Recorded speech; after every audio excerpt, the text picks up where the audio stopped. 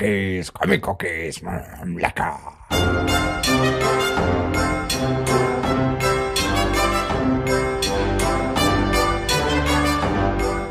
So, Breedstorm. Wo ist denn der Schnaps? Jetzt fängst du mit demselben bescheuerten Satz an. Was soll ich denn da drauf sagen?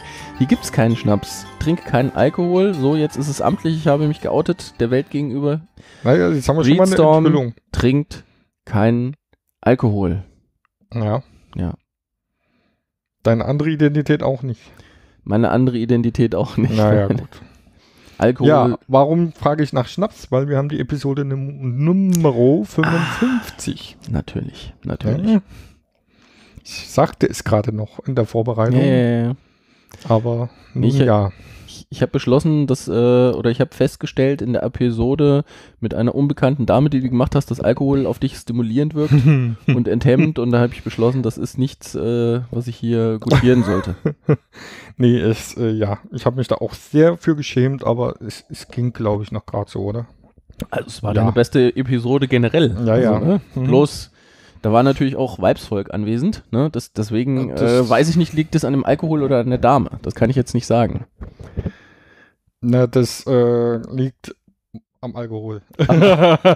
Okay.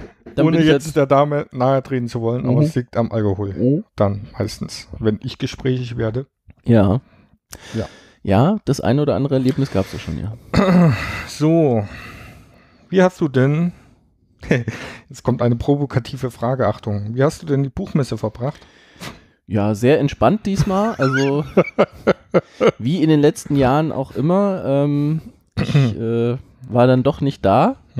Aber ich denke, du wirst ja einiges zum Comic-Satelliten erzählt haben und vielleicht hast du auch ein paar O-Töne gemacht. Weißt du was, was ich? Ja.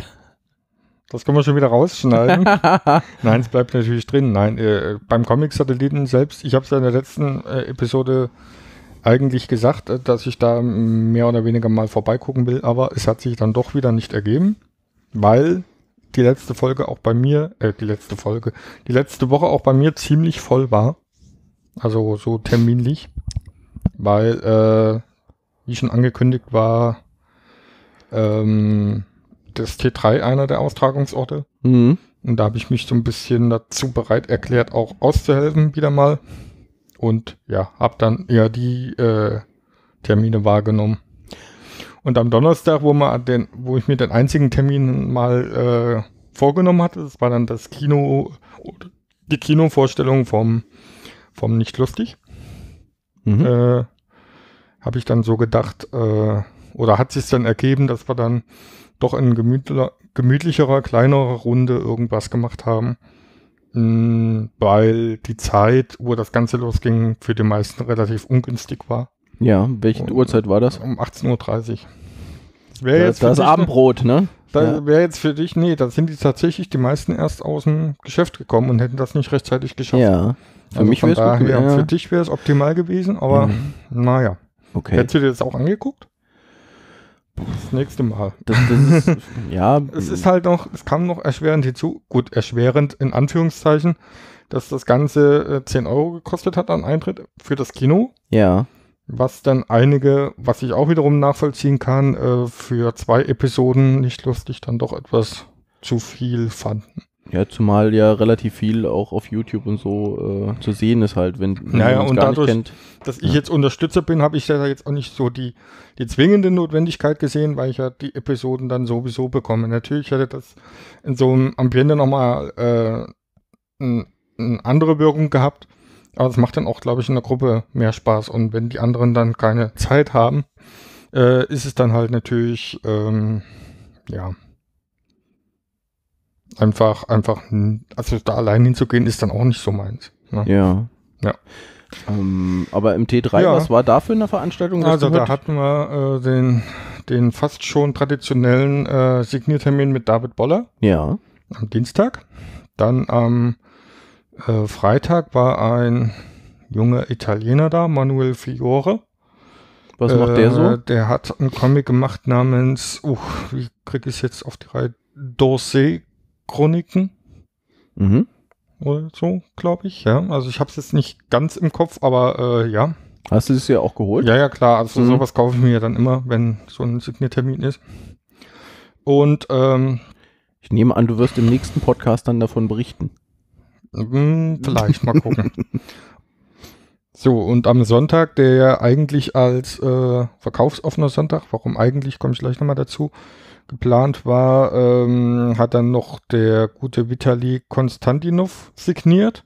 Der hat ein Comic rausgebracht äh, bei Knesebeck und zwar Leben und Werk von Dostojewski mit der Abkürzung FMD. Mhm. Ähm, warum eigentlich verkaufsoffener Sonntag? Naja gut, die Stadt Frankfurt überlegt sich natürlich immer, an, an was für Sonntagen können wir das machen. Und da ist so ein Messesonntag natürlich immer ein, ein Highlight. Mhm. Und äh, es ist, glaube ich, zuletzt schon bei der Musikmesse äh, mächtig schief gelaufen. Da hat Mhm. man das kurzfristig äh, am Freitag vorher abgeschmettert. Freitagnachmittag. Und hier war es jetzt wieder genauso. Also am Freitagnachmittag hat man äh, seitens der Gewerkschaften und der katholischen Kirche Das angeprangert. das angeprangert, dass der Papa äh, da in, den, in die Stadt zum Arbeiten muss. Richtig so. Ja. Machst du den ironischen Unterton noch ein Nee, ich, bisschen? ich, das ist kein ironischer so. Unterton, sondern ich finde, ähm, ich, die Leute können samstags einkaufen, so, so ich brauche keinen verkaufsoffenen Sonntag. Ja, nur äh, das Problem, was ich halt damit habe, ist, äh, es stehen der Stadt vier verkaufsoffene Sonntage zu. Und die werden natürlich so geplant, dass die eigentlich an so einem Tag stattfinden. Ja, äh, ich Und, sag mal, äh, Buchmesse ist natürlich, da ist äh, generell natürlich mehr los als sonst. Aber ich habe auch gelesen, die Taxifahrer sind sehr unzufrieden mit den Gästen von der Buchmesse, weil die meisten kommen am Bahnhof an, fahren dann den Ja, ja, Kilometer klar. zur Messe Hm. und im Gegensatz, also zur IAA sagen die dann, die Besucher der Buchmesse dann halt mal nicht hier, fahrt mich mal vor die Stadt zum FKK-Club oder sowas. Also das ist bei den Taxifahrern, ja, das, Ja, exakt macht so. aber einen Nebenkriegsschauplatz auf. Exakt das stand da drin, dass sie, der Okay. Buchmessebesucher ist wohl nicht so FKK-Club-affin. ja, das mag gut sein, aber nichtsdestotrotz, also ich finde halt das Wie dann halt äh, ein bisschen widerlich, ne? Weil äh, das dann am Freitagnachmittag, na gut, natürlich geht das, muss das nochmal durch Instanzen hindurch und so weiter und so fort. Ich verstehe es schon, aber ich finde es trotzdem irgendwie äh, vor allem auch, äh, was ich halt immer noch ein bisschen blöd finde, ist, dass die, sich die katholische Kirche halt äh, das rausnimmt, weil sie ist der Arbeitgeber, der sonntags den Leuten Arbeit gibt. Ja, schlechthin. Ja. Ja gut, ihr macht ja Aber- sonst unter der Woche nicht so viel, der Priester. Ne? Ja, ja. ja, aber dann mit dem Argument zu kommen, sonntags, ne, und so weiter. Naja, gut. Egal. Hm. Äh, dass du die Kirche, du, oh, du bist hier Nein, äh, also Anwalt der als, Kirche, Nee, äh, aber nicht als, Anwalt des Teufels, als, sondern. äh, ge- als Gewerkschafter äh, ja, der- als Gewerkschafter kann ich es, ja. ist es natürlich, weil gerade im Einzelhandel arbeiten jetzt natürlich Ja. nicht gerade die hochdotiertesten Leute halt, ne? Ja. Und äh, Ja. weiß ich jetzt nicht, ob die das immer so, so toll finden, wenn die dann äh, einen Extratag haben. Aber anyway, Ja, wir sind ja kein gesellschaftskritischer okay, ein Politik. Bisschen, bisschen kann man da schon mal mit Ja. reinnehmen, aber wie gesagt, äh, schreibt uns doch mal eure Meinung dazu, schreibt's in die Kommentare. Ja. Nein, Quatsch. Äh, es soll ja hier um Comics gehen. Genau. letzten Endes. Was dann allerdings trotzdem stattgefunden hat, war der Signiertermin. Der wurde dann halt nur von einem im Laden ausgerichtet. Mhm. Und ähm, äh, ich habe da auch wieder noch ein bisschen mitgeholfen. Und dann hatte ich das von 15 bis 17 Uhr so hingezogen und durfte halt nichts verkauft werden. Also die Bücher mussten bei Bedarf entweder schon vorher gekauft werden oder dann im Laden gelassen werden müssen, müssen und dürfen dann halt beim nächsten Mal äh, dann mitgenommen werden, Hm. wenn sie bezahlt sind. Genau. Ja, so war das dann. Also das ist, das ist verbindlich. Ich kann nicht als einzelnes Geschäft sagen, mache ich halt sonntags auf, Mhm. Sondern es geht nur am verkaufsoffenen Sonntag oder Ja. was? Okay, das war mir auch nicht bewusst, weil ich dachte, das ist nur, dass alle dann aufmachen können. Mhm. Okay. Ja, Okay. gut, also die, die äh, ja, die, man gibt halt äh, einer gewissen Region, sage ich jetzt mal, oder einem bestimmten Bezirk oder was auch immer, dann die Möglichkeit zu öffnen. Mhm. Den Läden. Ja, also es ist dann halt, Mhm. ja, und wenn es dann, ja, gut, also man darf dann halt einfach nichts verkaufen an dem Tag. Ich denke, es war aber trotzdem gut Wobei besucht, sich die ne? Buchmesse da ja lustigerweise wahrscheinlich auch nicht dran hält, denn die verkaufen am Sonntag wiederum. Also, naja, gut. Ja, die Buchmesse, die verscheuern Reste dann am Sonntag. Richtig, ne? ja, ja. Da, ja. Ich Ja, ja. erinnere mich. Aber sie verkaufen trotzdem, ja. Ja. Also irgendwie ist es alles so ein bisschen merkwürdig. Naja, gut. ja. Das, das Fass Buchmesse haben wir ja schon des Öfteren aufgemacht. Ähm, für mich auch unverständlich, warum an den anderen Tagen nichts verkauft, weil das wäre jetzt wirklich was, wo man sich sehr gut eindecken könnte halt. Ne? Mhm. Aber ähm, ja, dann ist es halt so. Ist ja auf der Leipziger Buchmesse ist es mein, oder war es früher zumindest mal so, dass da mehr verkauft werden durfte. Da gab es direkt irgendwie so ein so einen kleinen Buchladen, glaube ich sogar. Ne? Mhm. Es ist vielleicht natürlich auch ein gewisses Zugeständnis an Buchhandel, ne? weil wenn sich alle Leute da schon mit eindenken. Ja. Ich meine, Ausnahme war auf der Comic, äh, auf der Buchmesse hier in Frankfurt sogar der Comic-Bereich früher. Mhm. Weil da gab es ja immer noch diesen kleinen eingebetteten Comic-Shop. Ja. Weil man das halt auch mit Signieraktionen und so weiter verbunden hat und die haben da irgendwie eine Ausnahme bekommen sogar. Also die durften Samstag. Ich weiß nicht, wie es aktuell ist, ich war ja nicht da. Mhm. Aber äh, ja, genau. So Sehr war schön. das früher. Ja, Und Comic Action warst du auch logischerweise nicht. nee, aber du warst ja in, in, in Kanada. Ich war in Kanada, ja. Sollen wir jetzt Urlaubsbesprechung machen? Habe ich eigentlich dem Basti schon versprochen. Hast du denn da was Comic-bezogenes äh, Äh, ja. gefunden? Ich habe einen schönen, oh, das war ja, das, das eine schöne Anekdote. Ich habe einen äh, Comicladen gefunden in Toronto. Mhm. Der heißt, äh, oh, wie heißt der? Äh, irgendwas mit Snake. Äh, oh, oh mein Gott, ich und Namen. Also, der Comicladen in, in, in äh, Toronto gibt ähm, äh, Snake, irgendwas mit Snake, aber hat Comic nicht im Namen. Jedenfalls, ähm, äh, sehr schöner Laden. Also, so Comicladen halt ganz normal erstmal. Ähm, das aktuellste in den Regalen stehen viele Actionfiguren, leider nur aktuelle, Mhm. Was mich ein bisschen geärgert hat, weil wenn, dann hätte ich ganz gern ältere genommen. Also gut, in, in der Vitrine gab es da noch ein paar ältere, da habe ich tatsächlich auch drei Stück gefunden, die ich noch nicht hatte. Aber ähm, ja, die waren dann halt schon ausgepackt und, und nicht mehr in der Verpackung und so weiter und so fort. Mhm. Aber was noch schön dabei war, äh, war halt ein kleines Café vorn dran. Mhm. Also das heißt, man kann dann direkt die Comics, die man da im Laden kauft, auch direkt erstmal gemütlich lesen oder reinlesen oder wie Mhm. auch immer. Es ist direkt ein kleines Café vorn dran, wo man sich so ähm, ja, ganz normal Kaffee und Gebäck ein bisschen eindecken kann. Wäre eigentlich optimal für die Comic-Cookies. Mhm. Also das Gut. ist ähm, eine schöne Sache gewesen. Eine schöne Kombination, die ja, die ja so häufiger mal stattfindet. Also äh, in, in Brüssel gab es ja auch sowas, da gibt es das Comics Café. Das ist Mhm. aber im, im Grunde ein, ein Restaurant, Mhm. was ähm, ja comicmäßig geschmückt ist oder dekoriert ist. Mhm. Ja. Ja, da kam ich auf meinem äh, Brüssel-Aufenthalt äh, vor kurzem leider nicht zu. Da war sehr gestrecktes Programm. Ach ja, stimmt, du warst ja in Brüssel. Ja. Ja. Leider so comicmäßig gar nichts. Ja gut, ich habe die ein oder andere Hauswand habe ich halt zufällig Mhm. gesehen Ja. oder auch die, das ist ganz schön, ich hatte gegenüber vom Hotel ähm, gab es äh, der Skorpion in der Hauswand, hatte Ah, ich ja. auch getwittert. Jetzt weiß ich, wo Ähm, dein Hotel ist. Mhm. bei, der, bei der französischen Botschaft gegenüber war das. Ja. Und ähm, ansonsten habe ich noch in der Stadt die mit Tim und Struppi gesehen. Aha. Diese, wo die so Treppen hochlaufen. Ja. Und eine S-Bahn, da war natürlich auch Werbung für das äh, RG-Museum drauf. Also Mhm. ist schon schön, wenn das einfach so im, im Stadtbild vorhanden ist. Ja. Aber ich muss sagen, Brüssel hat mir als Stadt so sehr Schön, gut gefallen, Ja. was ich gesehen habe. Wie gesagt, war jetzt keine touristische äh, Veranstaltung, wo ich Mhm. da war, aber natürlich abends oder sowas geht man ein bisschen durch die Gegend, guckt sich das an und typische äh, Touri-Tour mal durch auf dem Marktplatz und Mannequin Piss und sowas haben wir natürlich Ja, ja. auch mal Mhm. kurz gemacht. Mhm. Aber es war halt nicht die einzige Beschäftigung, die wir da hatten. Ja. Ja. Und äh, ja, aber eine sehr angenehme Stadt, könnte ich mir durchaus vorstellen, nochmal hinzufahren. Mhm. Und das, wo ich eigentlich nicht so sehr stadtaffin bin.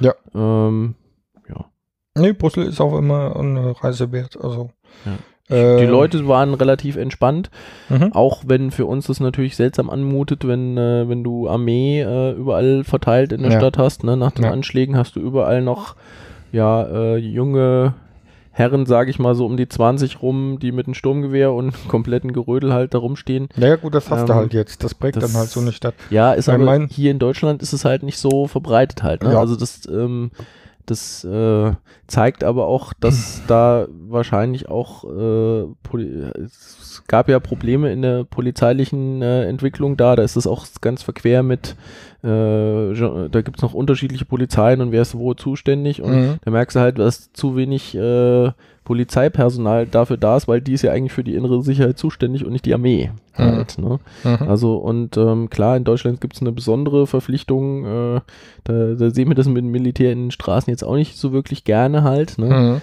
Mhm. Aber naja, also es, es ist trotzdem komisch, wenn du acht, nachts um die, um die Ecke läufst und es laufen dir drei Schwerbewaffnete entgegen oder sowas halt. Ne? Mhm. Und das, ich meine, die waren alle nett und freundlich, das ist jetzt nicht so wie, sag ich mal, in den einen oder anderen, anderen arabischen Land, Ja. äh, wo du dir dann doch äh, Sorgen machst, wenn du da äh, in Dunkelheit jemanden mit, der- mit, mit der AK-47 begegnest, ja, ähm, der möglicherweise nur da ist, was zu bewachen. Ist alles nette Menschen, aber es Naja, ist trotzdem noch und gerade in so einer Stadt, die, die mega entspannt ist eigentlich auch. Also da waren sehr, sehr, trotz dass da durch äh, Europa, Parlament und EU-Kommission, was auch immer, äh, relativ viel los ist, sind die trotzdem noch relativ entspannt halt alle. ne? War halt, als wir da waren, noch gar nichts von, Mhm. weil ähm, da waren die Anschläge ja noch nicht. Also das äh, war ja erst danach.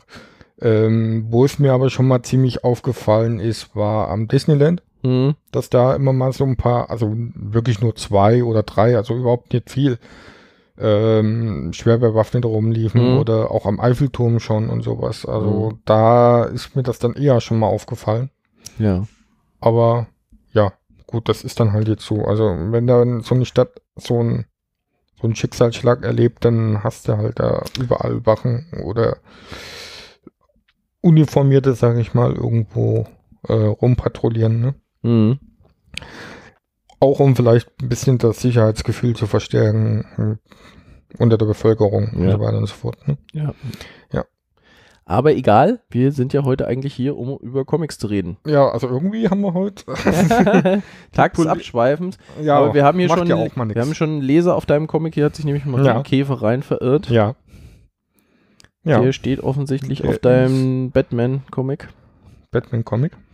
Aber da du nur zwei ja nur dabei die hast, sollte ich, sollte ich vielleicht mit irgendwas anfangen. Ne? Mhm. Ja, was haben wir denn Batman, gelesen? Batman Comic ist übrigens nur die halbe Wahrheit, wie wir nachher feststellen werden. Aber gut, Ja, weil da wird sich nämlich der Sepp ein bisschen freuen. Äh, oh, iZombie. iZombie. Ähm, iZombie Band Nummer 3 ist erschienen und ich hatte ja schon von den anderen Bänden dieser Serie, die ich regelmäßig lese, berichtet. Mhm.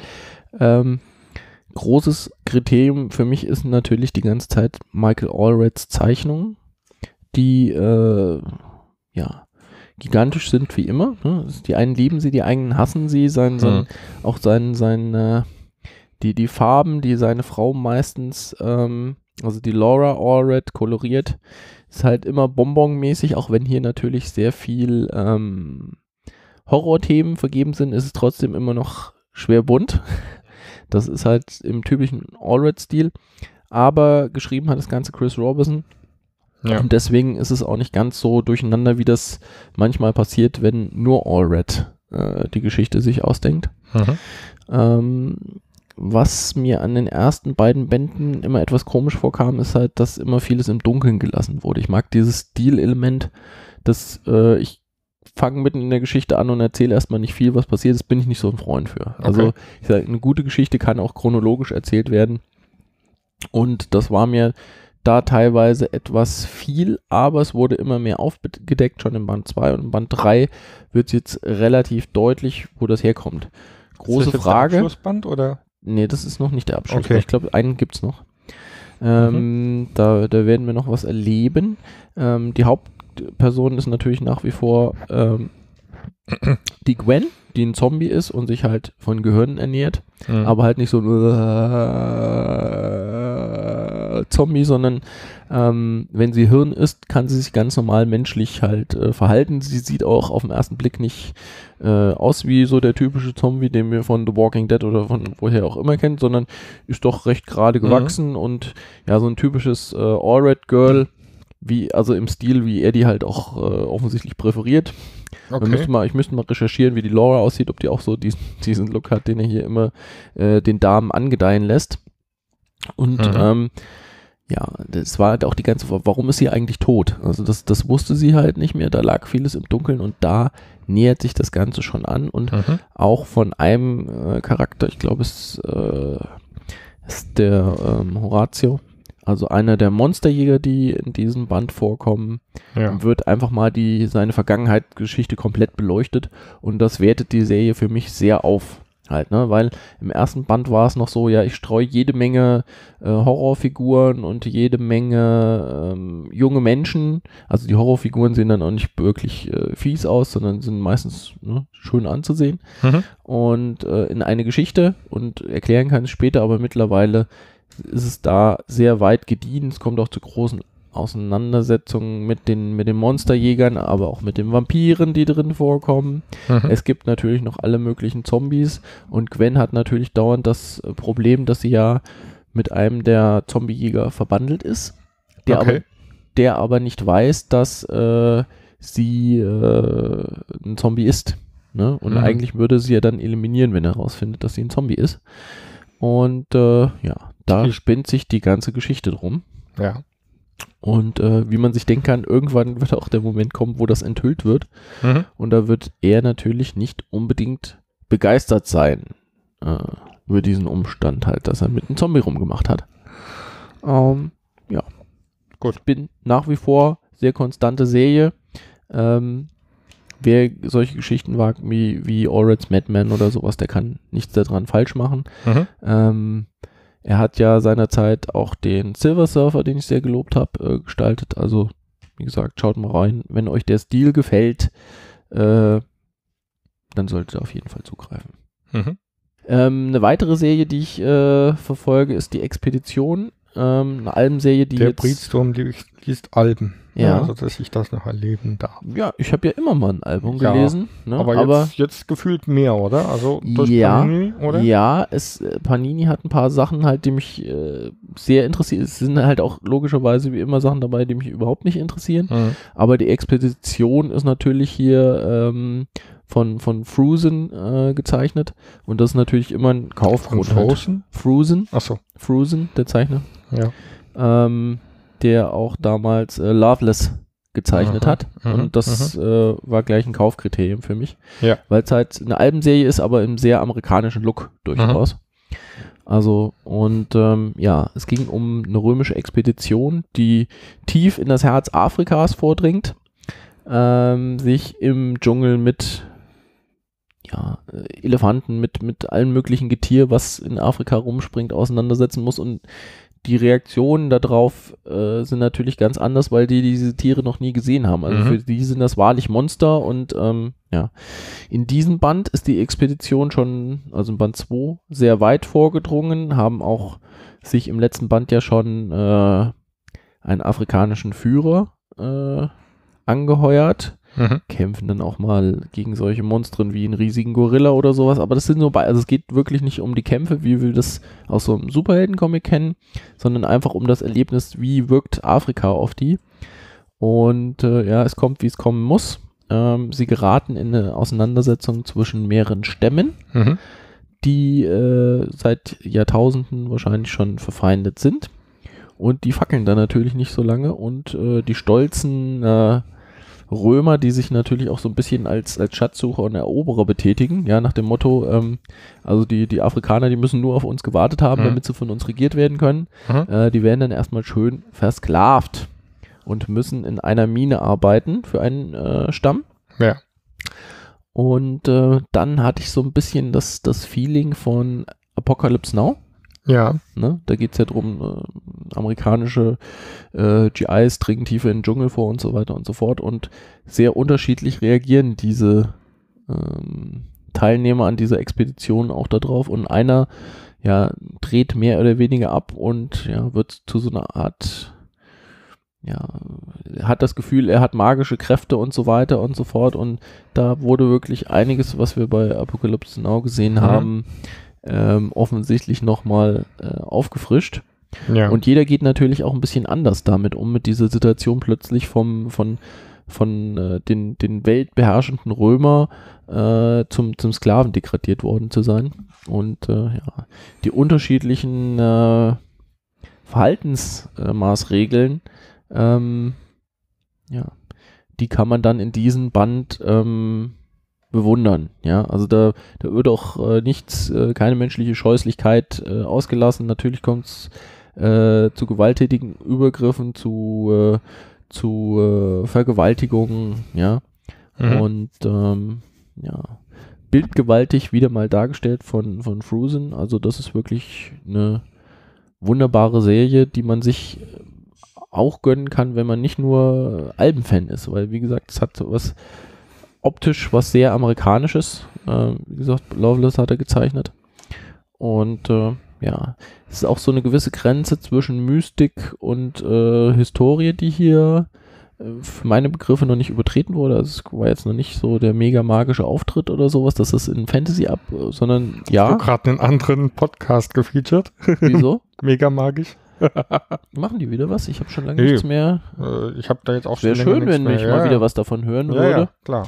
Aber ähm, Aber pro forma gibt es den ja noch. Also es gab ja keine. ja, Ja. es wäre schön, wenn da mal wieder ist. Aber hm. Ja.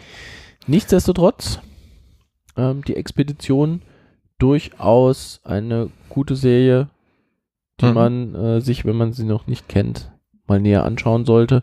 Und ich glaube, es kommen noch zwei Bände oder sowas, dann wäre auch das abgeschlossen. Also das wird nicht so ein endlos Ding wie mein nächstes Projekt, Ah ja, wo ich natürlich fast in jedem Podcast was dazu sage. komisch. Ja, weil ich es halt auch durchgängig lese. Also Mhm. das ist, ähm, das ist nach wie vor Triggern. Ja. Und ähm, ich mag einfach äh, Don Lawrence als Zeichner sehr gern. Und dadurch, dass Panini das jetzt neu rausgebracht hat, hole ich mir natürlich auch jedes Album. Und ähm, das hier ist in der Tat, äh, ja, zeigt dieser Band wieder sämtliche Oh, Stärken sämtliche Stärken und Schwächen auf halt, die, Ja. die diese Serie hat. Es ist der erste Band, der wirklich eine durchgehende Geschichte, also in Ach ja, Albenlänge mhm. hat. Ne, die Sachen sind natürlich früher in Einzelepisoden erschienen, was sich immer noch auswirkt, dass die Spannungsbögen teilweise von, von auf zwei, vier oder fünf Seiten ausgelegt sind und dass da immer episodenhaft äh, was dazu kommt. Dieses Mal ist es so, dass es Nachwuchs gibt auf Trigan, denn Trigo, der Herrscher von Trigan, hat Gott. plötzlich, hat plötzlich Drillinge. ne, die Frau von ihm wird ja in Mhm. dieser Serie, die aus den 60er Jahren stammt, äh, nicht so viel, also da wird nicht so viel drüber geredet, wie die zustande gekommen sind oder ob die Frau, Mhm. wie es dir eigentlich so geht Sind und halt so weiter. einfach da. Ja, und äh, es geht los mit einer Szene, da wird was verlesen auf dem Markt und äh, Trigos Bruder Brag ähm, ist nach der Geburt, äh, dann äh, guckt sich den Nachwuchs an und sieht absolut erschüttert aus. Man denkt, oh Gott, was ist, haben die Kinder zwei Köpfe oder so? Nein, es sind drei Kinder Mhm. und das ist auf dem Planeten Natürlich. Trigo. Trigo, müssen dann drei Kinder sein. Ja, ist aber keine gute Sache, weil es kann nur einen Thronfolger geben. Ach ja, Ja, jetzt könnte man einfach sagen, man macht, wer als erstes geboren wird, wird Ja. die Thronfolge, aber es ist sehr, sehr schwierig und es ist tatsächlich so, dass zwei von diesen äh, Kindern äh, von, äh, von einer Amme verbannt werden und äh, dann äh, einer jungen, also einer jungen Dame des fahrenden Volkes ausgehändigt werden, sodass nur einer Prinz werden kann. Und Aha. dieser ganze Band ja, Kobold. Willkommen in meinem Leben. so geht's mir. Äh, und Ma- dieser, äh, Ahnung, man überhaupt dieser. Band handelt davon, Ja. äh, wie die äh, drei äh, Prinzen aufwachsen und äh, was ihnen so widerfährt. Ach ja. Ja. Mhm. Ähm, es Also wie die unter, in der unterschiedlichen äh, oder in ihrem unterschiedlichen ja, Umfeld dann aufwachsen. Oder? genau. Ah, ja. und ähm, da kann ich schon so viel verraten. Also es ist nicht alles eitel Freude, Sonnenschein. Mhm. Also ähm, wir werden kein schönes Happy End erleben, äh, in dem alle drei Prinzen gemeinschaftlich über, über Trigo herrschen. Sondern, Spoiler. son ja, es ist, äh, es ist abzusehen, da familiäre Geschichten hier nicht so viel die Rolle spielen. Es ist Ja. natürlich die typischen Schwächen, dass hier die Zeit teilweise ein bisschen seltsam vergeht. Also die, die Prinzen wachsen dann relativ schnell äh, auf, während sich um sie rum äh, die restlichen Protagonisten der Serie nicht so wirklich verändern. Ne? Mhm. Und ähm, äh, die fangen dann auch an zu interagieren und auch nicht jeder dieser Prinzen ist, äh, trotz dass äh, äh, Triga Trigo die gezeugt hat, ähm, ein wunderbarer Mensch. Ja, also es, Mhm. es gibt äh, dann wirklich unschöne Szenen, aber natürlich auch wieder gemischt mit sämtlichen Fantasy-Elementen. Da gibt es zum Beispiel einen Riesen, der auf diesem Planeten äh, gefangen gehalten wurde. Oder es gibt wieder die beliebten äh, Monstren, die immer gern immer gern genommen werden bei Don Lawrence, ja, also da, da ist, äh, die typischen Elemente sind da und sieht auch immer wieder hammergeil aus. Man darf sich vielleicht aber über die Handlung nicht allzu viel Gedanken machen über Naja. solche Punkte. Man muss es einfach genießen, dass es einfach so ein, so ein Pulp-Ding ist, wo nicht immer alles erklärt und wo manchmal einfach die Story so gemacht wurde äh, von Mike Butterworth, ähm, Ja. wie, sie, wie sie gerade gepasst hat. Es ist einfach ein Spektakel, ein bildgewaltiges Spektakel an, an Action, an Raumschiffen, an Monstren. Ähm, da ist alles drin verbaut, was irgendwie verbaut werden konnte. Und äh, ja, man, die zwischenmenschlichen Sachen geraten da teilweise ein bisschen in den Hinterhalt. Das, das würde man nicht heute nicht mehr so umsetzen, glaube ich, Mhm. weil man einfach mehr auf die Charakterisierung äh, mehr, mehr eingehen würde. Sehr schön ist auch wieder der Erläuterungsteil hinten, der erzählt, ähm, warum äh, nicht alle der Prinzen äh, überleben. Äh, das Problem ist einfach, man hatte mit, mit Jano und seinem äh, blauhäutigen Kumpel schon früh Identifikationsfiguren für die, für die Jugendlichen, die das lesen sollten, äh, geschaffen. Und da war es schwierig, Platz für die dann auch wirklich zu kriegen, halt an, in, Mhm. als, als jüngere Figuren in dieser Serie. Ne? Und, und Trigo hat das Ganze natürlich auch immer noch überschattet und ja, also ich, man müsste natürlich Butterworth selber fragen, wie viel Einfluss hatte dann zum Beispiel äh, eine Redaktion oder wie viel wurde von Mhm. außen das beeinflusst, wie die Serie dann irgendwann weitergeht.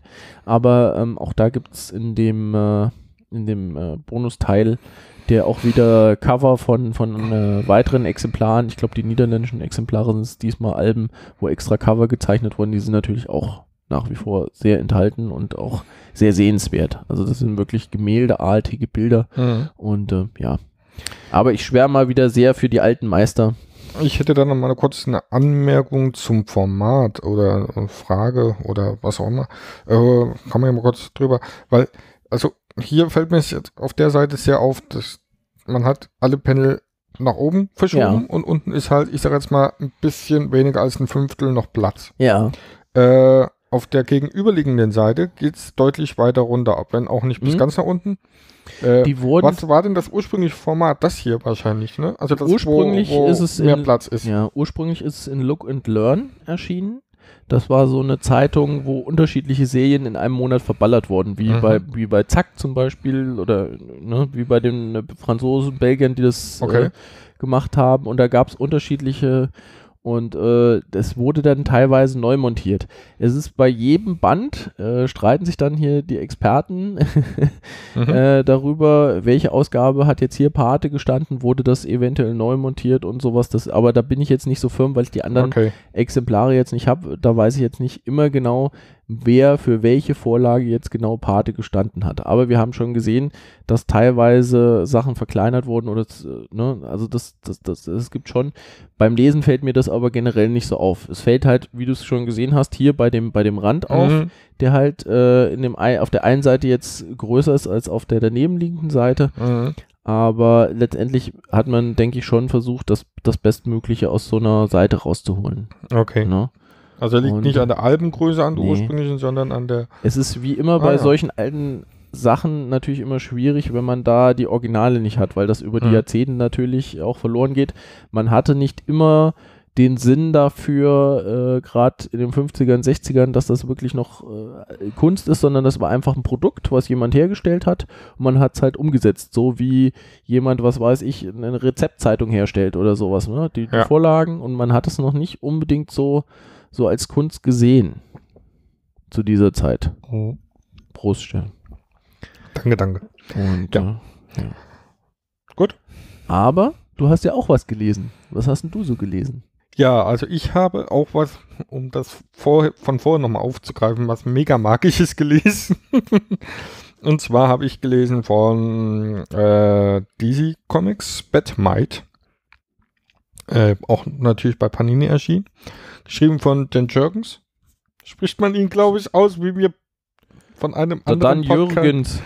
von einem anderen Udo. Podcast, äh, nein, von einem anderen Podcast penetriert wurde quasi. Ja. Ähm, schon beinahe. Ähm, genau, das ist diese DCU-Reihe. Also es gab ja dann äh, nach, nach äh, New 52 waren ja alle äh, oder während 50, New 52 waren ja alle äh, Comic-Reihen so mehr oder weniger in einem Universum spielend, also in einem, an einer Kontu Kontinuität. Und ähm, das hat man dann während des DCU-Projekts wieder ein bisschen versucht aufzubrechen und hat dann auch äh, lustigere Charaktere mit reingenommen ins Programm. Also Bizarro war da einer von und halt auch Batmite. Äh, ja, wie gesagt, geschrieben von Dan Jurgens, allerdings nicht gezeichnet, mm, sondern von einem gewissen Corin Howell. Sehr, naja, sehr cartoonhaft Mhm. gezeichnet, ne? wie es halt auch zu Batmite passt. Und ähm, ja, die, die, ähm, die Grundstory ist äh, eigentlich relativ schnell erzählt oder die Grundrahmenhandlung ist halt die, dass äh, Batmite wieder mal auf der Erde landet in, in, äh, im DC-Universum und ähm, da diesmal allerdings nicht so den Batman nervt, wie, wie er das sonst so tut, sondern vielmehr auf viele andere Charaktere trifft. Also, also auch so ein bisschen, wie wir das letzte Mal schon hatten, so dieses Brave and the Bold Konzept, wie es bei Harley Quinn war, beim sch schwarzen Tagebuch. Ne? Mhm. Äh, hat man das jetzt hier auch wieder, oder ist es hier auch ähnlich aufgegriffen? Und zwar trifft Batmite halt auf verschiedene Superhelden, unter anderem auf Robin. Äh, also nicht auf Batman selbst, sondern auf Robin diesmal. Und auch auf andere Helden, die da wären. Hawkeye zum Beispiel oder äh, Hawkeye? Hawkman, Entschuldigung. Falscher Hackmann. der Hackmann. Genau. Äh, auf Hawkman, auf äh, Booster Gold und so weiter und so fort. Und äh, sein Ziel ist es halt, den Helden äh, so eine Art Makeover zu machen. Also die irgendwie zu modernisieren oder sie zu verbessern. Und äh, dem gegenüber steht ein gewisser, wie hieß er jetzt wieder? Ein gewisser Schurke, der sich da nennt, ich muss kurz gucken. Ich und mein Namensgedächtnis. Da kann es halt auch mal passieren, dass Hawkeye plötzlich bei DC ist. Äh, wie heißt er denn? Ja, der Gegenspieler ist Gridlock. Ähm, der hat halt äh, so das Ziel, äh, Bestehendes zu bewahren. Also er sammelt Artefakte und versucht diese äh, irgendwie ein, einzukonservieren und so weiter und so fort Mhm. auf, aufzubewahren. Also im Grunde ein Sammler. Und ähm, ja, der stellt sich dem halt gegenüber, kommt halt mit dieser, mit diesem Konzept von Batmite äh, alles erneuern zu wollen, so gar nicht klar und versucht ihn dann halt herauszufordern. So, das ist so diese Grundstory bei der ganzen Geschichte. Ähm, Batmite findet auch noch äh, zwei neue Freunde, sag ich mal so, aus dem bürgerlichen Leben, die ihn mehr oder weniger bei sich aufnehmen. Und äh, das ist ein Pärchen. Sie kommt erst gar nicht damit klar, weil sie, sie sieht halt die Zerstörungswut, die er so in sich trägt. Und er ist so der Typ Shaggy von, äh, von äh, Scooby-Doo. Ähm, freundet sich halt total schnell mit ihm an und so weiter und so fort. Und ja, also man hat auch so ein bisschen die persönliche Komponente mit reingenommen. Aber ja, nichtsdestotrotz ein äh, wunderbar unterhaltsamer Band, würde ich Mhm. jetzt mal sagen. Ähm, wie gesagt, sehr dynamisch gezeichnet, dadurch, dass es jetzt hier äh, ein, ein äh, doch sehr cartoonischer Stil ist. Ähm, allerdings habe ich das schon besser gesehen. Also der Stil ist jetzt eher so, das, was du sagen würdest, auch eher so meins, ne? Ja. Aber wie gesagt, es ist halt äh, irgendwie, ich weiß, ich kann es noch nicht mal genau ausdrücken, was mich so daran stört. Irgendwie, aber irgendwas hat nicht gepasst. Mhm. Also, Gezeichnet hat's Corin Howell. naja, genau. Was hat denn der sonst noch so gemacht? Weiß ich gar nicht. Steht das damit drauf? Von der sensationellen Newcomerin Corin Howell. Mhm. Okay, eine sensationelle Newcomerin. Ah ja. Ja, ist. Äh, Ja, Also also, ich sag, zu Batmite passt's. Naja, natürlich Ja, passt. also, Also, äh, aber Batmite ist ja generell eine Figur, die nicht so wirklich detailliert ausgearbeitet ist, sondern auch mehr Naja, so ein klar. Charlie Brown-mäßiges Gesicht, halt im Batman-Kostüm. Naja, ist schon Und- klar. und also, Batmite ist auch super getroffen, ja. äh, Aber irgendwas hat mich, ich weiß nicht, entweder waren mir die Linien dann für das äh, Cartoonhafte dann irgendwie zu klar oder statisch oder ich weiß es nicht genau. Ich kann es noch nicht mal richtig ausdrücken, was mich daran stört. Also irgendwas, oder war es die Kombination aus Koloration und äh, äh, irgendwas und Mhm. Zeichnung? Also irgendwie Hm? ich kann es nicht so genau sagen. Also, aber nichtsdestotrotz, wie gesagt, macht der Band Spaß. Und äh, wer von Batman noch nichts gelesen hat, und ich meine, das ist jetzt ein abgeschlossener Band, ähm, da kann man eigentlich nichts falsch machen. Das Humorlevel, ist es eher in Richtung, es geht in albern oder ist es, ist es geschickt? Mm, Weil, ich würde eher sagen, es geht Richtung albern. Ja, weil da, da ist manchmal bei solchen Sachen, ist da manchmal die Grenze. Wenn, also ich mag es, wenn sich so ein, ähm, so ein Genre selbst parodiert, Mhm. aber wenn es dann wirklich nur albern wird, Ja, es sind so ein paar Anspielungen mit drin, logischerweise, also immer so äh, ein paar Sachen, also auf ähm, ähm, bekannte Batman-Storylines oder sowas ist, ist da schon so eine kleine Anspielung mit drin. Aber äh, ja, es ist halt äh, im Grunde ein eher, eine eher alberne Handlung. Es ist ja auch die eine Geschichte noch mit drin, wo er auf so ein Superhelden-Team trifft. Inferior 5, glaube ich, oder wie sie heißen. Inferior, hm. Inferior 5. Genau, das ist auch so eher so eine so eine schlachsige, trottelige Heldentruppe ist, die so eher möchte gern ist und die So kriegt die- natürlich auch die furchtbaren fünf quasi bei, beim, ja. Mm, ja, irgendwie sowas, ja. Mhm, okay. Und äh, die kriegt dann natürlich auch ein Makeover und naja und so weiter und so fort. Also das ist, ähm, ja. Die erste Story hat äh, so mit, mit, der, mit, der, mit den übrigen Stories äh, erstmal so gar nichts zu tun. Das ist eher so als Einführung gedacht. Und ähm, Gridlock taucht dann eigentlich erst in der zweiten Geschichte auf. Mhm. Ja. Gut. Ja, genau.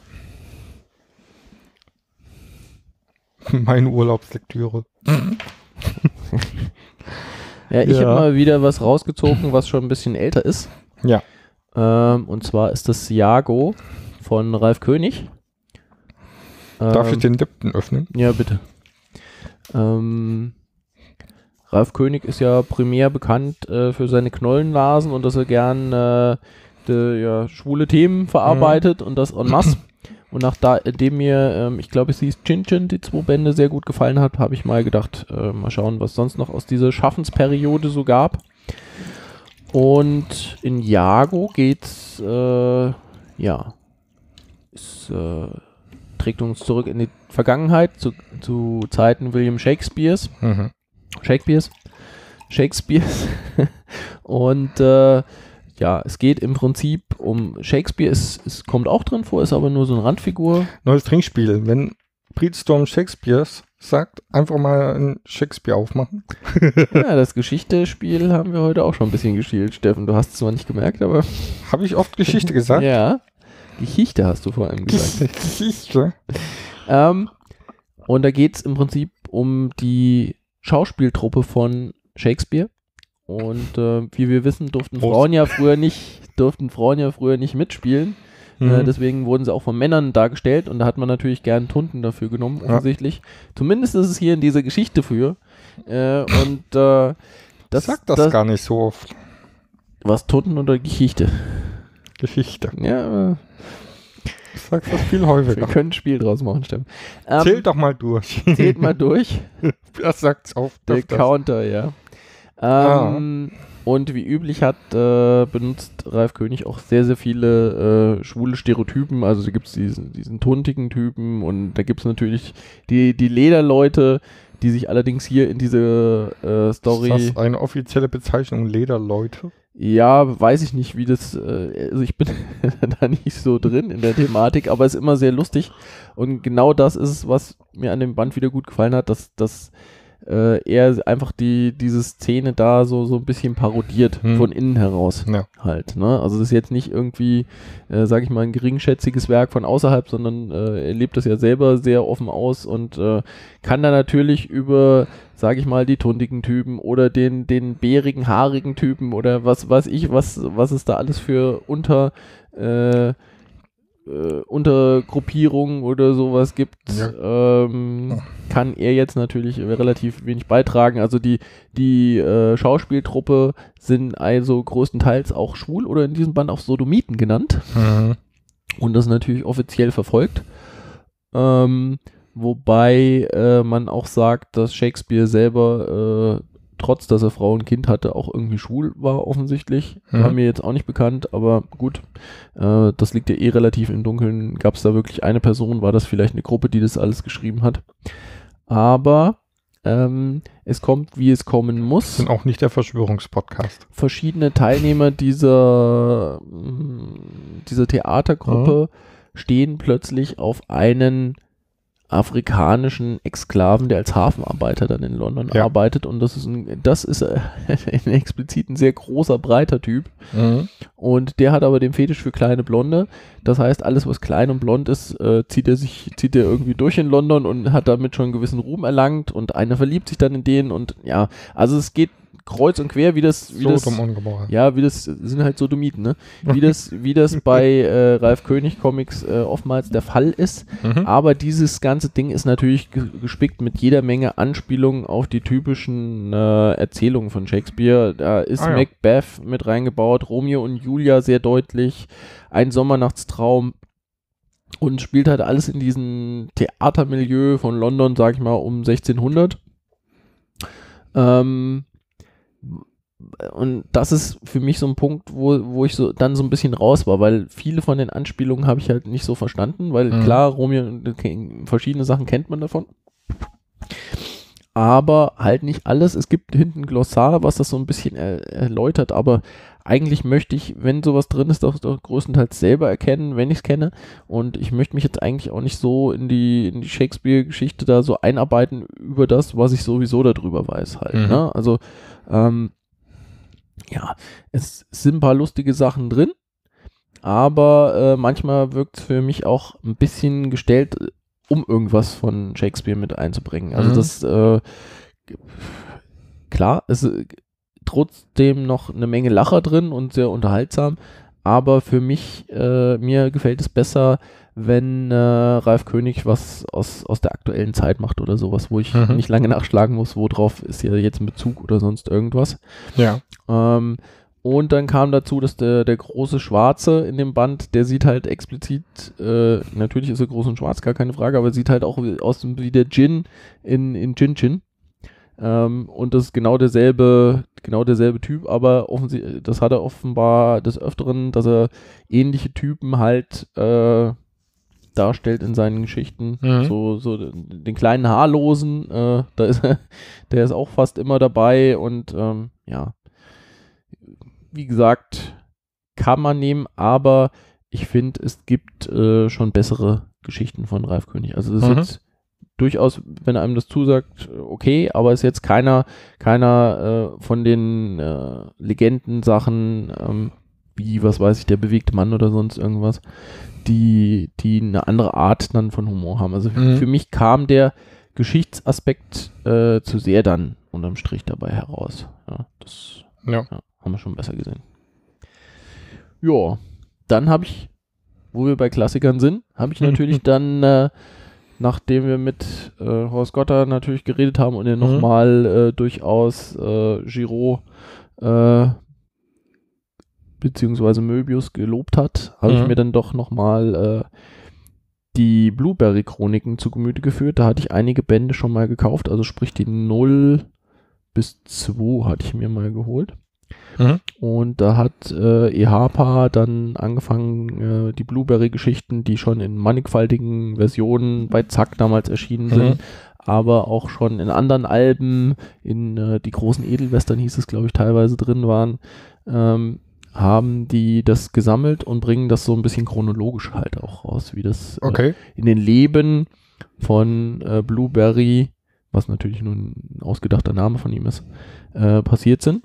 Und es geht los mit der Jugend von Blueberry im ersten Band und da erfahren wir so ein bisschen was über die große Liebe von Blueberry ähm, und wie es gekommen ist, dass er im äh, in dem großen Krieg Nordstaaten gegen Südstaaten in Amerika gekämpft hab, Mhm. hat. Äh, und äh, ja, da gibt's alle typischen Western-Elemente. Es gibt Überfälle auf Züge, es gibt Explosionen.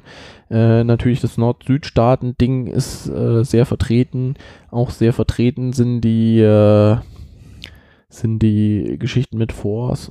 Ähm, was eine Besonderheit an dem Band ist, ist, dass das äh, mal Sachen waren, die für diese Pilot-Taschenbücher ursprünglich mal produziert wurden. Die sind hier in Deutschland auch im Taschenbuchformat erschienen, also in der Zack-Parade was Mhm. man den Zeichnungen, wenn sie natürlich auf Albumformat hochgebrochen sind, natürlich auch ein bisschen ansieht. Ja. Ne? Also Mhm. das, das ist, wenn man das so sieht, wirkt es relativ grob, was da gezeigt wurde, aber man muss halt sagen, das wäre eigentlich, äh, es war nicht für dieses Format bestimmt und ist eigentlich aber doch schön, dass es jetzt so gebracht wird.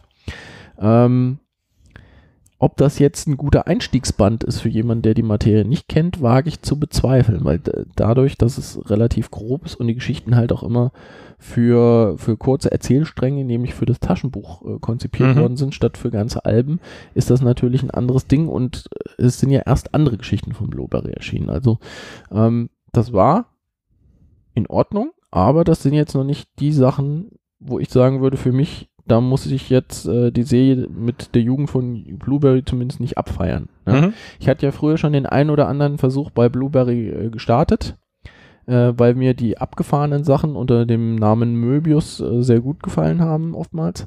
Mhm. Und äh, der Blueberry war mir im Vergleich zu anderen Westen-Serien oftmals ein bisschen, ja, ein bisschen zu sauber, ein bisschen zu, Mhm. Zu, zu wenig, zu wenig Spaghetti-Western-Anteil. Mhm. Ne? Weil Western stelle ich mir schon eher dreckig vor und nicht so mit der gebügelten Uniform. Ja, ja. Und äh, ja, auch solche Szenen gibt es hier. Hier geht schon ordentlich zur Sache und der eine oder andere wird umgebracht und er muss öfters die Seiten wechseln, weil ähm, er gerät in Verdacht, jemanden umgebracht zu haben. Deswegen geht er Okay. zu den Nordstaatlern. Dann muss er wieder gegen den Süden. Er selber ist Südstaatler. Mhm. Spionieren. Ähm, dann muss er wieder die Seiten wechseln. Also das ist ein, ist ein Hin und Her. Okay. Ähm, aber ich denke, das ist ein sehr großes Feature, dass das jetzt, äh, oder was heißt jetzt, vor einigen Jahren in dieser gesammelten Chronik erschienen ist. Da muss man die, sich die Sachen nicht mehr so quer durch sämtliche Reihen äh, zusammenkaufen. Und ähm, ich, ja, ich werde auf jeden Fall den zweiten Band äh, und die Null-Episode hatte ich auch schon gelesen, äh, weiter verfolgen. Und dann gucken Mhm. wir mal, ob ich das dann noch weiter verfolge oder ob ich sage, okay, das äh, reicht mir jetzt für, n- für den ersten Eindruck oder so. Ja. Ja. Ähm, wie gesagt, es ist nicht das, was es für mich episch macht. Also da, da habe ich, es gibt Sachen von, von Giro oder Möbius, die mir wesentlich besser gefallen haben. Und äh, ja, Mhm.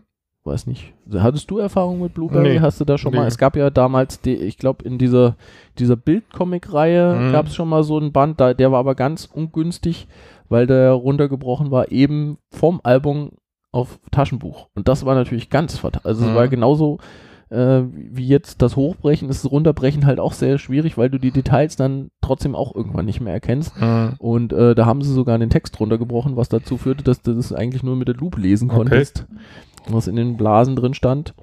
Und äh, ja, Nee, also da habe ich leider noch keine Erfahrung mit. Ja. Mal gucken, wenn mich irgendwann mal der Western wieder so richtig packt, können wir ja gleich nochmal zu was anderem kommen. Ja. aber, ich habe ja noch einen äh, Western ja, gelesen. Ja, quasi. Wenn ich schon mal dabei bin, dann äh, habe ich nämlich mein heutiges Soll schon erledigt. Och, das ging ja Ähm, flott. Es gibt ja immer wieder, äh, jedes Mal, wenn der neue Asterix erscheint, äh, auch ohne Uderzo und Goscinny, ähm, ist großes Aufsehen. Mhm. Äh, und es wird immer natürlich mit den alten Sachen verglichen. Ähm, was ich jetzt einfach mal gemacht habe, ist wieder mal schauen, was die beiden Herren sonst noch so produziert haben. Ich hatte ja vor einiger Zeit deren ganz alte Piratenserie mal vorgestellt. Da gab es schon mal was. Mhm. Ähm, und die beiden haben natürlich außerdem noch geschaffen Umpapa, die Rothaut. Mhm. Und zwar geht es da um Abenteuer eines äh, Indianers mit seinem äh, Armeekumpel quasi. Ähm, Und äh, ja, zu einer schönen Gelegenheit habe ich mir in der Stadtbibliothek meine, meines Vertrauens einen ausgesonderten Band für 50 Cent äh, geholt. Okay. Im schönen Hardcover ist natürlich ultra zerlesen, aber für den ersten Eindruck, den zweiten habe ich glaube ich auch noch geschossen damals, ähm, ist das schon sehr gut. Mhm. Die beiden waren mal äh, in Amerika unterwegs und wollten da Comics rausbringen. Das hat Mhm. aber nicht gefruchtet. Also da haben sie das so ein bisschen als Persiflage des, des Western-Genres in die, in die 50er damals versetzt. Mhm. Ähm, und das ist dann nicht so wirklich äh, eingeschlagen in Amiland. Aber als die dann wieder zurück waren im schönen Frankreich, sind sie nochmal in sich gegangen und haben Mhm. das Ganze neu aufgezogen. Und geht, zwar geht das los ähm, äh, mit einer Szene, wo die französischen, äh, also es geht um die französische Marine, wir erinnern uns, die Franzosen hatten ja auch mal große Teile, die Mhm. jetzt zur USA gehören, ne? New Orleans, ne? wie wir Mhm. wissen, und alles, Ja, ja. dieses ganze Gebiet hatten die ja alles besetzt Mhm. seinerzeit. Ich glaube, was aber jetzt nicht zu Amerika, also zu den, zu den Vereinigten Staaten gehört, halt Kanada, ne? Genau. da hatten die einige Aktien drin. Ja. Und so kommt es, dass der äh, junge Kadett Hubert von Thene, also von Täne, Mhm. äh, mit einem Schiff in die neue Welt aufbricht und mal guckt, was er mit den Eingeborenen da so machen möchte und wie kann es anders sein, das Schiff wird angegriffen. Und da kommt es gleich zu seiner ersten Auseinandersetzung mit den Indianern, die die fremden Eroberer, ob es jetzt Franzosen sind oder Briten. Äh, ein bisschen irritiert war ich davon, weil der Hubert Fontaine komplett in Rot gekleidet ist und ich hatte eigentlich immer die Engländer so komplett in- Ja. in Rot als Rotröcke. Mhm. Ähm, weiß ich jetzt nicht, wie geschichtlich äh, versiert da äh, herangegangen wurde. Also für mich sieht es halt sehr nach, einem- nach einem Brite aus, obwohl er als Franzose dargestellt wird. Mhm. Natürlich mit dem deutschen Namen Hubert Fontaine versehen für die deutsche Ausgabe. Ja, klar. Aber egal, es kommt dann zum ersten Kampf. Und äh, ja, da unterliegt der gute Hubert dann dem großen Umpapa. Der Umpapa ist so ein bisschen als, als Schwarzenegger mit, mit Zöpfchen dargestellt. Mhm.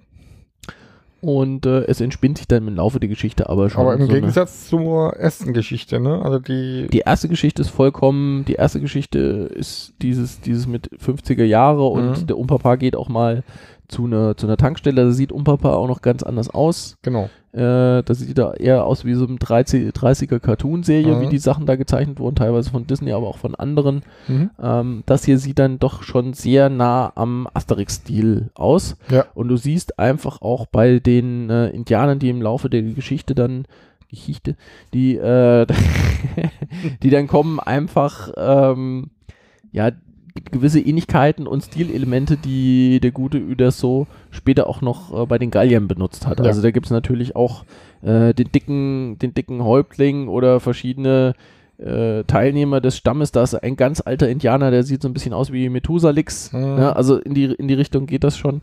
Und äh, ja, also man merkt schon und auch an den Gesichtsausdrücken, ähm, in welche Richtung das Ganze geht. Und das haben sie dann später bei Asterix auch noch perfektioniert. Mhm. Auch der gute Hubert Fontaine könnte so als Figur durchaus in Asterix vorkommen, während Umpapa eher aussieht. Bei Asterix kommen manchmal dann Figuren, die nicht so ganz cartoony sind, sondern eher groß und heroisch gezeichnet, wie zum Beispiel äh, die, die blonde, wie heißt der Fall, Balla. Ja, Oder da gibt es Äh, noch der große Graben, wo dann mhm. der, der Sohn des, des, des Häuptlings Ja. dann auch sehr groß und gerade gewachsen aus und eher ein bisschen heldenhaft gezeichnet wurde und nicht so cartoonig. Und so sieht der Umpapa halt aus, obwohl seine Eltern halt generell überhaupt nicht so aussehen. Ähm, okay. ja. Und die erleben halt auch ein bisschen Episoden, hast immer wieder Abenteuer, ist auch der typische Humor, den man auch im Asterix ver vermuten würde. Und ich sag mal, als, als gro jeder große Asterix-Fan wird das Ding sowieso schon bei sich zu Hause stehen haben. Und äh, es, es, es hat nicht ganz die Klasse Mhm. vom Asterix. Also muss jetzt, ist, ist halt einfach so, es hat nicht diese, diese überspannende Handlung, sondern auch immer dieses äh, Episodenhafte von, von einem Gag zum anderen so ein bisschen durchgetastet. Mhm. Und die Römer sind hier einfach äh, die Indianer des anderen Stammes oder respektive andere äh, europäische Eroberer, die Mhm. im Land sind, die, die kriegen ab und zu durchaus mal einen auf die Glocke. Es sind jetzt noch nicht diese, diese Schlägereien im Asterix-Stil, wo dann die Leute so megamäßig durch die, durch die, durch die Luft geschlagen werden oder sowas. Das, äh, aber der Humor ist doch ein sehr, sehr ähnlicher.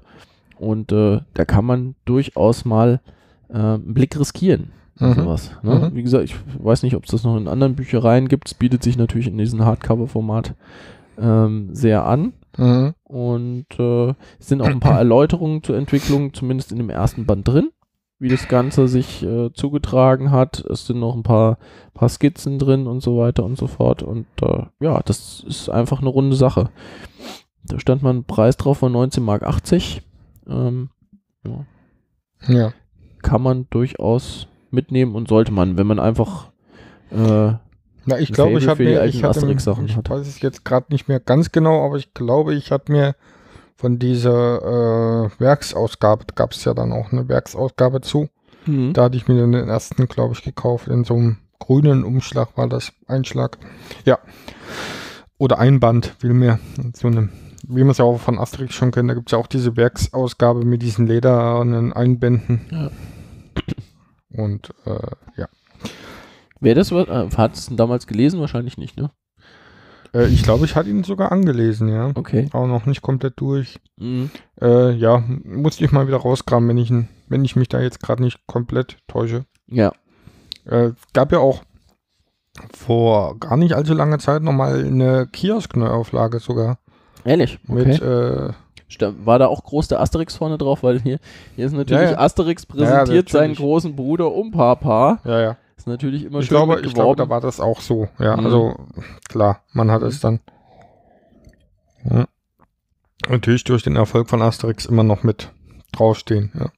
Verkauft sich's dann etwas besser vielleicht. Zumindest so die Herangehensweise vielleicht des Verlags. Naja, gut. Ähm, ich wollte ja eigentlich weniger Superhelden lesen. Es klappt immer super. Ähm, bis ich dann neulich im, im Laden einen Titel gesehen habe, wo ich mich schon äh, eigentlich seit meiner Kindheit drauf freue, auf dieses Crossover. Oh. Und zwar Batman Teenage Mutant Ninja Turtles. Ja. Ähm, dass es das gibt, habe ich natürlich schon äh, mitbekommen, dass es das in den USA gab. Und jetzt hat Panini halt diese komplette Sechsteile, ja, sechsteilige Miniserie hierzulande veröffentlicht. Ähm, kurz abschweifend noch dazu erklärt, es ist auch schon die nächste angekündigt äh, nächste, nächste, äh, das nächste Crossover zwischen Batman und den Turtles. Äh, das ist dann, wird dann so im Animated Style wohl Mhm. sein. Ja. Aber jetzt erstmal zu diesem äh, Band hier, ähm, wo der Zeichenstil eben sehr realistisch ist. Ähm, die Turtles gelangen über ein Dimensionsportal ins DC-Universum. Wie sollte es anders sein?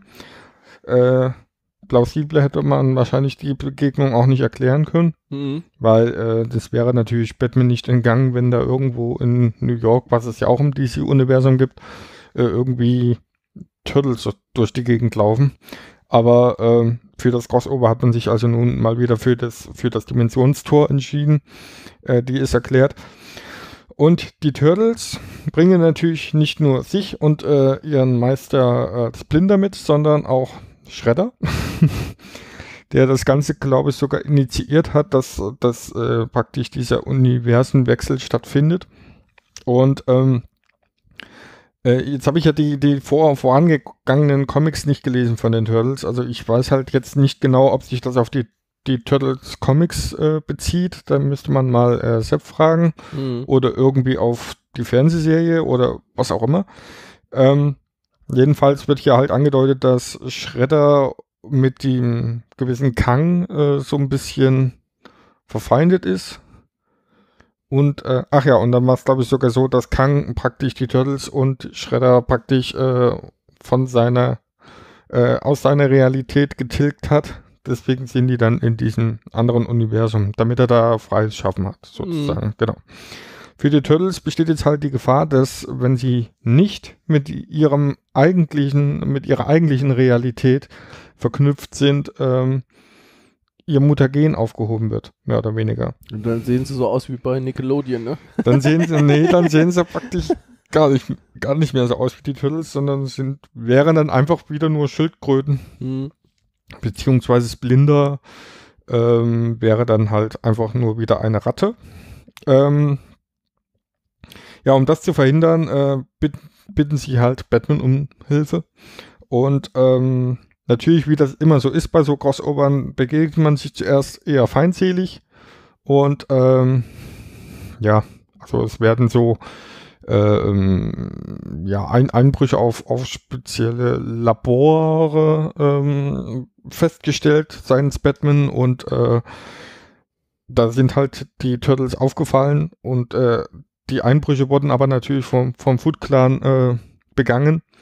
Also, äh, aber die Turtles haben halt nicht mitgemischt, also waren sie erstmal Verdächtige und das erklärt dann praktisch so erstmal dieses ähm, feindliche Aufeinandertreffen. Aber wie, sich, wie, wie das immer so ist, dreht sich das dann irgendwann und die beiden kämpfen auf derselben Seite gegen Shredder und was ich jetzt sagen muss an der Stelle, ich habe es noch nicht ganz durch. Also ich lese es gerade aktuell noch. Ähm, es kommen natürlich auch äh, seitens Batman einige Charaktere mit vor. Ganz am Anfang ist das äh, Killer Quark. Das wäre so meine erste Assoziation gewesen, Genau. was passiert, wenn die aufeinandertreffen. Genau. Ich Das bin ist halt dein nur- Vater, Luke. ist halt nur so ein kurzes äh, ähm, Intermezzo, wenn Reptilien auf das Reptil treffen. Aber äh, dann der nächste, einer der nächsten großen Gegner, mit denen sich halt Shredder äh, zunächst verbündet, ist halt der Pinguin.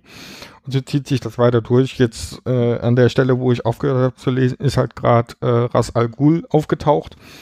Und ja, nun bin ich gespannt, wie sich das Ganze weiterentwickelt. Also es ist äh, natürlich, wie das bei so Crossovern immer ist, erstmal eine relativ einfache Rahmenhandlung, aber so allein dieses Aufeinandertreffen dieser zwei Comicwelten aus meiner Kindheit äh, oder auch Cartoon-Welten, wenn man das erstmal so sehen will, ähm, ist natürlich trotzdem ein Fest, ja, Mhm. weil äh, früher habe ich das ganz gern mal mit Actionfiguren nachgestellt, wie das so wäre, wenn die beiden Welten aufeinandertreffen, aber ähm, ja, Killer Croc ist hier wieder sehr, sehr bullig. re sehr Reptilienartig. sehr reptilienartig, aber Genau. halt nicht, eigentlich nicht wie ein Krokodil, sondern eher, tja, wie so, wie Ben Grimm in Grün mit, mit Fangzähnen. Also das, manchmal haben ja auch ein bisschen mehr das Gesicht äh, krokodilmäßig ausgeprägt. Das ist jetzt hier so, ja. Ja. Wie das typische Powerhouse in der Superhelden-Serie, ne? Mhm. Mhm, okay. Also, ohne dass ich jetzt ganz durchgelesen habe und äh, auch, auch nicht den Ausgang der Geschichte kenne, äh, muss ich natürlich sagen, es ist ein Fest für Fans von beiden Merch, äh, Merch, was sagt man? Was, was sagt man? Äh, sag schnell. Franchises. Mhm. Genau. Im Original erschienen bei IDW, die, glaube ich, ja. ja. die Turtles-Rechte haben aktuell. Ja. Also nicht bei DC. Ja gut, DC DC steht, halt auch mit, äh, drauf, ja. steht mit drauf, ja, ja. Ich weiß jetzt gar nicht, wie sie es gemacht haben. Hm. Ob es Steht beides drauf, okay. komplett, Ja. äh, ob, ob Dass man vielleicht mal gewechselt hätte oder so. 3D, 3D vielleicht, Ja. kann gut sein. Weiß ich jetzt gar nicht, wie das war. Ja. Mhm. Sieht aber optisch sehr gut aus. Ja, ist was also, der gute Freddy E. Williams der Zweite mhm. hier gezaubert hat. Also das, äh, geschrieben hat es auch ein relativ bekannter Name, oder? Warte mal, kannst du noch mal kurz gucken? James Tinian der Vierte. Also, so- Sagt dir das was? Nee. Meine, den Namen hätte ich schon mal irgendwo Zusammenhang. Ja gut, er hat Batman äh, mal geschrieben. Aber Ah, ja. Jetzt, und der Herr Williams, der hat schon mal Green Arrow geschrieben, stehen drauf. Aber äh, gezeichnet. Aber es gefällt mir optisch wirklich äh, überraschend gut. Mhm. Kannst du jetzt leider nicht- da lassen, aber ich kann es dir das nächste Mal gerne wieder nochmal es ist nicht zu cartoonig Mhm. und auch nicht zu, zu bunt oder sowas, wie man es teilweise äh, von Turtles äh, erwarten kann. Ja. Würde Sepp jetzt natürlich wieder kotzen und sagen, Turtles decken die ganze Bandbreite ab.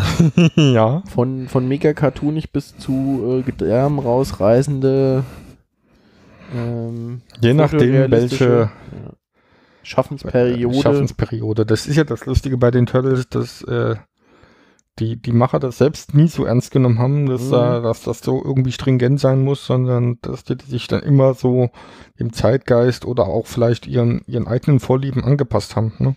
Mhm. Aber bedenkt, dass das Ganze hier als äh, ursprünglich auch als, als äh, Hommage oder Persiflage äh, angefangen hat auf bekanntere Superhelden.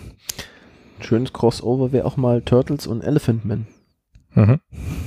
Die Serie hatte ich ja auch schon mal vorgestellt, dass mit diesen Hybridtieren, die äh, äh, zu Kriegszwecken, was natürlich auch Sinn machen würde, gezüchtet wurden. Mhm. Das wäre auch mal ein schönes Ding. Aber es sieht, wie gesagt, schon gedacht, na, nichts für mich, aber das ist jetzt optisch echt. Ja, im Moment sind wir ja gerade wieder in so Zeiten, wo solche äh, Crossover immer mal oder so verlagsübergreifende Crossover, Franchise-übergreifende Crossover aufploppen. Also Mhm. ähm, äh, jetzt äh, vor kurzem erschienen oder was äh, auf, auf Deutsch ja dann sicherlich noch erscheinen wird, ist halt äh, Green Lantern Star Trek. Ja. Oder was jetzt auch angekündigt ist schon, ist Green Lantern Planet of the Apes. Ne? Mhm. Und wie gesagt, hier äh, Batman Turtles ist auch schon das nächste angekündigt, das dann halt so ein bisschen den Animated Style folgen soll. Mhm. Mal schauen. Könnte mir vorstellen, dass das dann Panini auch wieder bringt, wenn das äh, weitestgehend erfolgreich läuft. Ja, es wäre auch mal wieder schön, ein bisschen DC Marvel zu sehen, halt, ne? Interagierenderweise. Also, Ja. das wäre mir sehr, sehr viel lieber als, äh, Das stimmt wohl, ja. als diverse eher unbekannte Wobei Figuren. das dann halt geschickt gemacht werden sollte. Also, äh, wie gesagt, äh, ich glaube, wir hatten schon mal drüber gesprochen. Ich weiß gar nicht, ob ich jetzt mit dir schon mal, aber ähm, also das DC gegen Marvel damals, das war natürlich sowieso eine Offenbarung für mich. Ja, Aber auch das Amalgam, was dann in der ersten Welle rauskam, ja. aber es kam ja dann nochmal so eine Fortsetzungsserie davon Mhm. und die fand ich dann schon schwächer. Also das war dann irgendwie so. Es war erzähltechnisch nicht äh, äh, auf dem Niveau, auf einem hohen Niveau, aber es war halt das, das, die erste, das erste Ding der Art. Wo das Ja, so ja, ich sag ja, die erste Serie war Ja. auch top. Also die war ja auch zeichnerisch sehr gut gemacht. Mhm. Claudio Castellini oder wie der hieß, wie, weiß ich jetzt gar nicht mehr. Und, und Dan Jürgens natürlich auch bei, ne, Mhm. glaube ich. Und äh, ja, und, und, und ich meine, diese zweite Serie, die es dann nochmal gab, wo man versucht hat, so ein bisschen an den Erfolg anzuknüpfen, die war dann halt eher so meh. Ja, und ähm, ja, aber und später hat man es dann nochmal probiert mit äh, Justice League und den Avengers. So ein bisschen. Gab es da dann auch nochmal so eine vierteilige Minireihe, glaube ich. Dass es vier Teile waren. Ähm, ja. Ja, sowas gehört in die Hand äh, von, von äh, erfahrenen Autor, einfach, Mhm. der, der einfach nicht einfach irgendjemand, der gerade da ist, sondern das sollte dann jemand machen wie meinetwegen Jones oder wie meinetwegen Bendis, Ja. äh, ohne das jetzt die unterschiedlichen Autoren werten zu wollen, aber die die die Fähigkeit haben, einfach dermaßen Menge an Figuren auch zu verknüpfen und das schon in ihren eigenen Serien irgendwann ähm, äh, gezeigt haben, ob es jetzt mit den zwei Millionen Mitgliedern des Green Lantern Corps äh, der Fall ist oder auch äh, die ganzen Rächer unter einen Hut zu bringen mit dem Rest des Marvel-Universums, war ja lange Zeit auch mehr als schwierig. Hm. Ähm, da, also da wäre es schon, schon interessant, sowas zu sehen. Oder auch mal was ganz, ganz abgefahrenes wie, was weiß ich, mit Fraction oder sowas, könnte ich mir an sowas auch sehr gut vorstellen. Mhm. Ähm, ja, also da, da wäre schon Potenzial da. Und das wäre auch wieder was ähm, aus dem Superheldenbereich, äh, was ich, was ich mit großer Freude und Imbrunst kaufen würde. Weil wie du, wie du ja merkst, in den letzten Monaten lässt das ein bisschen nach, äh, Mhm. aktuell mit den Superhelden bei mir. Ähm, ich würde nicht sagen, es erlischt komplett oder sowas, aber das Interesse einfach an, an sage ich mal in Anführungszeichen, aktuellen Sachen aus dem Superheldenbereich zu folgen, ist relativ gering bei mir. Klar, ich habe noch verschiedene Serien, die ich im Abo habe, äh, wie Spider-Man zum Beispiel oder Spawn, natürlich seit, seit Jahren Hm. ähm, äh, durch Höhen und Tiefen, äh, ja, aber das, äh, das, das, also ich interessiere mich durch die ganzen Events immer weniger äh, für den Bereich. Ne? Ja. Aber das, das Thema hat mir ja schon oft. Mhm. Aber zu diesem Thema habe ich ja mal wieder die Panini-Vorschau mitgebracht, oder was heißt mitgebracht, die liegt halt hier. Und da wäre es nochmal interessant zu hören, Ja. was wir uns die nächsten Monate, sprich November und Dezember so vornehmen. Ja. Dann schauen wir doch mal rein, in die Panini Vorschau 70. Ja. Äh, wen sehen wir denn auf der ersten Seite? ja. Äh, die Hella von Sinn. Im sogenannten PV-Spotting. Ja. Äh, Da steht natürlich drin, dass sie besonders gerne Panini-Comics liest. natürlich. Selbstverständlich. Ähm, Von Ihaba steht da nichts. Aber naja, gut. Ja. Äh, Nee, hier steht aber, dass sie äh, das Schattenspringer-Comic äh, mag und das Ja. hat sie, glaube ich, in Erlangen auch erwähnt, wenn ich mich ja, in. Erlangen, glaube ich, und sogar auch äh, in, in einer dieser äh, ah, Com Comic TV, ne, was war denn das? Äh, ja, gab es doch die, die, diese kurzlebige Comic-Webserie. Was ich interessant fand, Mhm. äh, war tatsächlich dann auf der ersten Seite ist Werbung vom All-Verlag drauf und die bringen, was ich nicht wusste, äh, Six Gun hier äh, als bezeichnet die, die sechste Das sind Ja Waffe. schon ein paar Bände draußen, ne? Ja, da ist schon einiges draußen. Ich hatte damals den ersten und den zweiten US-Band, glaube ich, gelesen. Hm. Das war eigentlich sehr unterhaltsam. Finde ich gut, dass das jetzt auf dem deutschen Markt äh, erschienen ist. Also hätte ich nicht vermutet. Ja. Aufgezeichnet TV, das war's. Da hatte sie kurzzeitig moderiert und da hat sie es, glaube ich, auch schon mal irgendwie erwähnt, Mhm. meine ich. Naja, gut. Ähm, was haben wir denn? Comic Action ist vorbei. Ja, ist interessant, dass da jetzt äh, nochmal was über die Comic Action ist, aber hey. Gut, das war die Ausgabe für November, Dezember. Vielleicht haben sie es in der letzten Ausgabe vergessen. Mhm. Eigentlich, muss ich mal sagen. Oh ne, gut, nee, das sage ich nicht. Ähm, okay.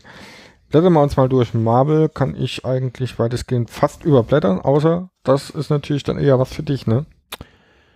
Ja, habe ich mir, also Deadpool äh, hatte ich ja seinerzeit im Abo, aber ich musste irgendwann mal einfach davon wegkommen. Es war mir einfach irgendwann So, zu das sind viel. nur die Cover, die von Dings sind, oder? Vom Mike Allred sieht das doch aus, oder? Ist das nicht Mike Allred? Mm, Ja, es, es wirkt auf jeden Fall so in der Art, Oder es aber, hat sich einer sehr. aber es ist nicht der äh, offizielle Zeichner. Oder es hat sich einer sehr äh, inspirieren lassen. Also Ja. gezeichnet steht hier, äh, als Zeichner stehen hier Matteo Lolli und Ivan Cello. Okay. Matteo Lolli klingt auch wie ein Pornodarsteller, oder? Irgendwie so. Naja, Damit kenne ich mich nicht so aus. Steffen. Ja, du am wenigsten, ne?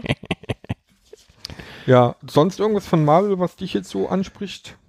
Ähm, ich habe Marvel hat, macht einige interessante Sachen. Da wird es ja jetzt die Universen auch so ein bisschen vereinigt, dass sie den äh, Mike Morales jetzt integriert haben als Mhm. Spider-Man, dass sie den äh, Spider-Man 2099 integriert haben. Aber das sind alles, Ist das hier Old Man Logan? ja, sind alles so ähm, Ja. Figuren, die mir nicht, äh, die mir nicht so besonders am Herzen liegen. Auch also äh, Miles Morales war okay zu lesen, aber ob ich jetzt ausgerechnet im aktuellen äh, Marvel-Universum mehr von dem bräuchte, weiß ich, ist jetzt auch bei den Rechnern in irgendeiner Art und Weise integriert.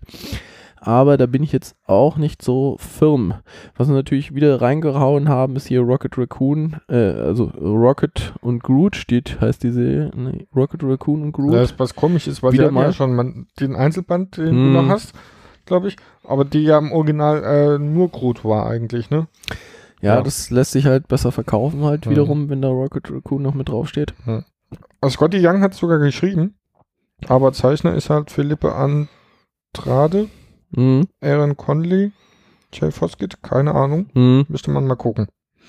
Äh, die Covers sind jedenfalls, und das eine Cover hier ist jedenfalls von Scotty Young, das andere sieht, Sieht mir sehr nach dem ja. Zeichner aus, der auch diesen äh, Band hat, den wir schon vorgestellt haben. Mhm. Ja. Der, der der echte. Hawkeye Megaband 3, Ja. da hattest du ja auch den ersten, hattest du den zweiten auch noch geholt, oder? Nee, noch nicht irgendwie. Mhm. Also der erste war sehr gut. Eigentlich Der- wollte ich der mir den zweiten auch, auch holen noch. Ja, Der zweite ist auch an mir vorbeigegangen irgendwie. das Irgendwie, habe ich ne? irgendwie nicht Ja. mitgeschrieben. Howard the Duck, hattest du ja der den Duck ersten. hatte ich auch den ersten, genau. Wirst du weiter Müsste dabei ich mal bleiben? gucken, ja. Hat mir eigentlich Spaß gemacht. Ja. Ja. Guardians of the Galaxy, liest du das? Nee. Gut. Dann natürlich hier, hier eine Menge Spider-Man, Ja. Deadpool, die äh, ganzen äh, Kollektionen von Hachette gehen weiter. Ja, dann geht's. Batman habe ich im Abo, also da Mhm. muss ich mir keine Gedanken Bat- drüber machen. Genau, Batman habe ich auch im Abo, noch eine der wenigen Serien. Ich müsste es halt auch mal lesen, ne? nicht nur Ja, ja. in meine Kiste Wem stellen. sagst du das? Da, Batman Dark Knight 3. Ich, ich muss sagen, ich genieße es allerdings auch dann, wenn ich dann wirklich das RAN-mäßig lesen kann. Und äh, da wäre es mal wieder stark an der Zeit, dass ich äh, diese Kiste, die da äh, unter dieser Gitarre sich befindet, ähm, Ach, das ist alles, was du noch nicht gelesen hast? Na ja, dann. nee, nee, nee, das, das sind die Floppies. Also, Das sind was die Hefte. Floppies? Das sind Also, die Hefte. ja. Mhm. Hm? Ja, sind Floppies. Ähm, Griffe hier. So, dann haben wir, gut, Justice League habe ich auch im Abo, da passiert äh, mir auch nichts weiter. Also, dass ich da irgendwas verpasse. Irgendwie mich da gerade wieder mal im Darkseid kriegt die, äh, die Erde 3 mit. Schauen wir mal. Bin ich mega genervt von diesen ganzen übergreifenden Dingern. Was ich äh, halt, äh, na ja, gut, ich, ich finde es, solange es einigermaßen sinnvoll erklärt ist, immer ganz gut, aber schauen wir mal. Mhm. Ja, du bist ja eh eher Weltraumaffin dann auch so ein bisschen. Ja, und, und Parallelerden finde ich eigentlich auch immer ganz toll, wenn es halt gut gemacht ist. Hier, Batman Gotham Babies, was eigentlich äh, äh in den USA als Little Gotham erschienen ist. Mhm. Ähm, Werde ich auf jeden Fall mal reingucken. Ja. Äh, Habe ich ja schließlich auch schon Figuren von, also muss ich da auch mal in die Comic-Serie reingucken. Dann, Da Batman- könnte ich meinen Arsch für wetten, dass du das nimmst. ja, Batman Adventures 1, da Ja. schließt sich natürlich ein Kreis, weil damit hat damals die große äh, Superhelden-Comic-Sammelleidenschaft angefangen. Mit Batman Adventures von äh, Dino Mhm. seinerzeit. Und dass es jetzt bei Panini irgendwann mal doch weitergeht, freut mich natürlich sehr. Hm. Von daher ähm, bin ich da halt nur mal gespannt, äh, weil sie hatten ja in diesem Mad Love Band, den sie jetzt noch rausgebracht hatten, Mhm. äh, auch eine Geschichte drin, die eigentlich aus der Reihe schon stammen müsste. Schauen wir mal. Ähm, Poison Ivy kriegt eine eigene Serie. Also hatte sie natürlich in den USA schon, die erscheint dann jetzt auf Deutsch. Mhm. Sechsteilige Miniserie anscheinend. Ja, komplette Miniserie in einem Band. Mhm. Werde ich mal reingucken.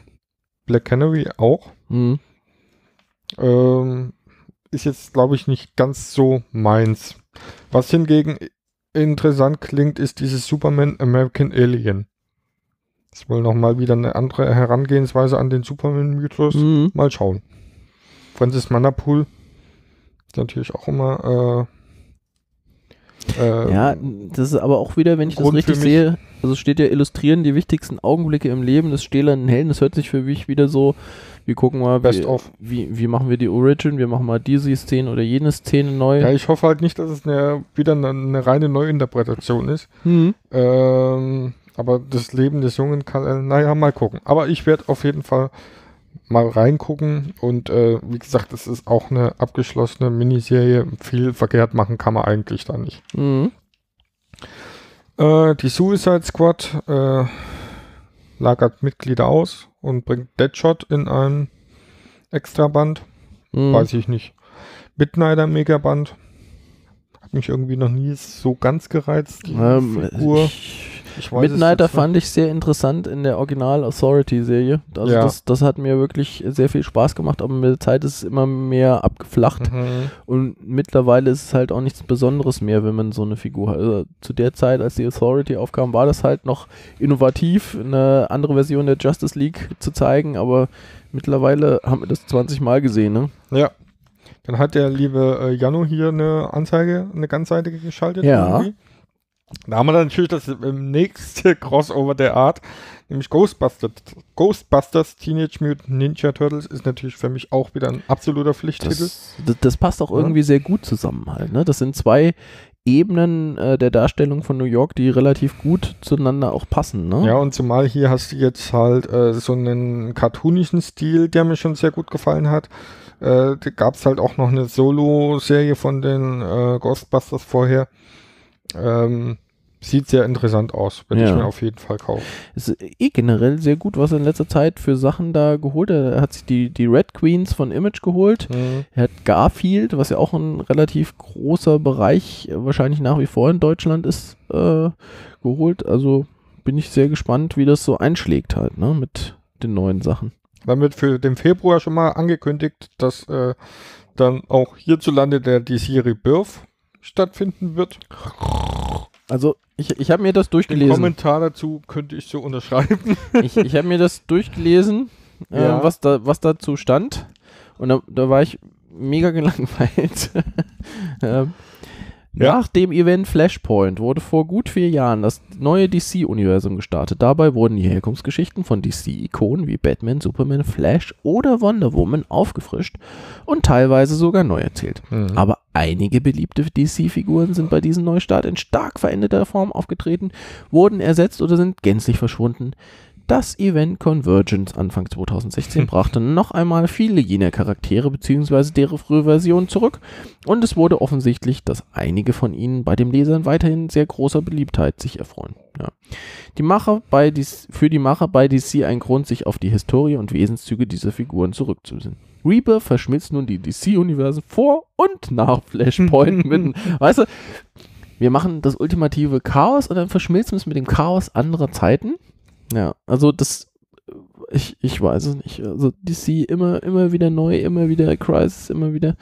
Ich, Ja. ich, ich komme da nicht, ich komme da nicht Das mehr drauf ist auch mir zu viel. Also einfach das DC äh, im Moment mal wieder das große, also was heißt im Moment, also in den letzten Jahren einfach immer wieder, dass wir überholen uns selbst. Das hat ja, das Große hat ja mit äh, DC äh, New 52 angefangen, dann wie gesagt DCU war nochmal so ein leichter Umschwung wieder und jetzt gibt es dann DC Rebirth und äh, wir mischen jetzt alt und neu, damit wir möglichst die alten Leser beibehalten, aber die neuen nicht schon wieder verprellen. Ja, also Ähm, was dann halt dazu führen wird, dass, ich meine, das dürfte an der Stelle einfach für diejenigen, die äh, schon so ein bisschen das Ganze verfolgt haben, kein großer Spoiler mehr sein, dass es dann einfach von vielen Figuren zwei Varianten geben wird.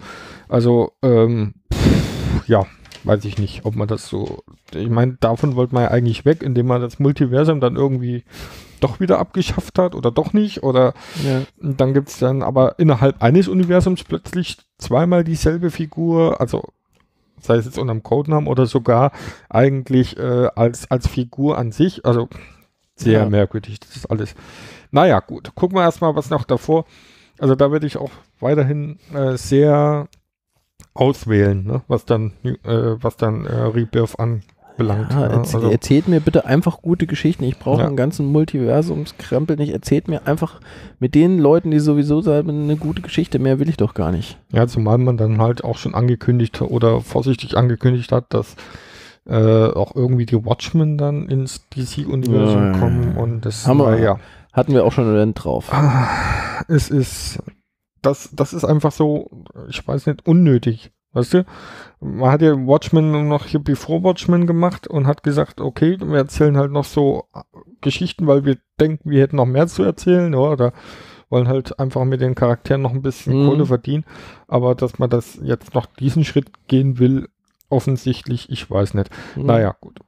Ähm, Wonder Woman muss, ist immer so eine Sache, muss man mal gucken, obwohl das jetzt der dritte Band hier ist. Mal gucken. Ich glaube, davon, von, von den, von dem Neustart dieser Reihe habe ich auch gar keine Bände genommen bisher. Ähm, müsste ich mal reingucken. Ob man dann irgendwie nochmal ähm, alle Bände am Stück sich irgendwie beschafft. Mhm. Dann äh, Batgirl, die neuen Abenteuer. Habe ich schon gekauft, die ersten beiden Bände, allerdings noch nicht reingelesen. Ja, Harley Quinn, wie gesagt, die Hauptserie habe ich noch nicht gelesen. Mal gucken, ob ich das irgendwann nochmal nachhole. Wird mir zu albern. Deathstroke hm, fand ich den ersten so mittelmäßig, den zweiten habe ich jetzt noch gar nicht gelesen oder auch noch gar nicht gekauft, glaube ich. Weiß ich nicht. Entweder hat es mich nicht genug abgeholt oder, ähm, naja. Schauen wir mal. Green Lantern geht immer. Sinestro auch. Ja, Aquaman, Batman, Superman. Es wird weniger, sagen wir mal so. Ja, also Robin, der Sohn des dunklen Ritters, äh, fand ich den ersten zumindest optisch ganz schön. Gelesen habe ich noch nicht, aber schon mal durchgeblättert. Ja, die Ähm. Figur ist mir einfach nicht sympathisch genug. Ja, Mag ich das nicht. hört man von vielen, ne? Ist ein Arschkind. Ja. Dann Robin War ist eigentlich so ein Titel, der mich äh, schon grundlegend interessiert hat. Aber Vielleicht mal gesammelt oder so, ne? ne, ist ja gesammelt. Das sind ja zwei Bände, ne? Also das ist ja aber dann, wenn das mal. zwei von zwei. Das sind ja zwei so wird. äh, Trades. Hm. Ne? Ja, äh, Batman 66 geht schon in Band 5. Hab ich die ersten beiden gelesen? Ja, Ähm, komme ich nicht. war mit. für mich so ein relativ runder Abschluss. Weiß ich nicht, ob ich es nochmal weiterlesen möchte. Ja. Äh, Das sind alles so Wackelkandidaten halt. Mhm. Also bin ich mir noch Mal reinblättern unsicher. im Laden und dann.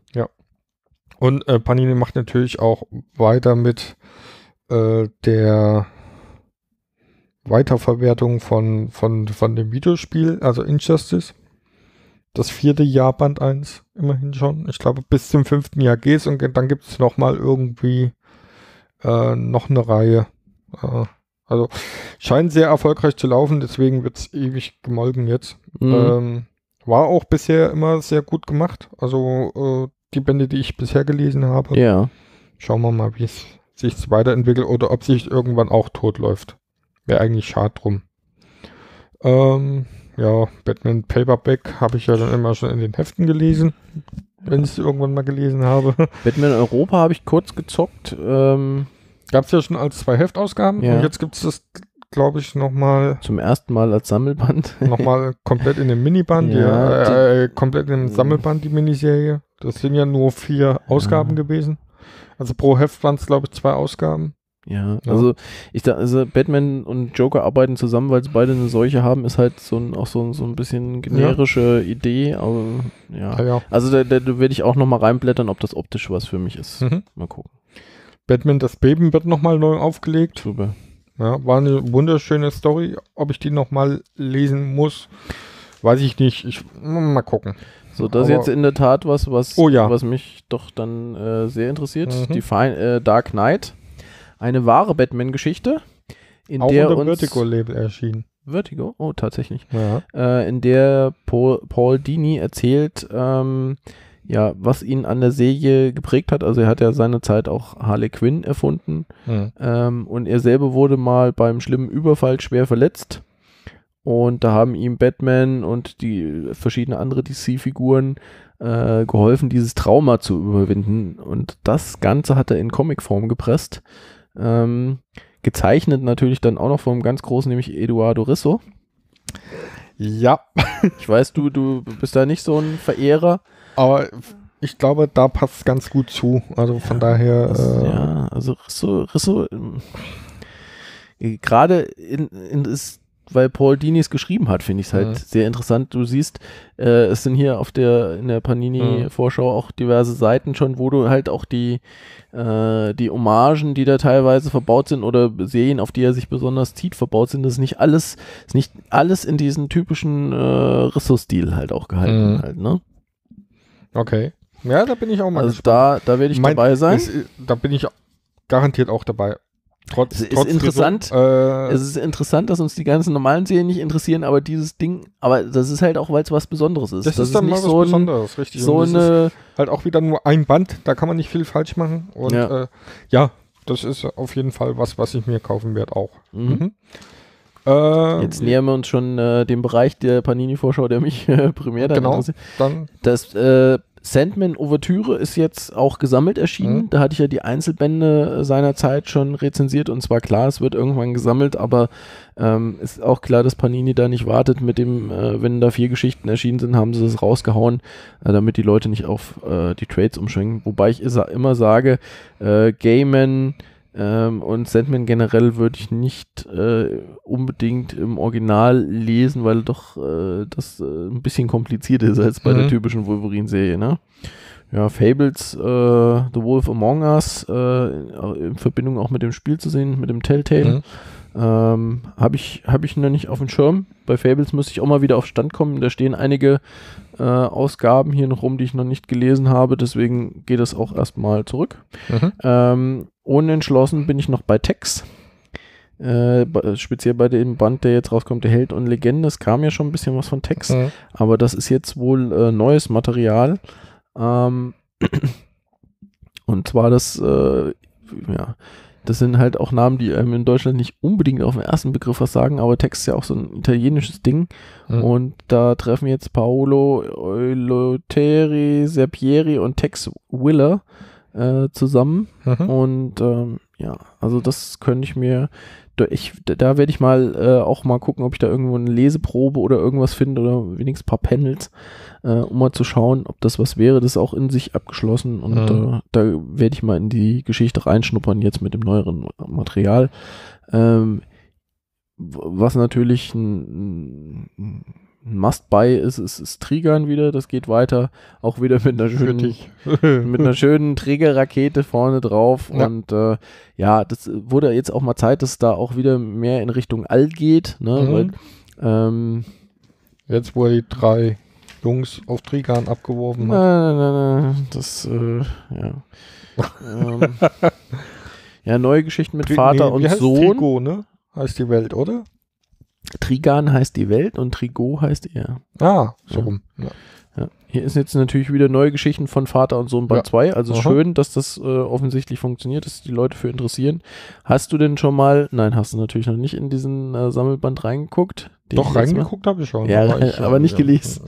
Nicht, nicht durch äh, exerziert, weil lesen muss man da ja auch nicht viel. Ne? Ich, äh, eigentlich Aber, gar ähm, nichts. Ja. Äh, ja, ja, nee, ich weiß, aber habe ich irgendwie noch nicht so richtig. Hier, was sagst du denn so, äh, die kleinen Knirpse? Nee, der Krieg der Knirpse. der Liest Krieg du der weiter, oder? Ähm, Das nee. hattest du ja mal angefangen. Nee, das, das hatte ich angefangen, aber da habe ich den zweiten jetzt irgendwie verpasst und vielleicht hole ich mir die irgendwann mal, wenn es komplett Ja. vorliegt. Also ähm, es, es ist halt eine offene Geschichte noch äh, und im Gegensatz zu Triggern, was halt immer in sich abgeschlossen ist, ja.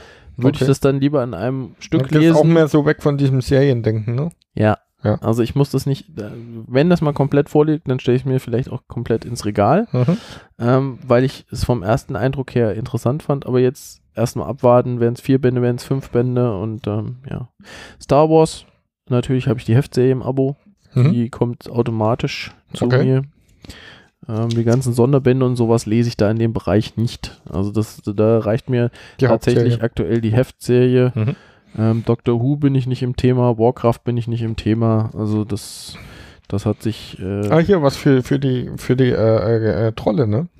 mh, DC Superhero Girls Band 1, also da sind, schon sind sie einfach noch zu. Hast du dir auch schon geholt? Nee, habe ich mir noch nicht geholt. Aber ich habe tatsächlich überlegt, ob ich ob ich äh, mal den Töchtern von Bekannten Mhm. mitbringe, die auch so ungefähr in dem Alter sind. Ähm, Ja, finde ich ein nicht schlecht. bisschen älter vielleicht. Äh, deswegen mal gucken.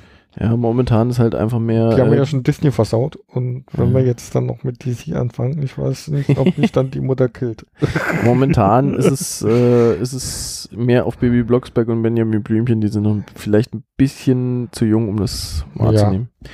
Ähm, ja, was, was schön ist, äh, Über geht weiter ähm, mit, mit dem zweiten Band. Die Serie Über hatte ich ja auch gelesen. Äh, bei Fahrdienst. Nee, nee, da, Ja. da ist halt wieder, ne, das äh, äh, im Prinzip die Nazis kämpfen mit, mit, mit Meta- Irgendwie hat sie den schon mal vorgestellt. Ja. Menschen gegen, gegen die Alliierten und das ist dann die, die, äh, die Wunderwaffe quasi, dass man Mhm. äh, Superhelden oder Supersoldaten in dem Fall gegen die Alliierten kämpfen lässt und die Alliierten schaffen natürlich dann auch äh, wieder einen Gegenpol dazu. Und Ähm, natürlich.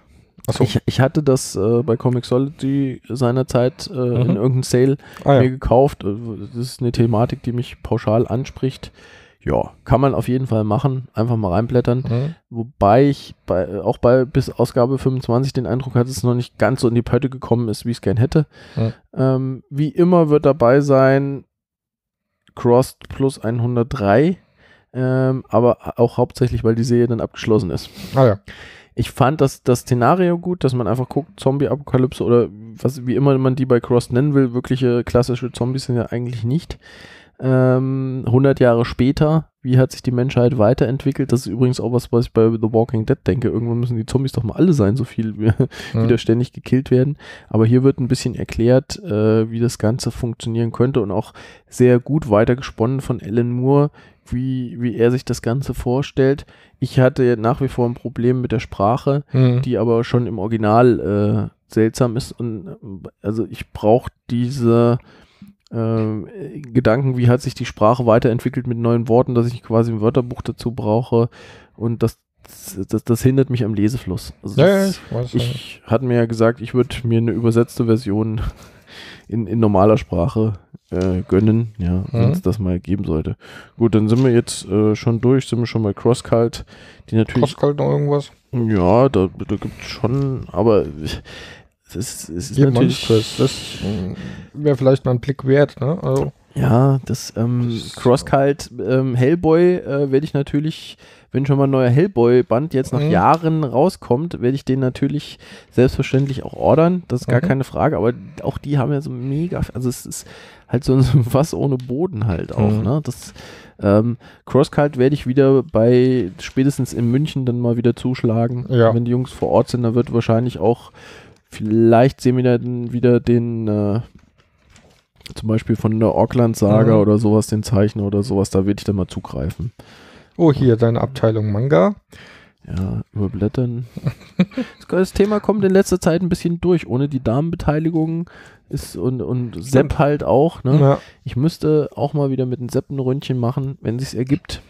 ja, ich, wie gesagt, ich wäre auch ganz gern mal mit dabei. Momentan, äh, letztes Mal hätte sich's, äh, als ich in der Nähe vom Sepp war, hätte sich's angeboten, weil ich da eh anderthalb Stunden äh, vom Flughafen in Frankfurt im Stau stand. Mhm. Äh, da hätte ich auch schnell eine Episode mit dem Sepp aufnehmen können. Ähm, das müssen wir einfach mal wieder machen und das äh, forcieren. Ne? Ja, Vielleicht mal wieder bei unserem kleinen schwedischen Restaurant. Gut.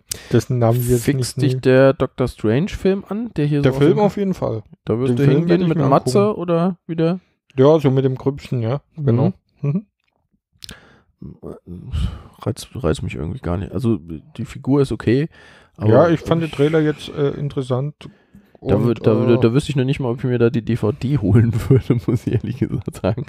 Ähm, nee, aber- also das, den werde ich mir sicher angucken. Das Ja. sah schon interessant aus. Ja. Was- ja. mal gucken. Was macht Serienbusiness bei dir? Wo bist du da aktuell dran? Äh, äh, äh, House of Cards. House of Cards. ja, ich, Was, äh, was nicht so wirklich mit Superhelden zu ich tun bin ja, äh, was, was Serien betrifft, äh, spätgebärend jetzt mit Mhm. Amazon Prime und ähm, da hatte ich mir tatsächlich jetzt mal ähm, die, äh, sag schnell, ähm, The Walking Dead Mhm. Da ist jetzt die sechste Staffel erschienen, die, die fangen jetzt an, da bin ich jetzt Ja, da einigermaßen müsste ich auch irgendwann mal aufholen. Da haben wir irgendwann in der zweiten aufgehört. Ja, für mich war es am Anfang nicht so interessant, weil Mhm. ich dachte, ich weiß ja sowieso, was alles passiert. Aber aktuell äh, in den ab Staffel 3, 4 ist, ist die Handlung komplett komplett ins Blaue hinein, weil das nicht passiert, was in den Comics so Ah, passiert. okay. Und auch Figuren auftauchen, die du so nicht kennst. Und am Anfang war es für mich halt nicht mehr spannend, weil ich das Mhm. alles äh, schon sehr, sehr äh, klar sind es einige Jahre seit ich es gelesen habe. Also Mhm. die sind ja auch äh, relativ weit hinten dran. Aber das macht es für mich jetzt wirklich interessanter, das zu sehen. Preacher Mhm. hatte ich gesehen. Das Ah ist ja, ja eine Amazon äh, eigene Serie, die sie Mhm. irgend, von irgendwem gekauft haben, der es produziert hat. Und fand ich, als, als großer Preacher-Fan war ich nicht enttäuscht. Also es hat mich überrascht, wie sie es gemacht haben. Sie haben es auf eine sehr ähm, ungewöhnliche Art und Weise abgefilmt. Also es ist nicht immer so sehr, sehr seltsame Atmosphäre, die sie da Mhm. produzieren. Und ähm, es ist auch nur ein kleiner Teil in der ersten Staffel enthalten ähm, von dem, was, was Preacher letztendlich mal werden wird. Aber unterm Strich finde ich ganz gut. Wenig gelungen finde ich, dass äh, die, die Tulip, also die, die Dame des Herzens von Preacher, Mhm.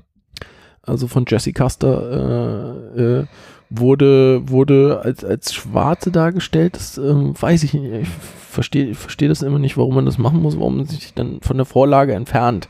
Also äh, es, unterm Strich hat es irgendwie gepasst, aber ähm, wie gesagt, im, in meinem Kopf sieht die halt anders aus. Ne? Also Mhm. mir, mir ist grundsätzlich e- egal, äh, welche Haarfa Hautfarbe da jemand äh, irgendwie hat, äh, aber in, in meiner Vorstellung sieht die äh, Tulip halt so aus, wie die Dylan mal gemacht hat, der Mhm. jetzt leider auch verstorben Mhm. ist. Ne? Ja, ja. Also das, ähm, da, also bei mir sieht Preacher halt aus wie Dylan zeichnet. Mhm. Ne? Ja. Und in vielen Sachen haben sie sich sehr dran gehalten. Also sie haben äh, den Vampir relativ gut dargestellt. Ähm, da- das ist alles in Ordnung und auch äh, von, von dem Preacher-Schauspieler bin ich auch äh, sehr angetan. Ähm, aber Tulip hat mir irgendwie nicht so zugesagt. Mhm. Dafür sind sie mit, mit Arschgesicht sind sie relativ gut beieinander gekommen. Gut, das, äh, wie gesagt, da habe ich halt überhaupt kein Vorwissen, aber Hm? die Serie werde ich mir auf jeden Fall irgendwann mal angucken, Ja. demnächst. Ja, ansonsten, was hatte ich denn noch so gesehen? Oder mal angeguckt? Hm, ne, ich glaube jetzt nichts, was Richtung Comic-Verfilmung geht oder sowas. Von den Serien. Ähm, The Man of. Äh, Luke Cage steht noch auf der Liste. mhm. Das hat er jetzt auch an, angefangen. Ja, Superheldenverfilmung, äh, nachdem Green Arrow hatte ich ja seinerzeit noch als DVD gekauft, äh, irgendwann mir zu, zu soapmäßig wurde. Äh, äh, die Marvel-Dinger sind ganz anders. Mhm. Wirklich. Also Okay. die Äh, Die- Amazon Prime hat äh, jetzt auch exklusiv The Tick. Stimmt. Da werde ich Mhm. mal einen Blick rein riskieren, auch Ja. wenn ich mit der Vorlage nicht so viel äh, Berührung hatte. Gut, da kenne ein, ich halt auch nur Sachen. die Zeichentrickserie aus den, aus den 90ern. Ja. Da bin ich sehr gespannt, wie das wird, wenn wir Mhm. jetzt äh, The Walking Dead durchhaben.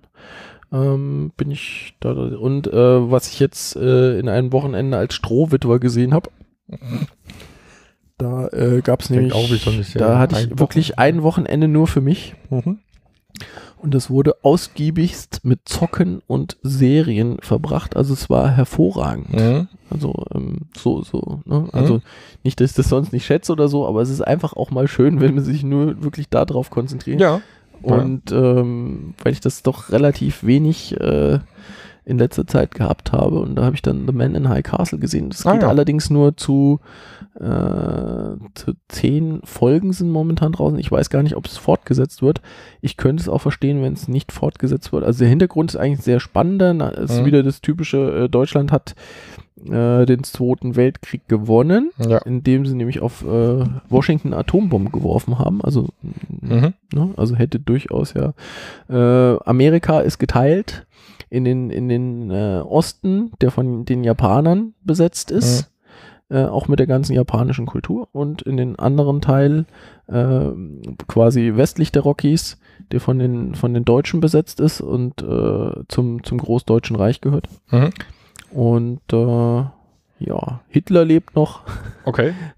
Und Ja. auch die, es wurde auch relativ viel Zeit darauf verwendet, die Architektur und sowas anzupassen. Also, dass du halt in Deutschland dann ein SS-Hauptquartier stehen hast und sowas und überall Mhm. sind natürlich Fahnen und bei den Japanern ist wieder ganz andere äh, Atmosphäre halt in San Francisco, als wäre überall äh, Chinatown so ein Mhm. bisschen. Ähm, aber auch die, die ganze Kultur, sprich äh, Selbstverteidigung oder auch die Mythologie, die japanische, herrscht da sehr vor. Mhm. Und äh, da, von, von der Grundidee hat mir das ganz gut gefallen, aber die, die Serie kommt nicht in die Pötte. Also der, der japanische Thronprinz äh, oder einer von den Adligen wird umgebracht und dann steht ein Krieg ins Haus, weil, weil äh, die Deutschen sagen, ja, ja, eigentlich hätten wir denen ja nicht unbedingt halb Amerika geben müssen. Das, ist- Eigentlich sind die Japaner auch so ein bisschen untermenschenmäßig unterwegs. Ne?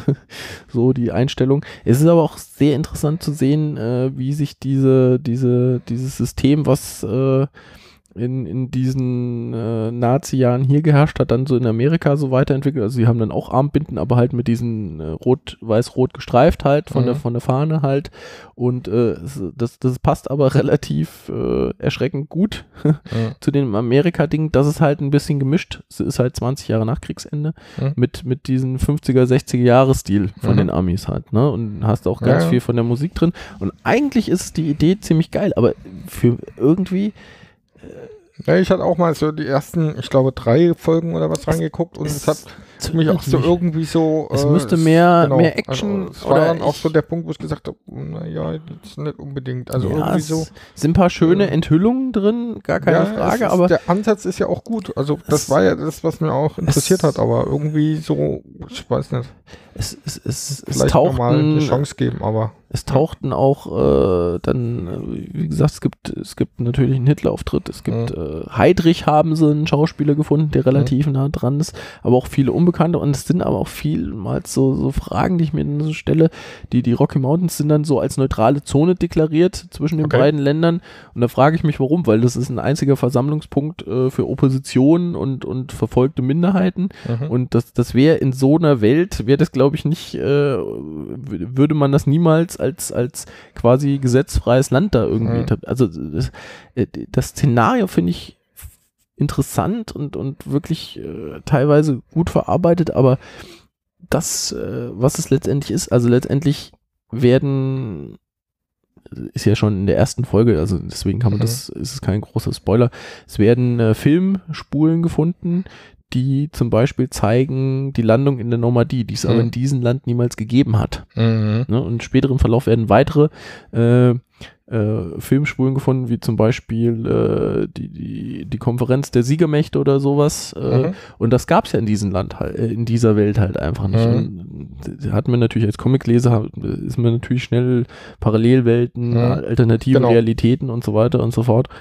Und die sind da auch dran, was zu machen, aber es kommt viel zu wenig in die Patte. Da, da, da- hätte wirklich die, irgendein anderer Regisseur oder sowas hätte, der ein bisschen mehr Gas gibt und vielleicht ein bisschen weniger Figuren, aber dafür voll, voll auf die Eier halt. Ne? Mhm. Naja, Um klar. mal so. Das ähm, ist Ja. schade. Also da, Ja, da, ich, ja. ich hatte mich sehr drauf gefreut.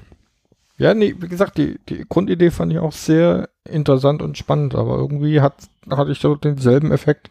Dachte so, irgendwie, das, irgendwie kommt das nicht so ganz in die Pötte dann. Mhm. Ja. Aber gut, ich werde irgendwann trotzdem mal weiter gucken, weil so, wie gesagt, das Grundsetting an sich, Wie stehst du zu Doctor Who? ähm, ich fand die erste neue Staffel ziemlich gut. Mit dem, äh, der, der es nur eine Staffel lang gemacht hat. Ich glaube, Eccleston oder so. Die machen es immer nur eine Staffel, wenn ich das richtig gehört habe. Ja, es sind schon. Gibt es welche, die Ja, mehr ja, machen? ja. ja, ja. Ähm, den nächsten fand ich auch noch ganz gut, der, der hier, äh, oh, wie heißt, Mann, ich und Namen. Ja. Also, den nächsten Doktor fand ich dann auch noch sehr gut und, äh, aber ich habe dann irgendwann mal, wie das so ist, man hat dann, kommt dann irgendwann raus, kommt, guckt nicht weiter und dann so aus den Augen, aus den Sinn erstmal. Aber ich habe vor, irgendwann nochmal äh, nachzuholen. Also ist ja jetzt auch relativ frei verfügbar bei Amazon Prime oder Ja. Netflix. Und von daher, Du hast beides oder was? Ja. Mhm. und von daher werde ich das dann irgendwann mal weiter gucken. Mir wird ja dauernd äh, von verschiedenen Podcasts und so weiter und, und auch äh, von verschiedenen Leuten, die man so kennt, diese, wie heißt das, ist es Strange Things oder sowas, diese, Oh, diese ja. 80er-Ding, Ja, ja. aber das ist natürlich nur auf Netflix, ne? Das Mhm. so, so, so rein. Muss ich, muss ich auch noch gucken. Das äh, wird, ja sehr oft sehr gelobt, empfohlen, aber ja. wie gesagt, kann ich leider nicht, ich habe eigentlich auch nicht vor, jetzt aktuell Netflix abzuschließen, weil momentan bin Ja, ich. das Schöne bei denen ist halt, da kannst du monatlich raus, ne? Ja, aber ich bin, bin momentan mit Amazon Prime, Ja. da, da kann ich wahrscheinlich noch äh, zwei Jahre gucken und Mhm. finde, weil ich einfach das jahrelang nicht gemacht habe. Ja. Also ich, ich habe einfach Serien wö- wöchentlich im Fernsehen sind vieles läuft ja noch äh, im Free TV irgendwo. Das, das war mir irgendwann zu blöd. Mhm. Und wenn, dann habe ich mir eine DVD-Box gekauft, aber jetzt, da ich das alles zur Verfügung habe, nutze ich es natürlich dann naja, auch. mal. klar. Speziell, weil es einfach ein schönes Feature ist zu gucken, wenn man Bock hat und nicht, wenn, wenn irgendwer anders äh, Bock hat. Äh, Ja, nur bei Amazon hast du halt, läufst du halt immer Gefahr, dass die es irgendwann wieder aus dem Programm nehmen, ne? ja, ja, Ja. ja, aber es gibt so Gut, vieles. macht Netflix auch, aber nie so, so von heute auf morgen, sondern die kündigen das dann, glaube ich, sogar größer an. Also so eine, Ich habe halt auch ähm, noch viele Filme, die ich irgendwann mal immer mal gucken wollte, aber wo Mhm. ich noch nicht dazu gekommen bin und dafür ist es halt auch gut. Also es Ja, ist nicht klar. gut für, für aktuelle Sachen zu gucken, Mhm. weil das halt äh, offensichtlich relativ lang dauert, bis Mhm. irgendwas kommt. Aber um den einen oder anderen Klassiker, den ich vielleicht nicht äh, ähm, gesehen habe, ein paar Kommt, Sachen von, ja. von, von, äh, von, von Smith, äh, Kevin Smith hole ich Mhm. nach und so ähm, weil ich das einfach zu der Zeit nicht so hatte. Und äh, das Gute ist ja, ich, ich kann es angucken und wenn ich sage, ich finde es scheiße, dann, dann Mhm. ist es nach zehn Minuten wieder weg. Ne? Ja, klar. Das, da bin ich eigentlich relativ glücklich mit aktuell. Vor allem, weil es halt auch gut läuft. Mhm. Also das hätte ich nicht vermutet bei dem Internet. Ja. Ja, Gut. gut. Äh, ich glaube, dann haben wir an der Stelle genug Material gesammelt. Mhm. Ähm, Du führst noch ein bisschen weitere Gespräche. ja, ich mache jetzt praktisch einen äh, äh, Ortswechsel Mhm. und äh, melde mich dann wieder mit einem Überraschungsgast. Dann Und- frohes Schaffen. Dankeschön und bis zum nächsten Mal. Adios. An dich. Ja,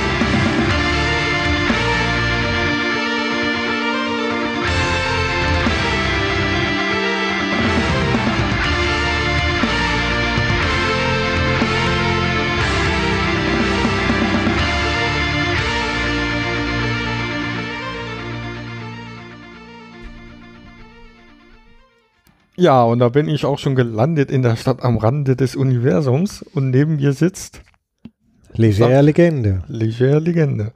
Jetzt äh, werden vielleicht einige Zuhörer sich überlegen, na, gut, nach einem Satz vielleicht noch nicht, aber vielleicht habe ich die Stimme ja schon mal gehört. Sag doch mal ganz kurz Noch ein Satz?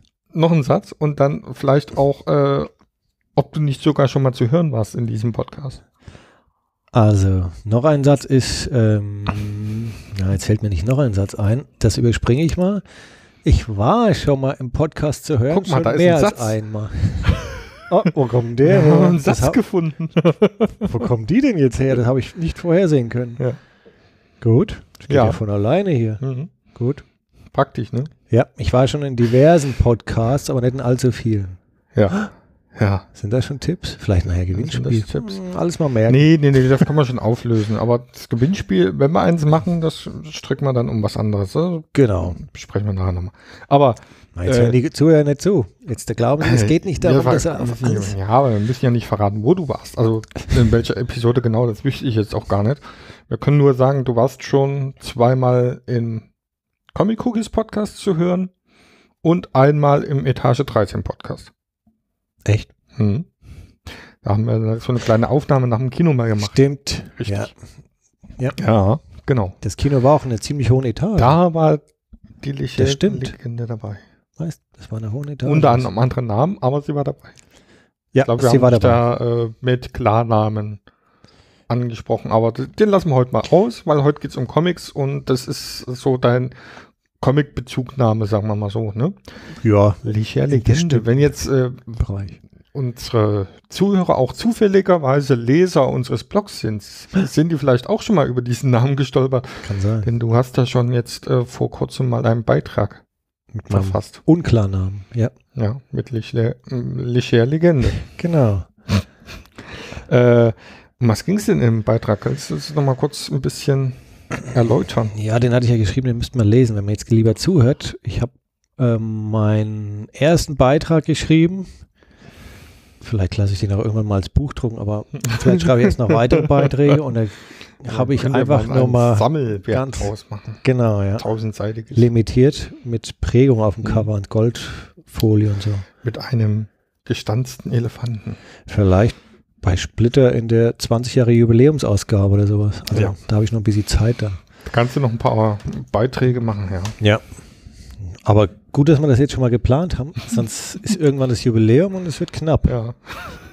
So Ich habe da, ja, So wie mit dem Comic-Stammtisch-Jubiläum, wo wir immer noch Oh.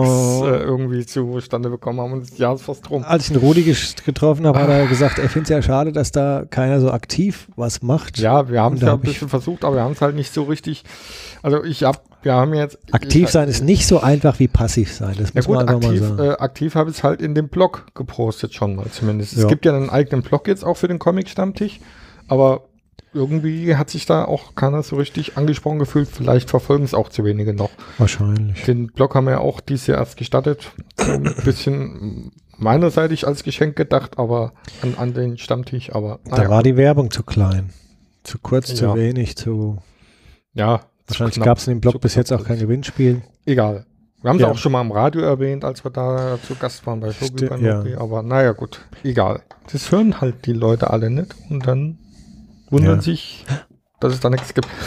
Ja, Sie Cool. wollten was sagen? Ja, ich habe ein Nebengeräusch gemacht. Das Ja. ist für mich auch neu.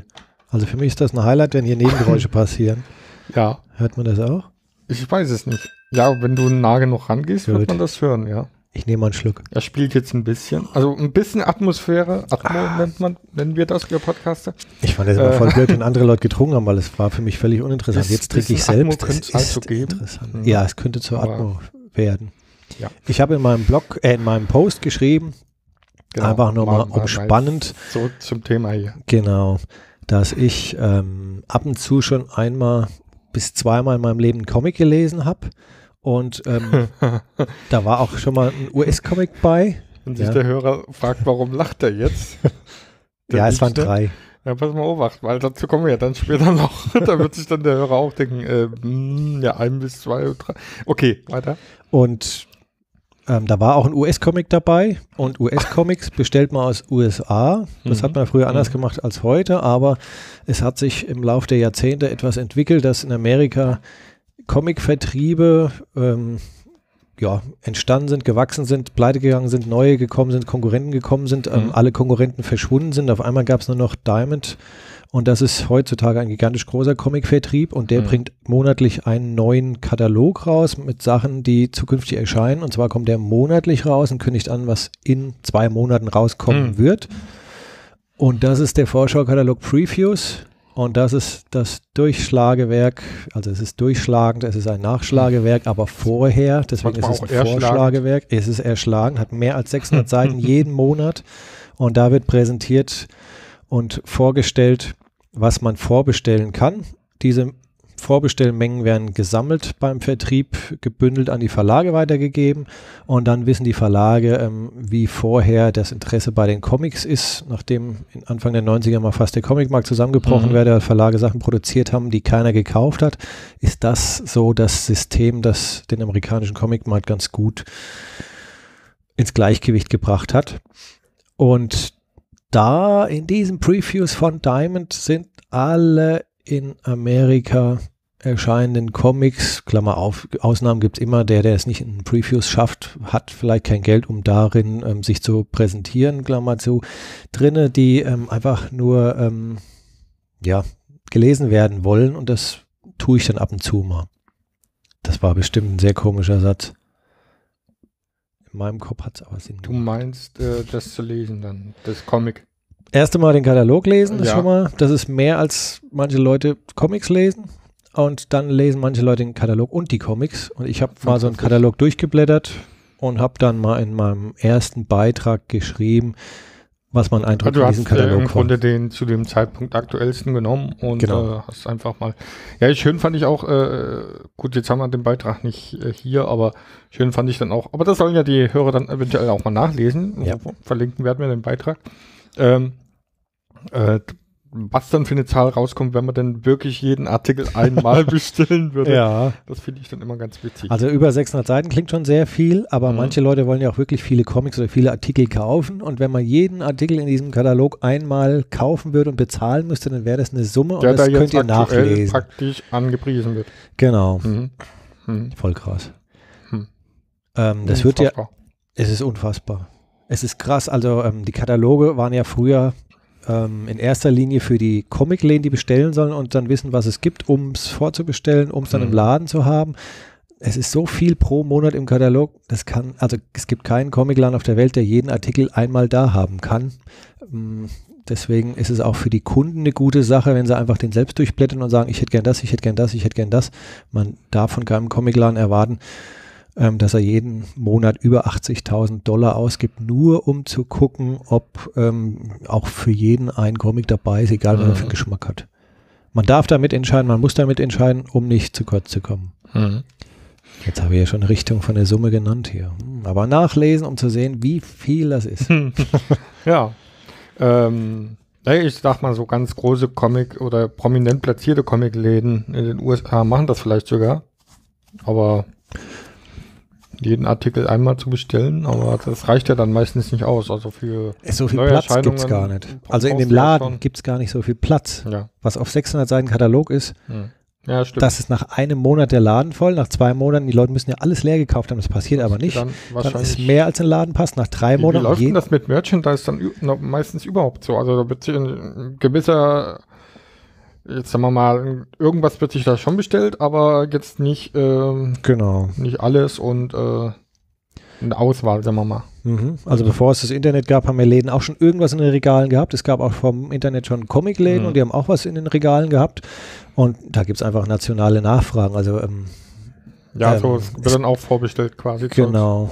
Wir sind ja in der Gegend von Frankfurt. In Frankfurt hat sich im Lauf der letzten 35 Jahre entwickelt, dass es mal ein Comicladen, dann zwei, dann drei, dann vier und so weiter gab. Mhm. Allein in Frankfurt, in einer Stadt, ist in Comicladen A das Interesse der Kundschaft so gewichtet und in Laden B schon anders. Also Stimmt, ja. Es ja. gibt da ähm, in der Berliner Straße einen Comicladen, da gibt es eine ganze Hedke-Abteilung. Der Hedke ist der Verlag gewesen, ähm, der von dem Betreiber des Verlags aus Liebhaberei die Sachen aus den 50, 50 60er Jahren nachgedruckt Mhm. hat, ähm, was damals von deutschen Zeichnern rauskam, in Piccolos und Co. In einem anderen Laden hat sich das null, also nicht eins, zwei, sondern null mal verkauft. Das Mhm. heißt, die Leute, die sowas lesen, sind aus irgendeinem Grund dort und haben das gefunden und sind da geblieben und andere Kunden kaufen dann schwerpunktmäßig was anderes in dem anderen Laden. Mhm. Und so ist das natürlich nicht nur in Frankfurt, sondern weltweit. Hier ein Schwerpunkt, da ein Schwerpunkt. Hier hat vielleicht auch der Verkäufer ähm, selbst einen Trend gesetzt, selbst was empfohlen und entwickelt, also eine Kundschaft Mhm. dafür entwickelt, gibt es ja auch. Und dann hat halt der eine Laden alles von, was weiß ich, Brand Hello Kitty, der andere Laden hat alles von, was weißt du nicht, Marvel. Marvel und DC vielleicht. Mhm. Der eine hat Marvel, der andere hat DC. Nochmal kurz zum Previews. Äh, da Ja. habe ich jetzt äh, irgendwie, oder hattest du ja auch mal kurz noch einen Link rumgeschickt vor kurzem, dass der DC jetzt auch einen eigenen äh, Spartenkatalog macht im Grunde, so ähnlich wie das Marvel auch schon die ganze Zeit gemacht hat, oder? Habe ich das schon geschickt? Ja. Oh, ja. Also, es,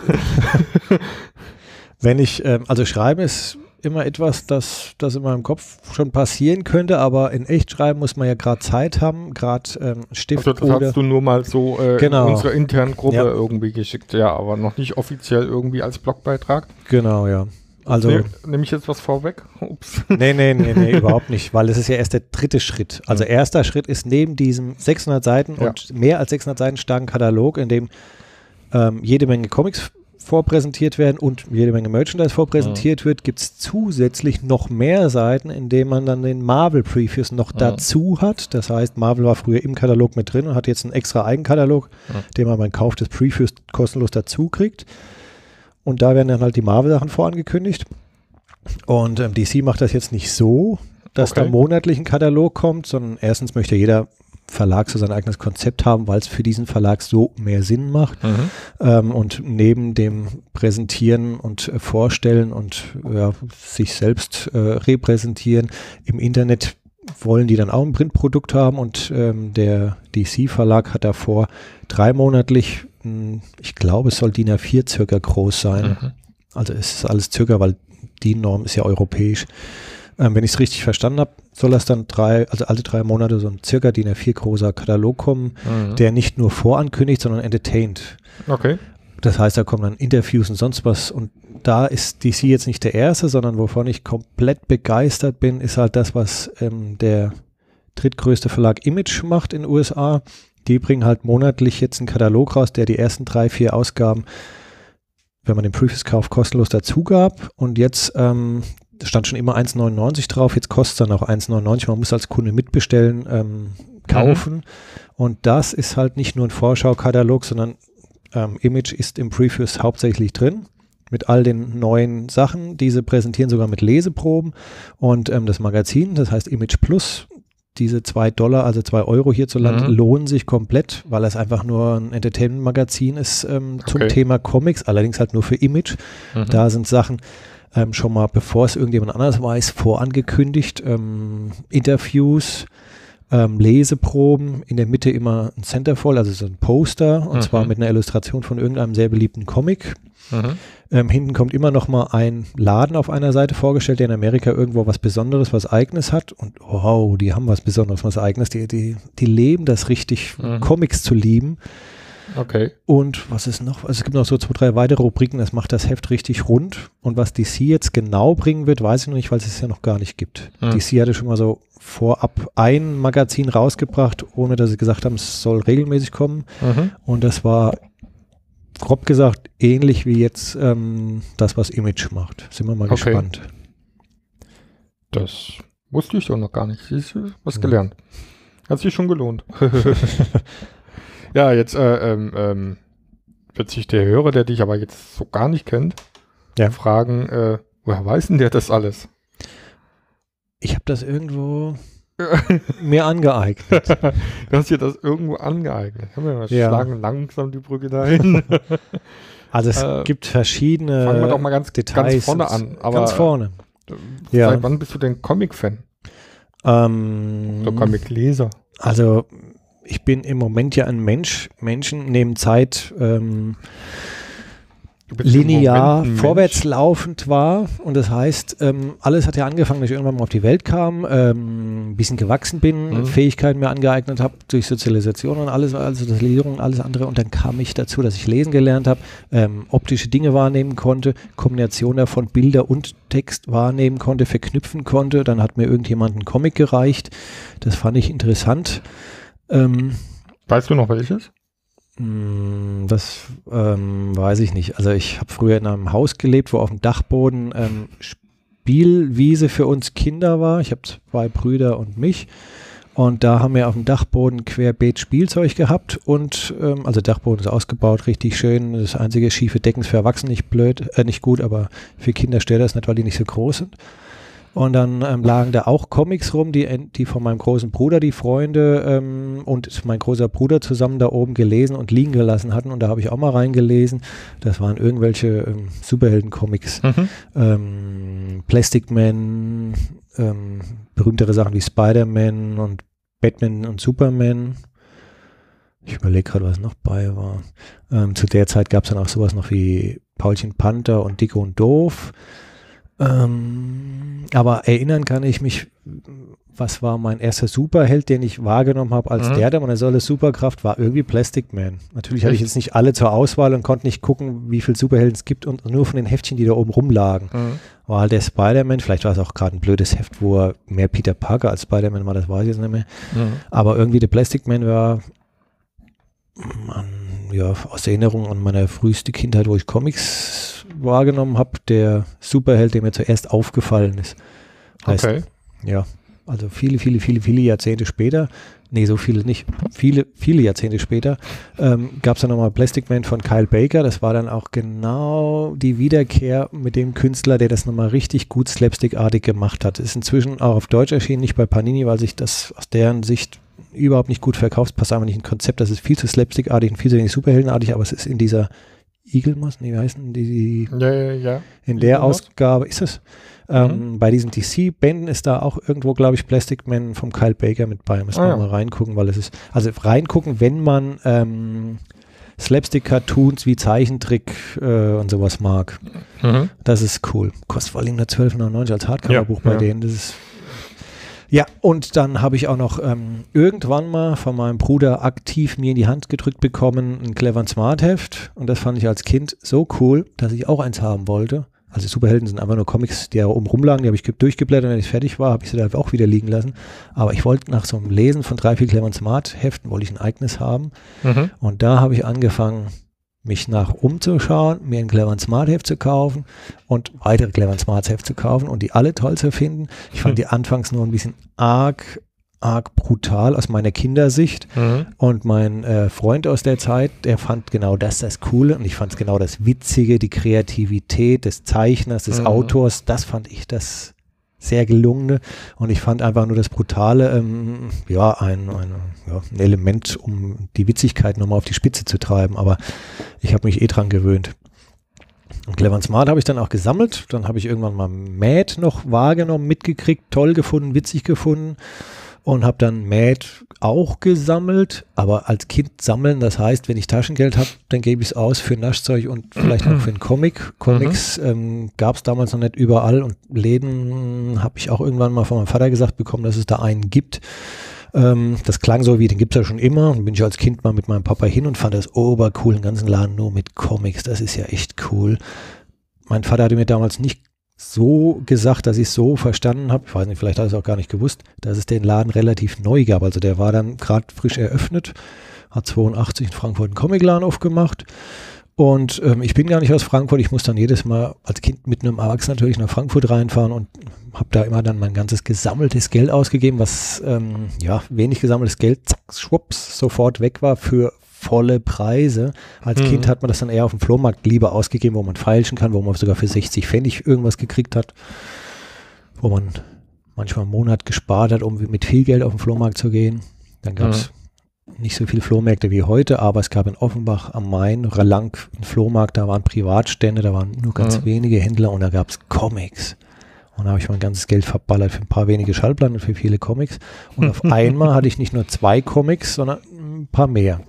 Ist natürlich alles subjektiv. Als Kind kam mir das wahnsinnig viel vor, dass ich auf einmal einen Stapel Comics hatte oder noch mehr. Dann. Mhm. Bei dem Stapel ist ja auch geblieben. Ich habe dann nicht noch zwei, drei weitere dazu gekauft. Dieser Stapel ist halt mein ganzes, was ich jemals gelesen habe. Und das reicht auch. Das möchte ich auch jedem empfehlen. Wenn man einen Stapel hat, aufhören, nicht weitermachen, den Weg Okay. nicht weitergehen, Sondern- sondern das Leben äh, noch andere Aspekte entdecken, finden, ähm, Klavier spielen lernen, Ballett studieren, ich weiß es nicht. Ach nee, warte mal, das war bei mir doch anders. Ich habe doch, hab doch nicht aufgehört, Comics zu lesen. Ich habe Nee. dann doch weitere noch gekauft und gelesen und schon als Kind auch Comics gezeichnet.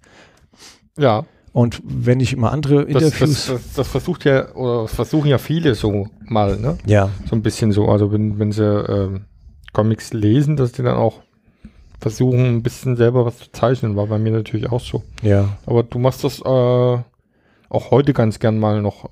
genau. Jetzt weniger als, als, als publizierender Comic-Autor oder Ja, ich habe festgestellt, dass Publizieren nur Spaß macht, wenn man Erfolg hat.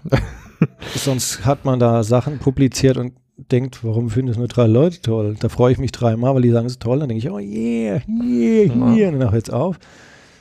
Aber vielleicht. äh, Aber das, kommt wieder, ja. Können wir ja, das, äh, haben wir ja schon mal drüber gesprochen, so ein bisschen vielleicht teasern, dass da eventuell demnächst auch bei der bei Genau. uns im Blog Mhm. eventuell so ein bisschen Genau. was rauskommt von dir. Ja, Ja, ähm, das ist halt das Material, was dann den Band auch noch auflockert und frischt, der dann in, also zum 20-jährigen Spieljubiläum dieser Hardcover-Ausgabe genau. mit ja, drin sein damit wird. das nicht nur Sekundärliteratur Genau, ist. ja, aufgelockert. Ja. Ähm, ja, ich habe das Interview mit dem Horst Gotter gehört und man hat ihn ja auch reden lassen. Von Anfang an hat er erzählt, wie er angefangen hat. Das, das ist ja das Schöne. Also das ist ja beim Host immer so, du, du gibst ein Stichwort und dann erzählt er halt drei Stunden lang. Ja? Den Horst kenne ich auch. Den mussten wir ja bremsen ein bisschen. Genau, der Leger-Legende und der Steffen, die sind beim Comic-Treff. Da war Richtig. früher der Horst auch. Mhm. Und früher war es so, wenn der Horst angefangen hat zu erzählen, habe ich ihm gerne zugehört Mhm. bis zum Ende. Dann war halt meine letzte S-Bahn weg, ja. Ja, ja das ist richtig. Das ist, ist ja auch so, dass wenn er anfängt zu erzählen, dass er dann auch dabei bleibt, weil es ist halt dann doch interessant.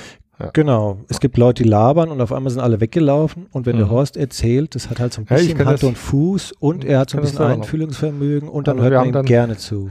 Wir haben dann manchmal, äh, gut, das, das, das klingt jetzt vielleicht übertrieben, aber äh, wir haben dann ähm, zum Teil länger auf dem Parkplatz gestanden, als wir in der Kneipe Genau, gesessen haben.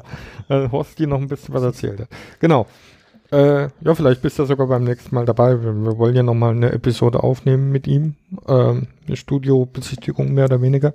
Ja, Ähm, vielleicht klappt das ja. Genau. Ähm, fände ich schön. Du hast einen Comic-Treffer, äh, Comic-Treffer. Comic-Treffer habe ich hier, guck mal. Das ja. ist der Comic-Treffer. Ja. Den verlosen wir. Ah, nee, nee Den den, ver- verlosen wir nicht. Ja, für den einen oder anderen ist es vielleicht ein Comic-Treffer. Aber Ja. gut, ähm, Das kann sein. den Comic-Macher-Treff war das ja damals erst ursprünglich. Äh, du Mhm. bist dann wann das erste Mal dahin, so ungefähr? Weißt du das noch?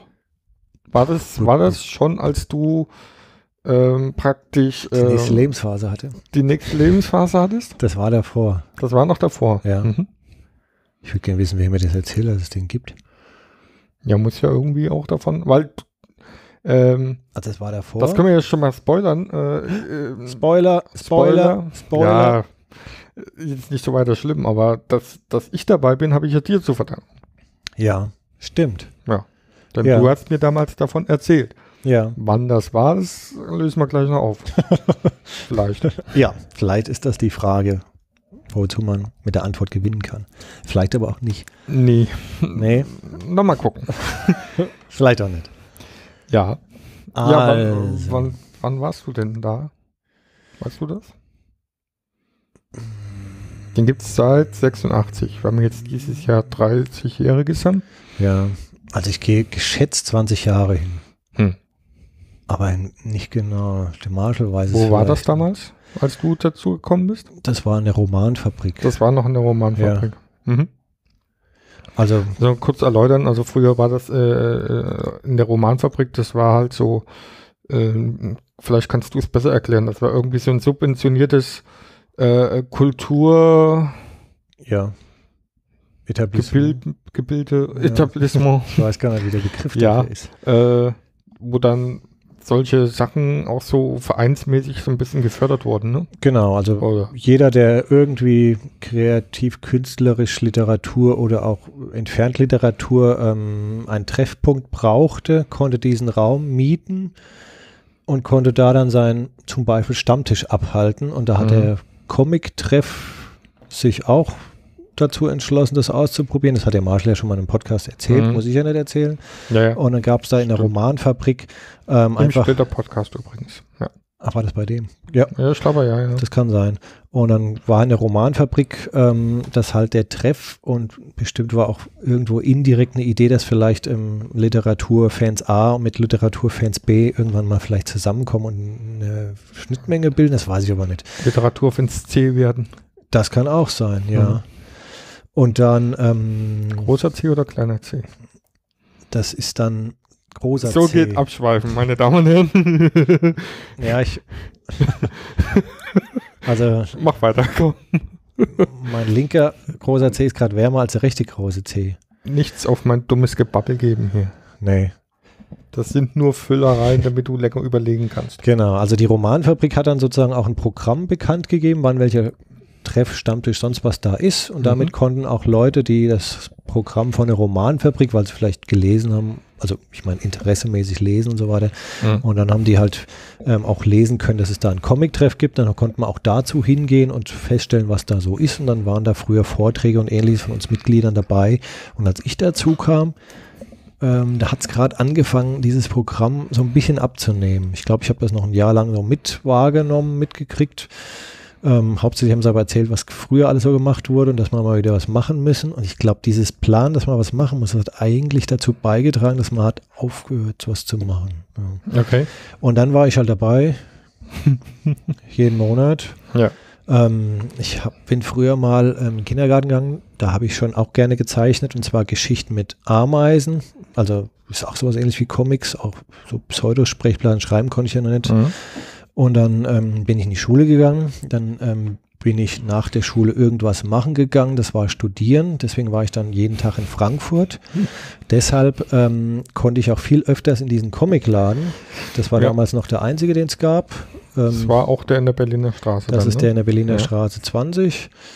Ähm, der hieß vor über 30 Jahren einfach nur Comicladen. Mehr Name muss man sich entertainment-technisch nicht ausdenken, weil das Wort Comic kam drin vor. und Damit wusste jeder, das ist ein Laden, wo es Comics gibt. Mhm. Ähm, die Firmierung sind halt extra Books, aber er ist viel, viel, viel später geworden und da war ich dann öfters und ähm, da war ich dann, als ich studieren war, manchmal häufiger als an der Uni. Naja, das stimmt nicht, aber ich war sehr oft im Comicladen Mhm. und war zufällig ähm, auch da, als etwas passiert ist, was mir vorher gesagt wurde, dass nie passieren würde. Also ich habe früher auch mal ähm, nach Jobs gefragt. Dann gab es noch den zweiten Comicladen, den Komiker vom Winnie und den Comicladen in der Berliner Straße. Und da hatte ich bei beiden mal so ganz salopp gefragt, ob man da jobben könne. Mhm. Und ähm, der Winnie hatte damals gesagt, er kennt Leute, die würden es umsonst machen. Es ist ganz schwierig. Passiert eigentlich nie, dass wir sowas wie eine Stellenausschreibung haben. Okay. Und ja, dann hat irgendwann mal, ja, gut, dann ist die Hoffnung halt flöten gegangen. Ich will Mhm. ja eh Comiczeichner werden, nicht Comicverkäufer. Comicverkäufer ist sowas wie Schuhverkäufer. Und ähm, dann, aber als Kunde kommt man da ja immer wieder gerne hin. Ja. Und ähm, es ist ja viel schöner, mit, äh, ja, mit Hoffnung auf gute Comics hinzugehen, als mit Hoffnung dann einen Job zu finden. Was soll denn das? Comics sind cool, nicht Jobs sind cool. Also Jobben, das ist, macht keinen Spaß. Und dann ähm, war ich aber öfters in dem Du hast dir das schon ein bisschen schön geredet, so die Absage, ne? ja, ja, ich musste ja damit leben können. das kommt jetzt gerade hoch, ist voll schwer. Ja. Ja, nee, da hatte ich ja gar keine, ich habe ja, ja, doch, war schon eine Absage, ja. Und dann ähm, war ich halt öfters in, dem, in der Berliner Straße, der hat ja Mhm. drei Etagen, Untergeschoss, Erdgeschoss, Obergeschoss. Früher waren im ersten Stock, also im Obergeschoss, die US-Comics, da war die US-Abteilung. Ähm, Da kann ich mich sogar noch dran erinnern. Das war noch ein bisschen so. Genau. Als ich früher Englisch für, für eine Gesangsfremdsprache hielt und mehr habe ich damit nicht zu tun. Ich weiß ja nicht, was die Lehrer in der Schule damit Englisch jetzt von mir wollten. ähm, vorsingen wollte ich auch nie. Ähm, aber es gab dann irgendwann einmal ähm, wiederum im Komiker ein Magazin, den ihr ladeneigenes Magazin hieß ja Komiker und da war mal ein Bericht drin über einen Comic. Das ist ähm, Komiker? Ist im Komiker, das ist so ein DIN A4 selbst. So wie, wie der Komiker? Oder? Ähm, Oder Der- auch mit A hinten geschrieben? Nee, mit ER, aber auch zwei Cs. Naja, so wie, Ja. so wie mein Kumpel Basti, mit dem ich die Etage 13 mache, der nennt sich auch der Komiker. Deswegen habe ich Mit zwei Cs. Ja, genau. Ja, ja. So, hat, so hat das Magazin vom Komiker hinten mit A gehießen. Komiker hinten mit Mhm. ER. Und da, das habe ich immer gern gelesen, da waren auch Leserbriefe drin. Da waren sogar vor langer Zeit mal Leserbrief drin von jemandem, den ich überhaupt nicht kannte. Und da habe ich auf den Leserbrief geantwortet. Früher hat man ja nicht E-Mails geschrieben und äh, in Chats und Nee, in da hat man ja Foren noch, da hat man ja noch, also Genau, der Kontaktaustausch nicht persönlicher Art war ja über. da hat man ja noch Diese- Briefe geschrieben. Ja, oh je, ja. Da hat man sich noch richtig Zeit für genommen und das Ja. schönste Sonntagspapier rausgesucht. Naja, das war da Den jetzt schönsten Füllfederhalter von Ja, Pelikan noch genau. mal frisch gestopft. Kalligrafie vorher nochmal geübt, ehe man das auf das Blatt Papier Und mit dann Tinte genau, ist. man sich verausgabt und Ja. manchmal auch kleine Elefanten dazu gemacht. Manchmal auch kleine Elefanten dazu gemalt, aber bei dem Brief nicht. Ich habe einfach nur auf den Leserbrief geantwortet und viel später Hast du kam. dir nicht so viel Mühe gegeben? ja, okay. Viel später, es wurde ja eh abgetippt, deswegen. Ah.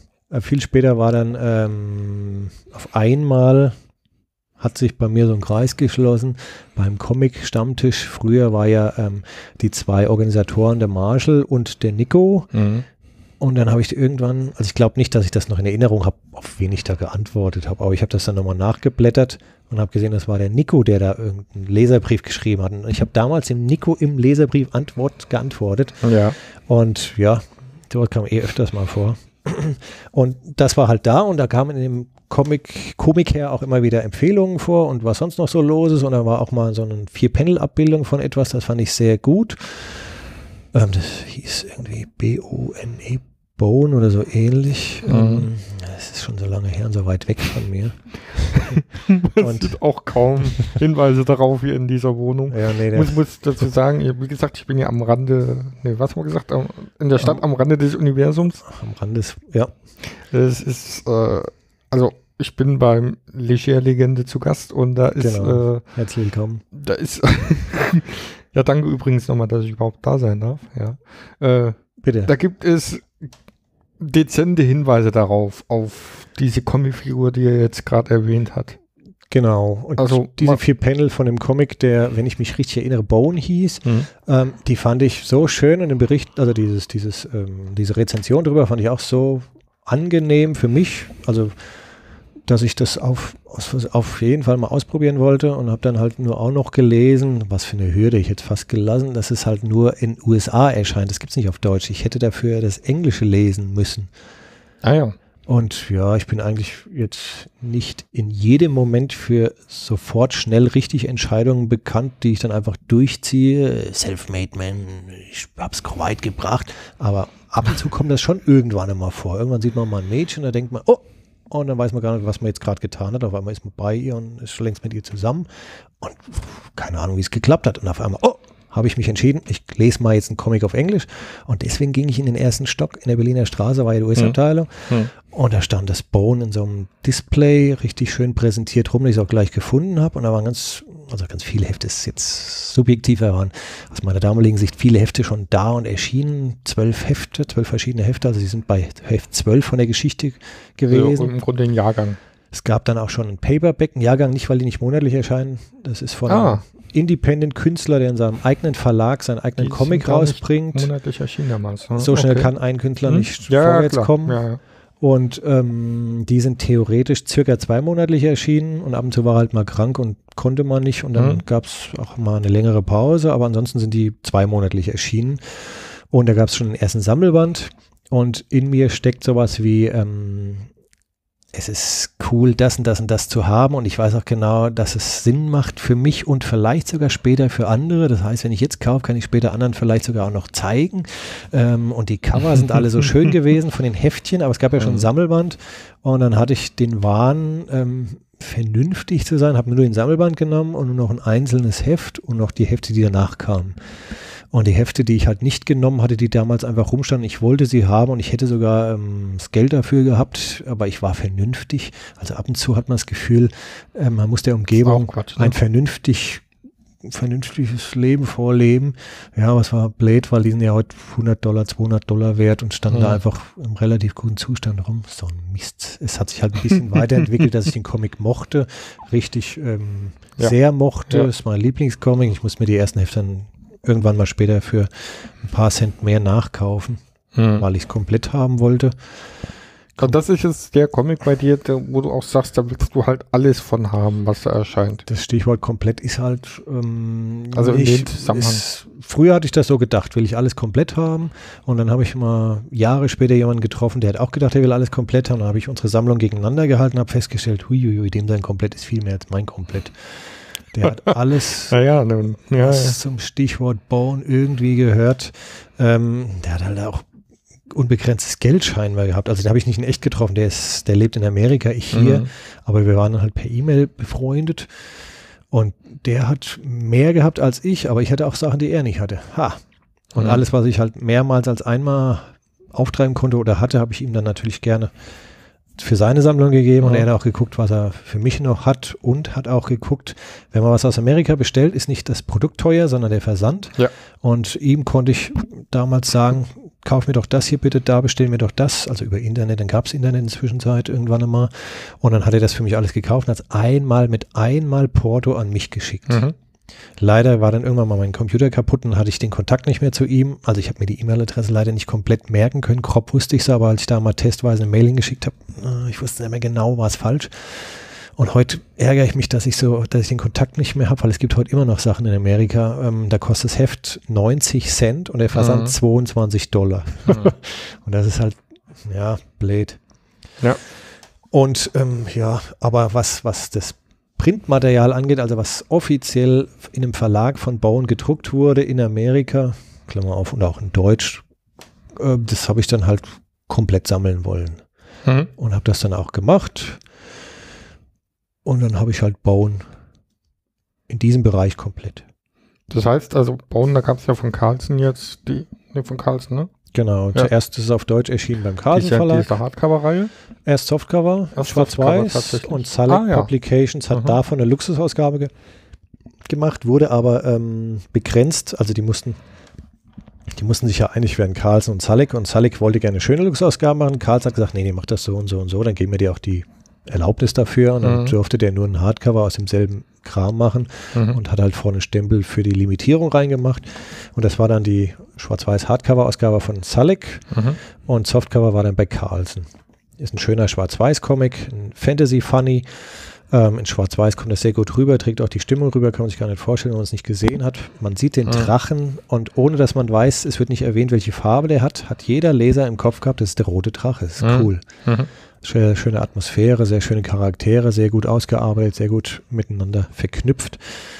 Schöne Story, im richtigen Moment spannend, im richtigen Moment ruhiger und poetischer, im richtigen Moment urkomisch. Und die Story geht einfach von vorne bis hinten einmal durch, ohne Bruch, ohne Schwäche. Schön. Das nächste war dann die Hardcover-Ausgabe. Auf dem deutschen Markt Ja, ähm, gab es lange Zeit Carlsen, hat ja gedauert, bis es mal rauskam. komplett durch. er komplett ja. durch war. Währenddessen Ja. ist ja in Amerika auch noch entschieden. Salek parallel die Hardcover-Ausgabe dazu. Danach gab es dann verschiedene Bände, erste Mal nicht. Ähm, und dann gab es später irgendwann einmal einen Chefwechsel bei Carlsen. In der Comicabteilung war mal jemand, der Chef und der hat dann einen Verlag Tokyo Pop aufgemacht, dann war er Chef bei Tokyo Pop und dieser Chef mag einfach Bone, der liebt das und der hat dann Mhm. bei Tokyo Pop ähm, auch Bone Stimmt, rausgebracht, als in Amerika Ah. eine Farbausgabe Richtig. rauskam. Ja. Mhm. Und der hat dann ähm, als im Manga-Format, als Taschenbuch in Schwarz-Weiß nochmal Bone neu aufgelegt. Das war cool. Ein dickes Taschenbuch für 6,50 Euro mit dem ersten kompletten Kapitel von Bone. Und parallel dazu ganz neu die Farbausgabe, die dann insgesamt in neun Hardcover-Bänden Mhm. in Farbe auf Deutsch für einen sehr, sehr guten Preis erschienen ist. Und der Verlag hat sich gedacht, für den sehr guten Preis müsste eigentlich jeder mal probieren. Da gibt es überhaupt keine Hürde, dass man sich überlegt, kaufe ich es oder kaufe ich es nicht. Aber es haben nur die Comicleser, die wissen, was Bonus gekauft. Und es hat kaum jemand Neues entdeckt. Das tut mir sehr leid. Das ist ein Hammer. In Mhm. Amerika haben es andere probiert. Mal gucken, was Bone ist. Und in Amerika ist es von den Independent-Verlagen der Comic, der einfach immer überall, auch mit viel Kampf vom Autor, ähm, auch in die Buchhandlungen kam. Mhm. Hier in Deutschland ist dasselbe Problem wie in Amerika. Comics gibt es in Comicläden und Buchhandlungen wollen dieses Teufelzeug Kinderkram nicht. Den Okay. Lesestoff, der subversiv ist. Ja. Naja. Und es ändert sich im Laufe der Zeit so ein bisschen und dann geht es wieder vorwärts, wieder zurück und so weiter und so weiter. Mhm.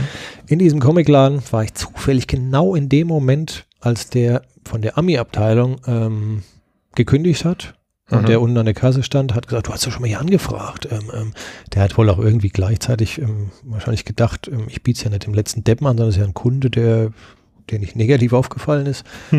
und dann. Der hat noch nichts kaputt gemacht. und damals ähm, hat der dann spontan mich gefragt, ob ich hier jobben möchte. Und das war halt das Krasse. Und da ist schon wieder irgend so was passiert. Also das kann man bestimmt an wenigen Händen abzählen, wie oft ich da schnell spontan mich entscheide und zwar mhm. mich ins richtige Lot bringen. Da habe ich halt ja gesagt, ich will da jobben. Und dann hatte ich die US-Abteilung an der Backe und kann überhaupt kein Englisch. ich kann nur, für mich ist Englisch die fremde Sprache aus der fremden Welt, aus dem Universum von Bone. Mhm. Plus, was halt im Radio an Musik läuft. Ich verknüpfe bis heute immer ähm, diesen amerikanischen Slang mit den Leuten aus Bone. Mhm. Inzwischen kann ich ein bisschen besser Englisch. Ich habe dann die US-Abteilung in diesem Comicland der Berliner Straße gemacht. Das war früher alles per Fax. Man konnte auch mit denen in Amerika telefonieren. Mhm. dann auf Englisch habe ich mir einen abgebrochen. Ähm, mein Gegenüber war eine Dame, die für Europa zuständig war. Ähm, man hat sich dann auch über Telefon, wie sie im Laufe der Zeit kennengelernt ähm, und ich kam mir dann nicht mehr so peinlich vor, wenn ich da mein Englisch abgekrabbelt habe. und ähm, ja, mein Englisch wurde ja auch besser und als ich das Berufsenglisch für Comics ist ja auch nochmal anders, als wenn ich Berufsenglisch als Anwalt mhm. oder als sonst ja, was hätte. Mhm. Aber da gibt es auch diese Wörter. Und ähm, ja, viele, viele Jahre später ähm, wurde dann in Amerika ein bisschen was umgestellt, dass man da jetzt nicht mehr anruft. Oder man kann das jederzeit machen, aber man macht es nicht mehr, weil es nicht mehr nötig ist. Mhm. Ähm, mit E-Mail und allem, mhm. mit Internet und allem. Aber ähm, eins meiner letzten drei, vier Telefonate kam dann auf einmal raus, dass die Endziffer, die ich in Amerika angerufen habe, da nimmt immer dieselbe Dame ab, die für mich zuständig ist, die mich auch kennt, so wie ich sie kenne mhm. und so weiter. Und auf einmal nimmt dann eine andere Frau ab und die hat auf einmal Deutsch mit mir gesprochen. Und da sage ich, huch, Sie sprechen ja Deutsch. Bin ich in Amerika gelandet? Und sie so, ja, ja, aber Sie sind doch im europäischen Büro und wir können alle mehr als sieben Sprachen. Wir Ach, sprechen ja. ähm, alle, ähm, jede Sprachen aus Europa, die wir als Kunden haben. Und dann sage ich, und die, und die, das ist ja wurscht, die heißt Elisabeth. Und die Elisabeth, ähm, ja, die kann auch Deutsch. Haben Sie nie gefordert, dass Sie Deutsch mit ihr sprechen möchten? Ich wusste nicht, dass ich das kann. und ich habe alle Jahre auf Englisch mit ihr kommuniziert, obwohl ich das nicht kann. Sehr und schön. die hat gesagt, sie hätten einfach nur sagen müssen, sie möchten auf Deutsch sprechen. Hätte sie mit ihnen Deutsch gesprochen. Sie kann das sogar sehr gut. Ja, aber siehst so, äh, du hast dein Englisch verbessert durch, ne? Ja, ich habe mich eh komplett durchgekämpft. Ja. Also, ähm, ja. Die hat sich vielleicht sogar noch einen Spaß draus gemacht. Ne? Ich meine, im Zweifel hätte sie ja nachfragen können, wenn es wirklich irgendwas unklar gewesen wäre. Ja. Aber hat ja auch so geklappt. Es hat geklappt, ja. ja. Also mein Vorgänger, der konnte auch nicht perfekt Englisch und ähm, früher hat man Bestellung gefaxt und eine Nachbestellung war jetzt kein offizielles Formular, sondern da reicht, wenn du aufschreibst, Bestellnummer und Comic hätte ich auch noch gern. Also wegen einem faxt man nicht, aber zehn Stück reicht so ein formloses mhm. Blatt. Mhm. Monatliche Bestellung ist natürlich äh, damals so und so viele Faxseiten. Ja. Und ähm, dann habe ich so ein altes Fax, da hat er gesagt, das kannst du nehmen, das als Vorlage, wenn du nicht weißt, wie du es formulieren sollst. Und da habe ich als jemand, der schlecht Englisch kann, gesehen, was ist denn das für ein Satzbau? Auf Englisch muss man so ganz anders schreiben. Da habe ich gemerkt, der andere war noch blöder als ich. In diesem Bereich, mit blöd meine ich gar nichts äh, Schlechtes. Ja, naja. Sondern nur so salopp gesagt. Und dann, ja, dann war das zum Schluss so. Zwischendrin ähm, habe ich auch mal ähm, Stand auf der Buchmesse geführt, habe dem, für den ich da gearbeitet habe, gefragt, ob ich meine eigenen Produkte auch präsentieren kann. Ab und zu zeichne ich ja mal ein Elefantchen. Das habe ich früher auch immer auf die Bestellung nach Amerika gefaxt noch gezeichnet, einfach nur als netter Gruß. Ähm, in der Zwischenzeit habe ich dann irgendwann mal über den Horst ähm, das Angebot gehabt, komm, lass uns doch alle mal Postkarten drucken mit unseren eigenen Motiven. Beim Stammtisch, jeder, der mitmachen will, er handelt dann Spezialpreis mit dem Drucker aus, wenn wir den ganzen Bogen füllen, dann ist das so und so und so. Und hatte ich dann auch zwei Postkarten mit meinem Elefantchen, die lagen dann auf der Buchmesse vorne rum. Und auf einmal, ähm, auf Buchmessen, die Gänge können sehr voll sein, sehr leer sein, es wechselt, ähm, es können interessierte Leute vorbeikommen, ignorante Leute, also die einfach das nicht brauchen, was ich da an meinem Stand habe. Und auf einmal kam da eine mit so einem Kofferrolli, äh, wie heißt das, Trolley äh, vorbei mhm. und ist angehalten und hat gesagt, You are Michael. Äh, das hast du deinen Namen verraten. You Alicia Legende. es war halt so, deswegen ist das jetzt rausgerutscht. Äh, macht dir nix, macht dir nix. Und, ähm, Das macht's ja schon mal. und Ja. die, die mit ihr gelaufen sind, die anderen Frauen mit ihren Köfferchen, die, ach, äh, I see, I see, die haben das auch erkannt und auf einmal sind alle stehen geblieben, haben gedacht, die hätten da gerade einen Popstar entdeckt oder sowas. Alle sind stehen geblieben, haben geguckt Ja. und ich wusste überhaupt nicht, was los war. Und ähm, dann sagt die, ähm, You are Legende. Legende. ähm, und ähm, dann wusste ich immer noch nicht, warum, woher, woher soll die das denn wissen? Also das ist jemand aus Amerika. Ich wusste nicht, dass sie aus Amerika ist, aber sie hat ja uramerikanisch gesprochen und war auch voll businessmäßig unterwegs. Und dann hat sie gesagt, I'm Elizabeth ähm, from Diamond. Und, und dann hat es bei mir Cool. erst Klick gemacht ähm, und dann hat sie erzählt, Ja. ähm, dass natürlich unendlich viele Faxe reinkommen, die werden abgearbeitet, weggeschmissen, also erst aufgehoben, weil man das, falls Reklamationen kommen, braucht, Mhm. aber nachher nie weggeschmissen, einfach nur gestapelt und das ist ein riesen Großraumbüro und da gibt es eine riesen Wand und meine Faxe haben sie alle aufgehängt, weil da jedes Mal ein niedliches Elefantchen drauf war. Ach ja. Und da war ich in diesem Großraumbüro in Amerika, von den Elefantchen So- her, so eine- beliebt, bekannt, berühmt. Ja, so eine kleine Berühmtheit, ja. In, Und- innerhalb eines Büros, aber immerhin. Und in diesem Moment auf der Messe, alle, die in diesem Gang waren, Ja, ja. Die haben geguckt, was da jetzt gerade los ist. Die haben dann hinterher die, meine Postkarten Ja. haben wollen. Die, wahrscheinlich haben sie zehn Minuten später haben, sich, vergessen. haben sich gehypt gefühlt quasi. Ja. Ja, das Ja. Witzige ist ja, die, Das haben ja, die, haben ja, die haben ja auch immer einen Stand gehabt, ne? Der Diamond. ja. also der, von daher. Ja, Hast du die dann immer mal besucht auch noch? Oder? ähm, sie selbst ist nur, so, soweit ich weiß, ähm, da mit in Deutschland gewesen. Hm. Soweit ich es Aber so ein Zufall dann auch, ne? Dass Ja. die dann ausgerechnet Ja. da vorbeilaufen und Ja. äh, weiß ja nicht, wie das da damals war. Ob das auch schon eine Halle 3 war oder, oder was? Damals gab es sie noch nicht, nee. Nee. Die war da mal noch gar nicht gebaut, da war noch so, Hauptbahnhof irgendwas. Ja. Aber es ist krass, also sie hat ja sozusagen die Gänge auch geguckt, sie hat ja, also manche laufen ja einfach vorbei, die haben den nächsten Termin, müssen dahin, aber sie hat Ja. ja zur Seite geschaut, sonst hätte sie ja nicht gesehen. Ja, Das war mein berühmtester Moment. also, wo ich am berühmtesten war. ja. Ja. Aber das, das kriegen wir wieder hin. Ja, ähm, als das Internet aufkam, also heute denken die Leute stimmt. immer, ich bin ein alter Sack und warum tust du dich so schwer mit äh, Internet ähm, 8.0 Mhm. oder wo wir heutzutage sind? Früher gab es Ja. halt Internet 1.0, 2.0, 1.0 war noch nicht mal nummeriert. Und dann ähm, gab es schon ähm, im WWW auch Foren, davor war es ja Newsnet und so.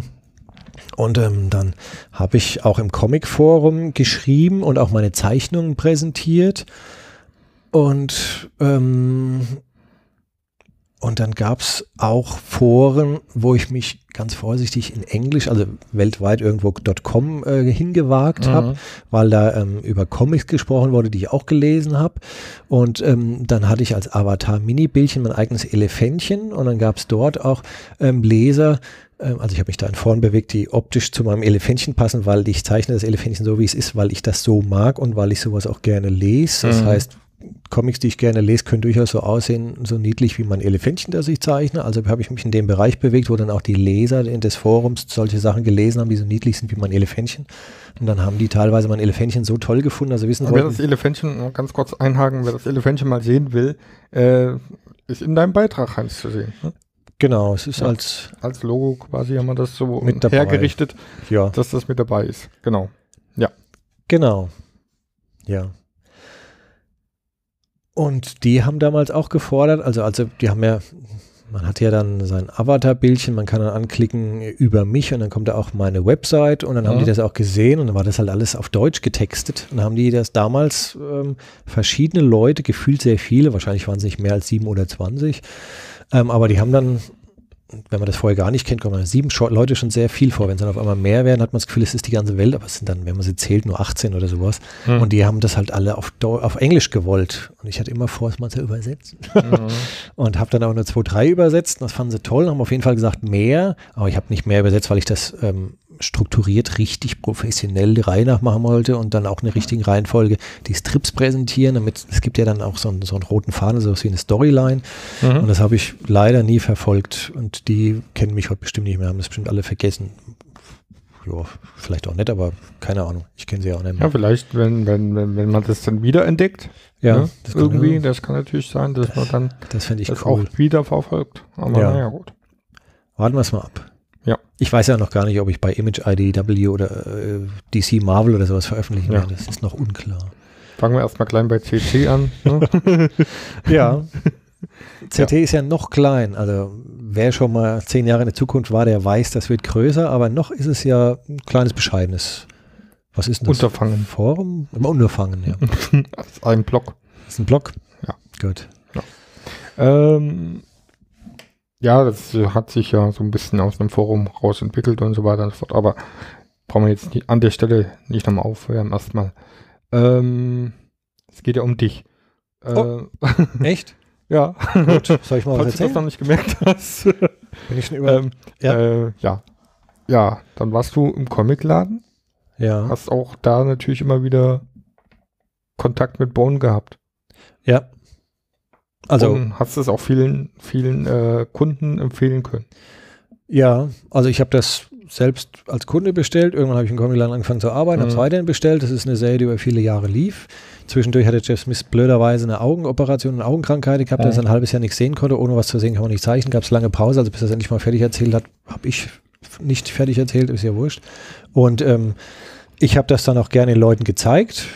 Und ich habe ja meinen ersten Beruf, den ich ähm, regelmäßig gemacht habe, wo ich regelmäßig Geld gekriegt habe, außer Zeitung austeilen, ähm, in diesem Comicladen gemacht. Da habe ich angefangen bei, ich habe von nichts eine Ahnung und ich kann nicht mal Englisch ähm, und wurde dann vielleicht im Laufe der Zeit ein bisschen besser und ähm, habe dann irgendwann rausgekriegt, es macht keinen Sinn, Zeug zu verkaufen, das ich selbst nicht kenne, wo ich selbst nicht hinterstehe. Das hat mir keiner beigebracht hier. Aber das merkt man irgendwann, dass es eine gute Idee ist, den Leuten das zu zeigen, was man mag. Also gerade als Verkäufer. Wenn du Sachen zeigst, die gut sind, weil du sie magst, dann kannst du Leute finden, die nicht denselben Geschmack haben, aber das ist gar nicht schlimm. Und du kannst Leute finden, die denselben Geschmack haben und diese pflichten dir bei, das ist gut. Und als Verkäufer passiert das toll dabei. Die kaufen es dann auch noch. Mhm. Ähm, und dann hat sich Bone bei uns in dem Laden sehr gut verkauft. Bone ist aber, ähm, weiß nicht, wie das in anderen Läden in Deutschland gewesen ist, in einem Komiker auch noch von jemandem, die haben das ja vorher schon im Komiker ähm, präsentiert, weil der Kai Steffen vom Komiker das ja auch gut fand und der hat das auch seinen Kunden gezeigt und hat es auch Mhm. sehr gut verkauft. Und irgendwann hat, ich glaube 1995 noch ein dritter Comicladen aufgemacht, das war dann der Terminal Entertainment. Mhm. Ähm, und dort gab es ja auch einen Mitarbeiter, der hat Bone auch gemocht, hat es auch seinen Kunden empfohlen. Ich weiß nicht, ob ich das irgendwann mal nachlesen konnte, ob es mir irgendjemand gesagt hat oder ob ich das nur einschätze. Ähm, ich bilde mir ein, das hätte mir dann die Elisabeth irgendwann mal gesagt. Also Frankfurt ist eine Hochburg von Bone gewesen, Okay. anhand von den US-Comic-Heftbestellungen. Mhm. Ähm, und das ist krass. Und ähm, bei anderen Comics ist mir wurscht, ob der T3, kurz für Terminal Entertainment, mehr Spawn verkauft oder der Komiker oder äh, Spider-Man oder sonst was. Aber bei Bone ähm, habe ich immer mal wieder, also es ist ja auch Geschäftsgeheimnis, ich gehe ja nicht hin und frage, wie viel Umsatz habt ihr, aber es hat mich immer interessiert, wer hat wie viel Abos, also Leute, die sich das zurücklegen lassen, weil sie es regelmäßig lesen wollen, auf jeden Fall auch abholen, wer die meisten Abos von Bone, der Komiker, der T3 oder ich. Und es war immer der Comicladen, wo ich, naja, ich habe ja auch, also ich, das ist Thema Nummer eins gewesen. Bone Mhm. ist einfach über die lange Zeit hinweg ähm, der dauerhaft sehr gut und besser werdende Comic überhaupt gewesen. Mhm. Ich habe dann Äh. doch nochmal weitere Comics gelesen, um das nochmal vom Anfang her Ja, ja, aufzugreifen. weil, also, ich wollte gerade sagen, äh, wir reden jetzt sehr spezifisch über Bone, weil das halt deine äh, Herzensangelegenheit ist, aber Genau. äh, was, was sind denn noch so Comics, damit man sich so ein bisschen einordnen kann, die du jetzt wärmstens empfohlen hast oder auch selber verfolgt hast? Ja, also manchmal habe ich gedacht, ich müsste jetzt was ähnliches wie Bone empfehlen, wenn jemand Bone gemocht hat, aber dabei sind das genauso Leser wie ich. Ähm, es gibt sehr viele Leser, die lesen nur DC, nur Marvel oder nur Superhelden. Ja. Es gibt sehr viele Leser, die lesen nur aus Frank also franco-belgische Comics Mhm. und es gibt sehr viele Leser, die lesen nur Manga und die wissen genau, das andere interessiert mich nicht, brauche ich nicht, kenne ich nicht, will ich nicht. Aber es gibt auch immer wieder zwischendrin Kunden, das sind anfangs erstmal Einzelne, aber wenn die alle zusammenzählt, sind schon sehr viele Kunden, die sind einfach offen für einfach nur gute Geschichten, für einfach nur gute Comics. Mhm. Den musst du auch, wenn die Bone gelesen haben, nicht sowas ähnliches wie Bone empfehlen, dann sagen die zum Schluss auch noch, äh, das ist ja so ähnlich wie Bone, ich wollte was anderes. Also sowas kam jetzt nicht vor, aber ähm, was sehr ähnliches wie Bone war damals The House of Klaus bei Dark Horse erschienen. Das war optisch sehr ähnlich. Der House of Klaus. ja, Okay. Sagt mir nichts, deswegen frage ich jetzt gerade so. hierzulande kennt das kein Mensch. Also hierzulande gibt es ja auch so viele Sachen, die keiner kennt, die aber, also Sachen, die hier Hm. keiner kennt, die woanders herkommen. Naja, Ja, also ich habe ähm, beruflich dann halt angefangen, den Previews durchzublättern und wenn man es beruflich macht, man möchte beruflich gut sein, da fragt man sich, ja, warum will man überhaupt gut sein? Ja. Bringt dir das irgendwas? Nee, das ging nicht um Beruf. Ich mag Comics. Ich mag Comics lesen. Ich mag natürlich neue Comics entdecken, die mir sehr gut gefallen, sonst macht das ja keinen Sinn, blöde Und du Comics zu lesen. natürlich teilen. Und teilen ist dann auch noch was. Und das hat gar nichts mit dem Beruf des Verkäufers zu tun, sondern ähm, ja, das hat meine Frau auch mitbekommen und sowas. Der Freundeskreis entwickelt sich auf einmal im Berufskreis. Das ist voll krass, weil du hast dann überhaupt keinen Feierabend mehr. Umgekehrt, du gehst natürlich in dein Hobby zur Arbeit. Also, Das ist, ja, ne, hat beides so Genau. Vor- und Nachteile. und ich habe Aber im Laufe der Zeit immer mehr wahrgenommen, dass die meisten das nicht so machen, wenn sie es beruflich machen. Es gibt auch jede Menge Verkäufer, die sagen, ich habe vor drei Jahren den Laden aufgemacht, weil ich diese Comics mag und heute kommen die scheiß Kunden mit diesem Interesse rein und davon mit habe ich, ich verkaufe halt, aber ich stehe da nicht hin, ey, was soll denn ich? So, das Mhm. gibt es ja auch und ich habe das halt, was ich verkauft habe, immer geliebt und auch, ja, wenn die moderneren Sachen reinkamen, sind auch Comics, ähm, auch Kunden, die es selbe Interesse haben wie ich, die habe ich einfach, ich sage jetzt mal, gemocht. Die, man muss die gar nicht hassen, wie manch andere Verkäufer. ja. Und ähm, ähm, ich habe den Previews dann halt Seite für Seite durchgeblättert. Das war sozusagen mein Tool, mein, mein, mein, ja, ja, ja, klar. Arbeitsbibel. meine Ähm, Arbeitsbibel. Jeden Monat. Früher war der Net 600 Seiten Dings, hat im Laufe der Jahre gegeben. Ja. Frage, die mir gerade äh, eingefallen ist, ist, hat es auch umge umgekehrt mal funktioniert, dass also du gemerkt hast, hier, der und der Comic, den du eigentlich vorher überhaupt nicht beachtet hast, wird äh, relativ häufig gekauft. Da scheint ja doch was Interessantes dabei zu sein. Den gucke ich mir jetzt mal näher an. Im Laufe der Jahre gab es ja vereinzelt immer mal wieder so einen. Das waren dann bestimmt auch irgendwann mal mehr als fünf. Da Ja. ist das auch insgesamt passiert. Aber hauptsächlich, ähm, Oder dass dir mal ein Kunde explizit was empfohlen hat, irgendwie gesagt hat, das kommt auch vor, ja. Ja. Das kommt auch vor. Also das kam vor. Mhm. Ich habe ein paar Jährchen im Comicladen gearbeitet und heute arbeite ich nicht mehr da. Die paar Jährchen sind 14 Jahre gewesen. Ja, immerhin. Ja, und ähm, oder mehr als 14, ich weiß jetzt gar nicht mehr. Also nicht mehr als 15. Und die ähm, Kunden empfehlen sich gegenseitig was, empfehlen mir was, ich empfehle den Kunden was. Dieser Austausch passiert nicht geplant, dieser Austausch passiert nicht Kalkül, sondern das passiert einfach, weil sich das Gespräch ergibt und man unterhält sich und auf einmal sagt man, ja, guck mal hier den, ja, kennst du das und das? Und schon bevor ich Verkäufer war ähm, und früher im Usenet oder im, im Internet ähm, Gleichgesinnte gesucht habe und wollte Fragen beantwortet bekommen, da war ich dann ja ähm, unterwegs und habe mich da, wo man Comic-Fragen stellen kann, hinbewegt und habe festgestellt, die Leute stellen alle Fragen, die ich beantworten kann, aber niemand kann meine Fragen beantworten. Habe ich damals auch schon Fragen beantwortet. Also anscheinend weiß ich ein bisschen was über Comics. Mhm. Und es hat sich im Comicladen, ja, ich sag mal, professionalisiert und weiterentwickelt. Ja. Ähm, hast du ja schon gesagt, du bist ja nicht mehr dabei im Comicladen, Genau. aber ähm, die Comics lassen dich trotzdem nicht los. Doch. Ich habe jetzt seit fünf Was, Jahren keinen einzigen Comic mehr Ach so. gelesen. Ich habe alle aus meinem Haus verbannt. Ach so, Dass du nee. zum Comic-Stammtisch kommst, ist auch nur noch äh, Macht der Gewohnheit dann quasi, ne? Ja, ich esse da halt was. Ich Ach so, ja, du isst da was und äh, Ihr sitzt ja immer um mich rum. Ich dachte, es wäre Zufall. wir schwallen dich zu und äh, ja. Nee, das ist, ähm, ist schon, ich lese heute auch noch Comics. ja. Überraschung. du Tja. liest heute auch noch Comics. Ich höre Ähm. die Zuhörer lachen, das haben sie jetzt nicht erwartet. Äh, hast du extra auch eine Lachpause gelassen jetzt? Ja, ja, genau. Ja. ja. Ähm, Ja. Ich habe jetzt gar keine anderen Comics empfohlen, aber muss ja nicht sein. Kannst du gerne noch machen. Noch ist Zeit. Ja, aber ich weiß ja gar nicht für wen. Also meistens habe ich das ja dann persönlich gemacht. Der steht vor mir, der hat gesagt, er mag das und das. Dann weiß ich genau, das ist die Schlussfolgerichtung hierhin. Mhm. Wenn du das magst und das magst, musst du danach das lesen. Wenn du Fässer und das gelesen hast, musst du danach. Das ist logisch für mich gewesen und für die wurde es, nachdem sie es gelesen haben, auch logisch. Das war klar. Kurzer Disclaimer: äh, Die Gattin des Befragten ist gerade hineingestürmt. Du musst nichts sagen, keine Angst. Äh, kannst du mal bitte ein Foto von uns machen? Wir machen das jetzt alles on air. Das ist, das ist, ist ja, das kann man ruhig mal. Wir bräuchten dazu aber noch diesen Bone. Weil das hat so ein bisschen Themenbezug. Welchen? Ach so, den da. den kleinen. Den musst du natürlich jetzt halten. Ja, Den kleinen, den ganz kleinen. Den kleinsten, den du hast. der ist Lebens, also der ist Life-Size. Ja, 1 genau. zu 1 soll der sein. So Oh, groß so. Phonebone ist in dieser Größe. Mach, mach ruhig den Blitz an, wenn du magst. Wenn, sonst äh, sieht man uns wieder nicht. nee, nicht mit Daumen hoch. Das Nee. macht man nicht. Cheese. Soll ich dir den Blitz? Oh, jetzt hört man dich. Nein, das macht ja nichts.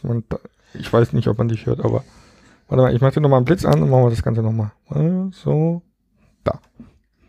Das kann ich ja dann auch rausschneiden, wenn das zu lang. So. Jetzt hat's geblitzt. Gut. Danke. Ähm, Dankeschön, genau. Oh je. Hm. Das sind ja dicke Kerle hier. Ui. Sieht das aus? Ich meine jetzt nicht den Bone. Ach so. Äh, na, passt. So, ähm, du wolltest noch andere Comics empfehlen? Du wolltest es. Nee, nee, mein Geschmack wissen die Hörer mittlerweile. Wenn ich jetzt schon wieder anfange mit Goofy und äh, Ach so. Ja. Dann steigen die mir irgendwann die Also das- Kommentarspalten. Das will ich ja nicht. Goofy ist ein sehr schöner Comic. Da geht es um einen, der Ja. der vorne lange Füße und lange Nase hat. Hinten ist eigentlich nichts lang.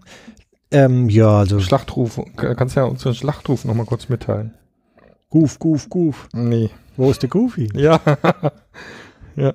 Ich, ja. Ja, der Marshall hat den auch schon mal gebracht. Äh, im, im Aber der ist eingebaut. Ich hätte es auch lieber eingebaut. Aber ist wurscht. Der hat's ja nicht. Wir haben ja jetzt nicht mehr so viel Zeit, deswegen. So. Äh, Ja, du schneidest das ja auf 20 Minuten zusammen oder ach so. so. Nee, das war ja alles interessant, was du gesagt hast. Ähm, ähm, Ja, also sehr gute Comics. Gute Comics. Gute Gute deine Comics. Lieblingscomics. Kann man das so. Nee, sag. Es gibt halt verschiedene Kategorien. Sachen, die ich im Moment am liebsten mich aufs nächste Mhm. Heft freue, Sachen, die über die Jahrzehnte Ja, immer noch mal, in meinem doch mal, Kopf sind. sag doch mal sowas, was gerade aktuell so bei dir rum. Ähm, Geistert. Also ganz aktuell ist halt, oh je, ich lese immer nur englische Comics, ich spreche die nicht aus. Ähm, Kannst dich nur blamieren. Debt Age ist das ähm, Matt Kind Comic, das aktuell ähm, Mhm. monatlich als Heftserie erscheint. Wie heißt das? Debt Age. Age. Habe ich das eben auch so gesagt? Ja, so ähnlich. Ja, da wird ist wird das da, so ausgesprochen? Kennst du das? das ist so aktuell. Ich habe es erst seit zwei Tagen und habe es davor vernünftigerweise ausgelassen, Mhm. aber ich wusste, dass es mir gefallen werden wird und habe es dann ähm, irgendwann mal doch drei Hefte auf einmal gekauft und irgendwann mal doch, also vor, vorgestern und gestern und so weiter. Und das ist so, wie ich es erwartet habe. Ähm, also ich kann Comics oft sehr gut einschätzen, dass die dann auch so sind, wie ich glaube, dass sie sind. Mhm. Und so ist es auch. Es ist der Hammer. Matt Kind ist in Amerika ein Autor, der hat irgendwann mal angefangen, irgendwie Comics zu machen, wurde von Dark Horse oder wem gebeten und hat dann die Serie fortgeführt, weil die Leser auf einmal entstanden sind, Mhm. die bei der Stange geblieben sind, die das gut fanden. Die Kritik war positiv. Der Matt Kind hat eine Erzählweise, die ist ähm, von den Kritikern hoch gelobt. Mhm. Ähm, er bringt regelmäßig die Fortsetzung und hat Ideen, die vorher ähm, so in der Form als Comic-Heftgeschichte ähm, scheinbar keiner hatte, der jemals wahrgenommen wurde. Und ähm, die Serie, die dann lange Zeit lief, war Mind Management. Und der Titel ist schon so cool, weil das abgekürzt ist, wie man Management abkürzt. Und Mhm. Mind ist eh nur äh, vier Buchstaben lang. Das passt Mhm. dann sehr gut. Und das sieht so cool aus. Äh, quasi sein Name irgendwie zusammengesetzt. Mit Kind, Mind. Das weiß ich nicht. Also das, ich glaube, deswegen ist es für mich leichter, den Namen und Ja. den Titel zu Ja, merken. Das ist eine aber das- Eselsbrücke, ne? Ja. Und ähm, der hat danach weitere Serien gemacht. Da wollte ich eigentlich einsteigen. Es ist eigentlich für mich Pflicht gewesen, aber ich habe ja auch noch diesen Vernunftspegel, der ab und zu aufschwappt über Null. Ab und an kommen da noch. Genau. Und dann habe ich mich entschieden, dass ich diese Serie nicht anfange, weil ich kann nicht alles lesen, was es auf der Welt gibt. Und stelle jetzt fest, dass es eine blöde Entscheidung war, weil ähm, Debt Age, das ist sehr gut. Also bis jetzt ist es bei Heft 7 oder 8. Ich habe mir jetzt Nicht, mal dass du das dann irgendwann wieder mal bereust, ne? wenn es nicht schon so weit ist. Ja, ich habe halt Heft 1 und 2 jetzt Ja. nicht mehr kaufen können, sondern ich habe 3, 4 und 5 gekauft. Die habe ich gelesen und sind. Gibt es das als, als gesammelte Sache dann irgendwie? Ich glaube, ein erster Sammelband ist schon äh, frisch in Amerika erschienen. Also Ja. Den Matt Kind kennt auf Deutsch leider noch gar keiner, hat auch noch keinen Verlag für sich entdeckt. Ich hoffe, dass das jemand bringt. Eigentlich hoffe ich, dass es Splitter bringt. Hallo Horst. Das ist wirklich was, das man jetzt nicht äh, zufällig entdeckt und dann wird es der Riesenhit, sondern man muss wissen, dass es gut ist und deshalb kaufen. Und da vertrauen halt viele Kunden einfach dem Splitter Verlag, dass sie gute Sachen bringen und deswegen könnte Splitter es rausbringen. Dann wissen die Leute, es sind gute Sachen, dann kaufen sie es und stellen beim Lesen fest, ja, wieder recht, es ist eine gute Sache, weil Debt Age ist sehr gut, wenn man Tiefsee-Crime mag. Tiefsee-Crime. Das klingt schon irgendwie gut. Ja. Äh, Achtung, alte, alte Stammtischfrage. Macht das der Horst? ja. Naja, gut. Vielleicht Äh, hat er schon gekauft, ich weiß es ja. noch nicht. Ich kann ja mal fragen. Horst, schreib's in die Kommentare. Genau. Oder beantworte Naja. uns die Frage einfach wenn Sie Beim der- nächsten Mal. Vielleicht genau, da was dann der- auch schon der- verraten. Der, äh, jetzt muss ich wieder überlegen, kurz, Legende dich persönlich fragt. Genau. Ja, also es hat sich richtig herausgestellt, dass, wo ich vermutet habe, dieses, dass dieser Autor Matt Mhm. Kind sehr gute Sachen schreibt, dass es einfach so ist. Der hat jetzt eine Comicserie, die heißt Ether und die schreibt er nur und ansonsten Mind Management und jetzt dieses Step Age, Mhm. das schreibt er und zeichnet er. Seine Frau koloriert jetzt die aktuelle Serie mit äh, Watercolor, Wasserfarben Mhm. und das passt sehr gut dazu. Sehr gut. Ähm, Wer nicht weiß, was, was er damit jetzt anfangen soll, Jeff Lemire ist auf Deutsch schon erschienen und wenn er so seine eigenen Sachen macht, Creator-Owned Sachen, ähm, dann hat er eine ähnliche Erzählweise, Mhm. optisch und zeichnerisch. Okay. So ähnlich ist es, nur ähm, meistens ist der Matt Kind ein bisschen mehr in ja, weniger poetisch ausschweifender Art unterwegs. Mhm. Ähm, Tiefsee viel eben. Fathom ist auch eine sehr schöne Serie. mhm. Gibt es auch schon eine Weile. Hat der Michael Turner Damals entwickelt, ja. erfunden, Ja, gezeichnet. Ähm, Ja. Der ist leider irgendwann einmal beim Skiunfall hat er sich ein Bein gebrochen, dann wurde das geröntgt, wurde festgestellt, dass da Krebs ist, dann er, Mhm. wurde festgestellt, dass er Mhm. komplett voll mit Krebs ist. Mhm. Krebs ist ja optisch dann so, dass da überall ähm, am Körper so wup, wup, wup sind. Das ist so ähnlich wie bei Witchblade, wenn die Waffe Witchblade an der Sarah Pezzini ihre Wirkung ausfahren zeigt und ja, deswegen kam er vielleicht unbewusst auf die Idee, wie die Witchblade ist. Keine Ahnung, wahrscheinlich nicht. Und ähm, der lebt leider seit 2008 nicht mehr, der ist leider an Krebs Mhm. gestorben, ähm, konnte aber sehr gut so zeichnen, dass er eine Fangemeinde aufgebaut hat, die auf ihn schwören und die Geschichte ist auch noch sehr schön. Da geht es halt auch um Abenteuer von einem Volk, das aus der Tiefsee kommt Mhm. und mit den Menschen und einer dritten Art zusammentrifft. Und ja, der Hauptcharakter ist dieser ist bei Fathom jetzt die Espin, die eine Meeresbiologin ist und äh, am Anfang der Geschichte in einer Unterwasserstation was entdeckt. Und dann geht's los. Fathom. Bauen ist sehr schön. Will sich keiner denken kann. Nach Ja. dieser Episode. Ja. Noch so ein Alltime-Favorite neben Heutzutage schon, das ist Wrestle. Und auch wenn es nicht von diesem Autor wäre, es ist gelesen und gut empfunden und vielleicht habe ich es von vornherein eh gelesen, weil von dem Autor ist und vornherein hat er von mir ein paar Pluspunkte gehabt, Ja. aber auch beim Lesen, ähm, ich bin genauso gern beigeblieben und habe gewartet, bis das nächste Heft erscheint, ähm, wie geht's weiter und nochmal das Heft gelesen, nochmal äh, von vorne gelesen und nochmal durchgelesen und Mhm. die Farbpassion ist dann gekommen, wieder rausgekommen, ist auch von Jeff Smith vom Bone-Zeichner. Mhm. Und das ist halt was komplett anderes.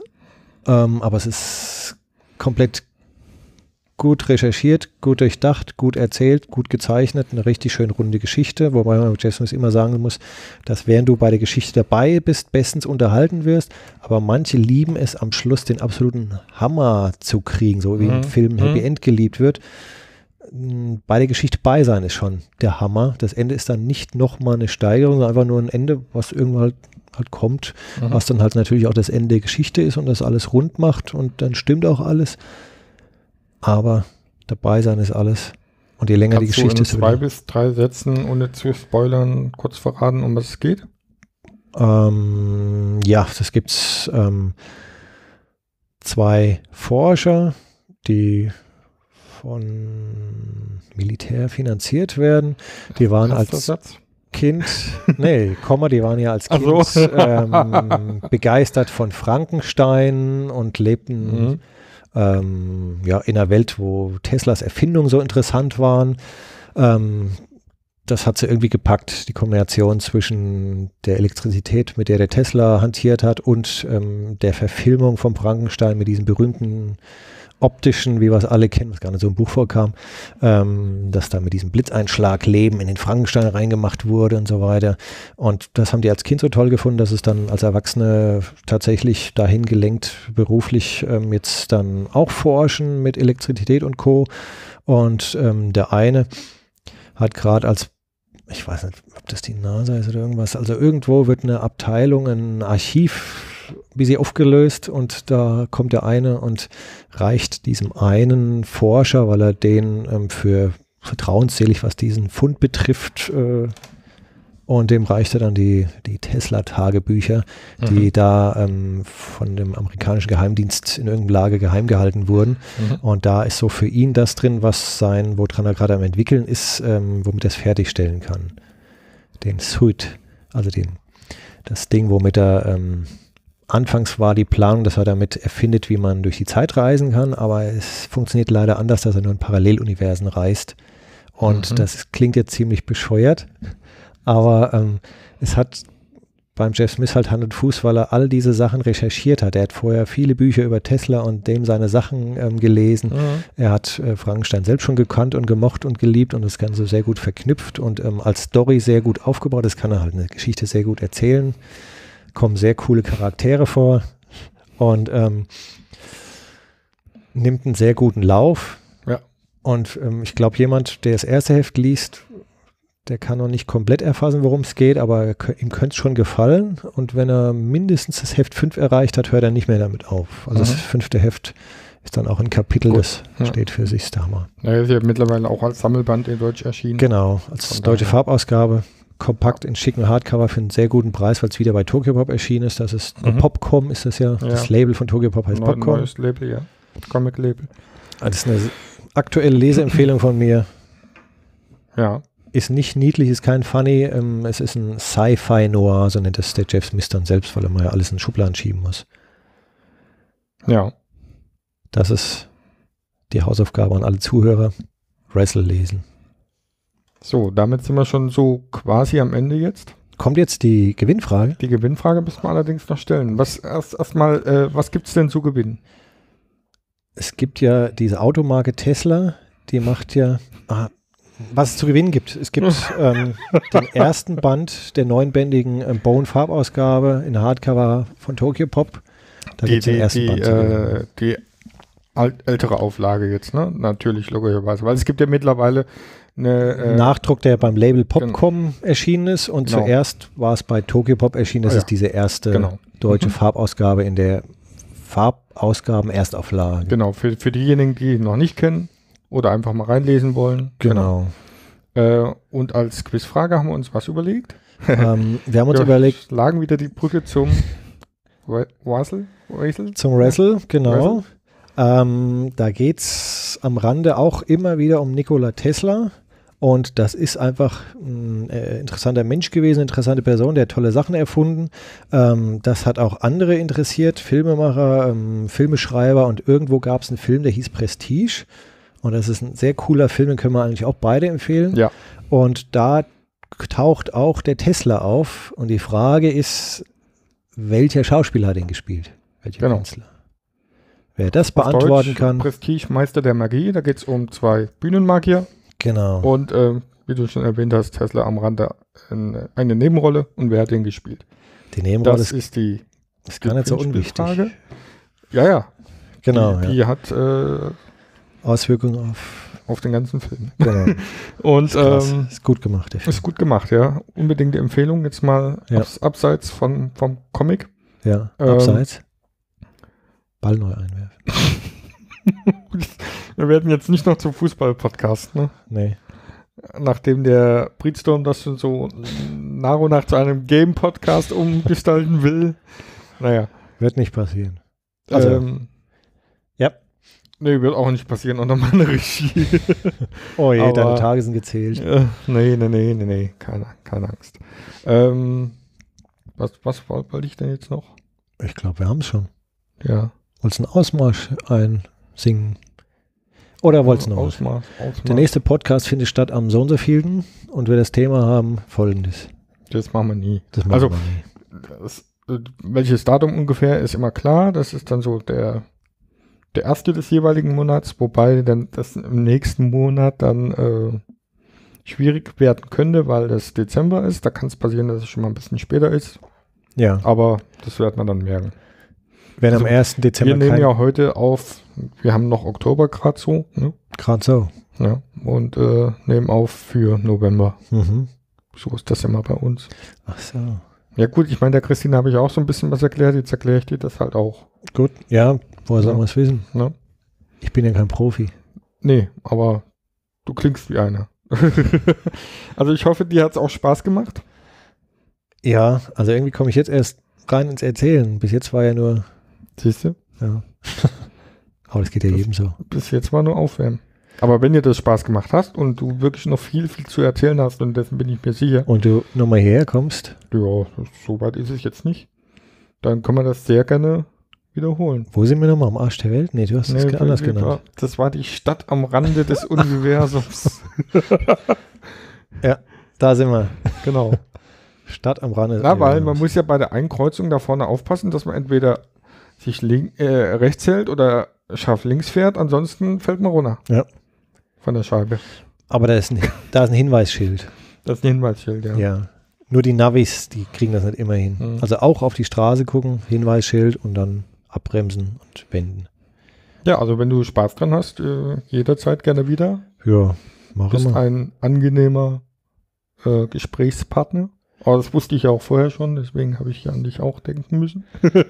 Du hast an mich denken müssen. Ja, manchmal muss ich an dich denken. Das ist das nächste Ich Mal das weiß nicht, ob Thema. das deiner Gattin so recht ist, aber Das ist das Thema vom nächsten Podcast. die lacht nur. Dann kommen auch die Liebesbriefe zum Vortragen. Also die mit jetzt Kalligrafie. So richtig, so richtig schön Cliffhanger ausdenken, damit die damit die beim nächsten Mal machst, machst, machst du richtig, also so einen richtigen Cliffhanger ausdenken, dass die Ja, also es ist ja, beim nächsten Mal, wenn die Le Leger-Legende lesen, Wieder. dass der wieder dabei ist, dass wir ihn auf jeden Ja. Fall einschalten. also es gibt zum einen ja noch tatsächlich ein paar Anekdoten, worüber die anderen immer lachen. Vielleicht Ja. möchten ja auch die Zuhörer darüber lachen, dann müssen sie beim nächsten Mal Mhm. den weiteren Anekdoten zum Leger Legende hören. In Bezug auf dein Comic-Händler. Live and Comic Life Mhm. und Wechselbeziehung und Meta-Ebenen und so. Also wenn das nicht spannend ist. Das ist absolut spannend. Ja.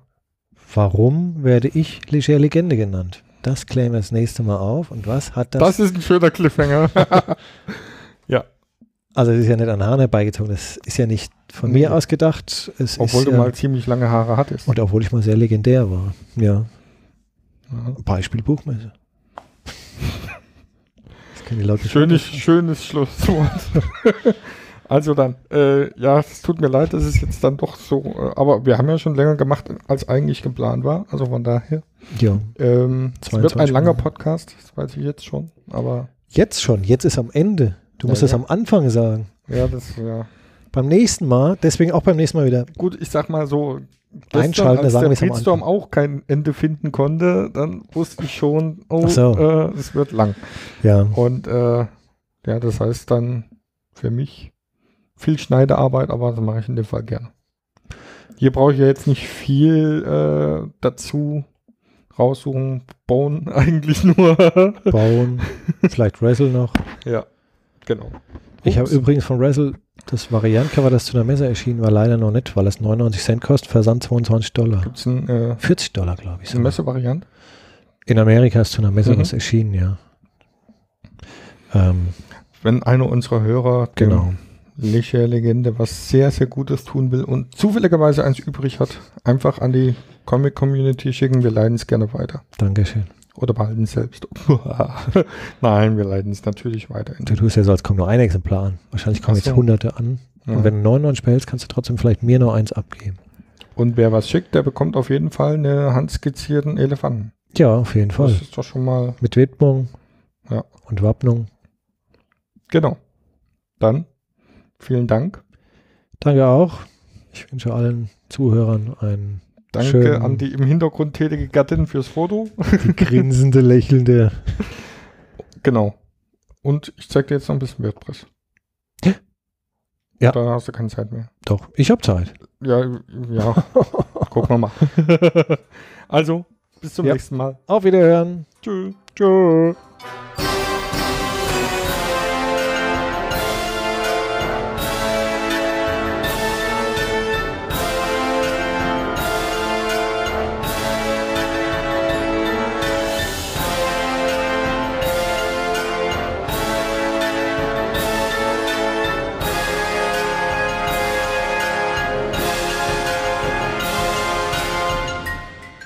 Comic Cookies sind eine Produktion der Comic Community. Schickt uns Kommentare im Blog, bei Facebook, bei Twitter oder als Audio über Audioboo. Wir freuen uns außerdem über jede Bewertung bei iTunes oder podcast.de.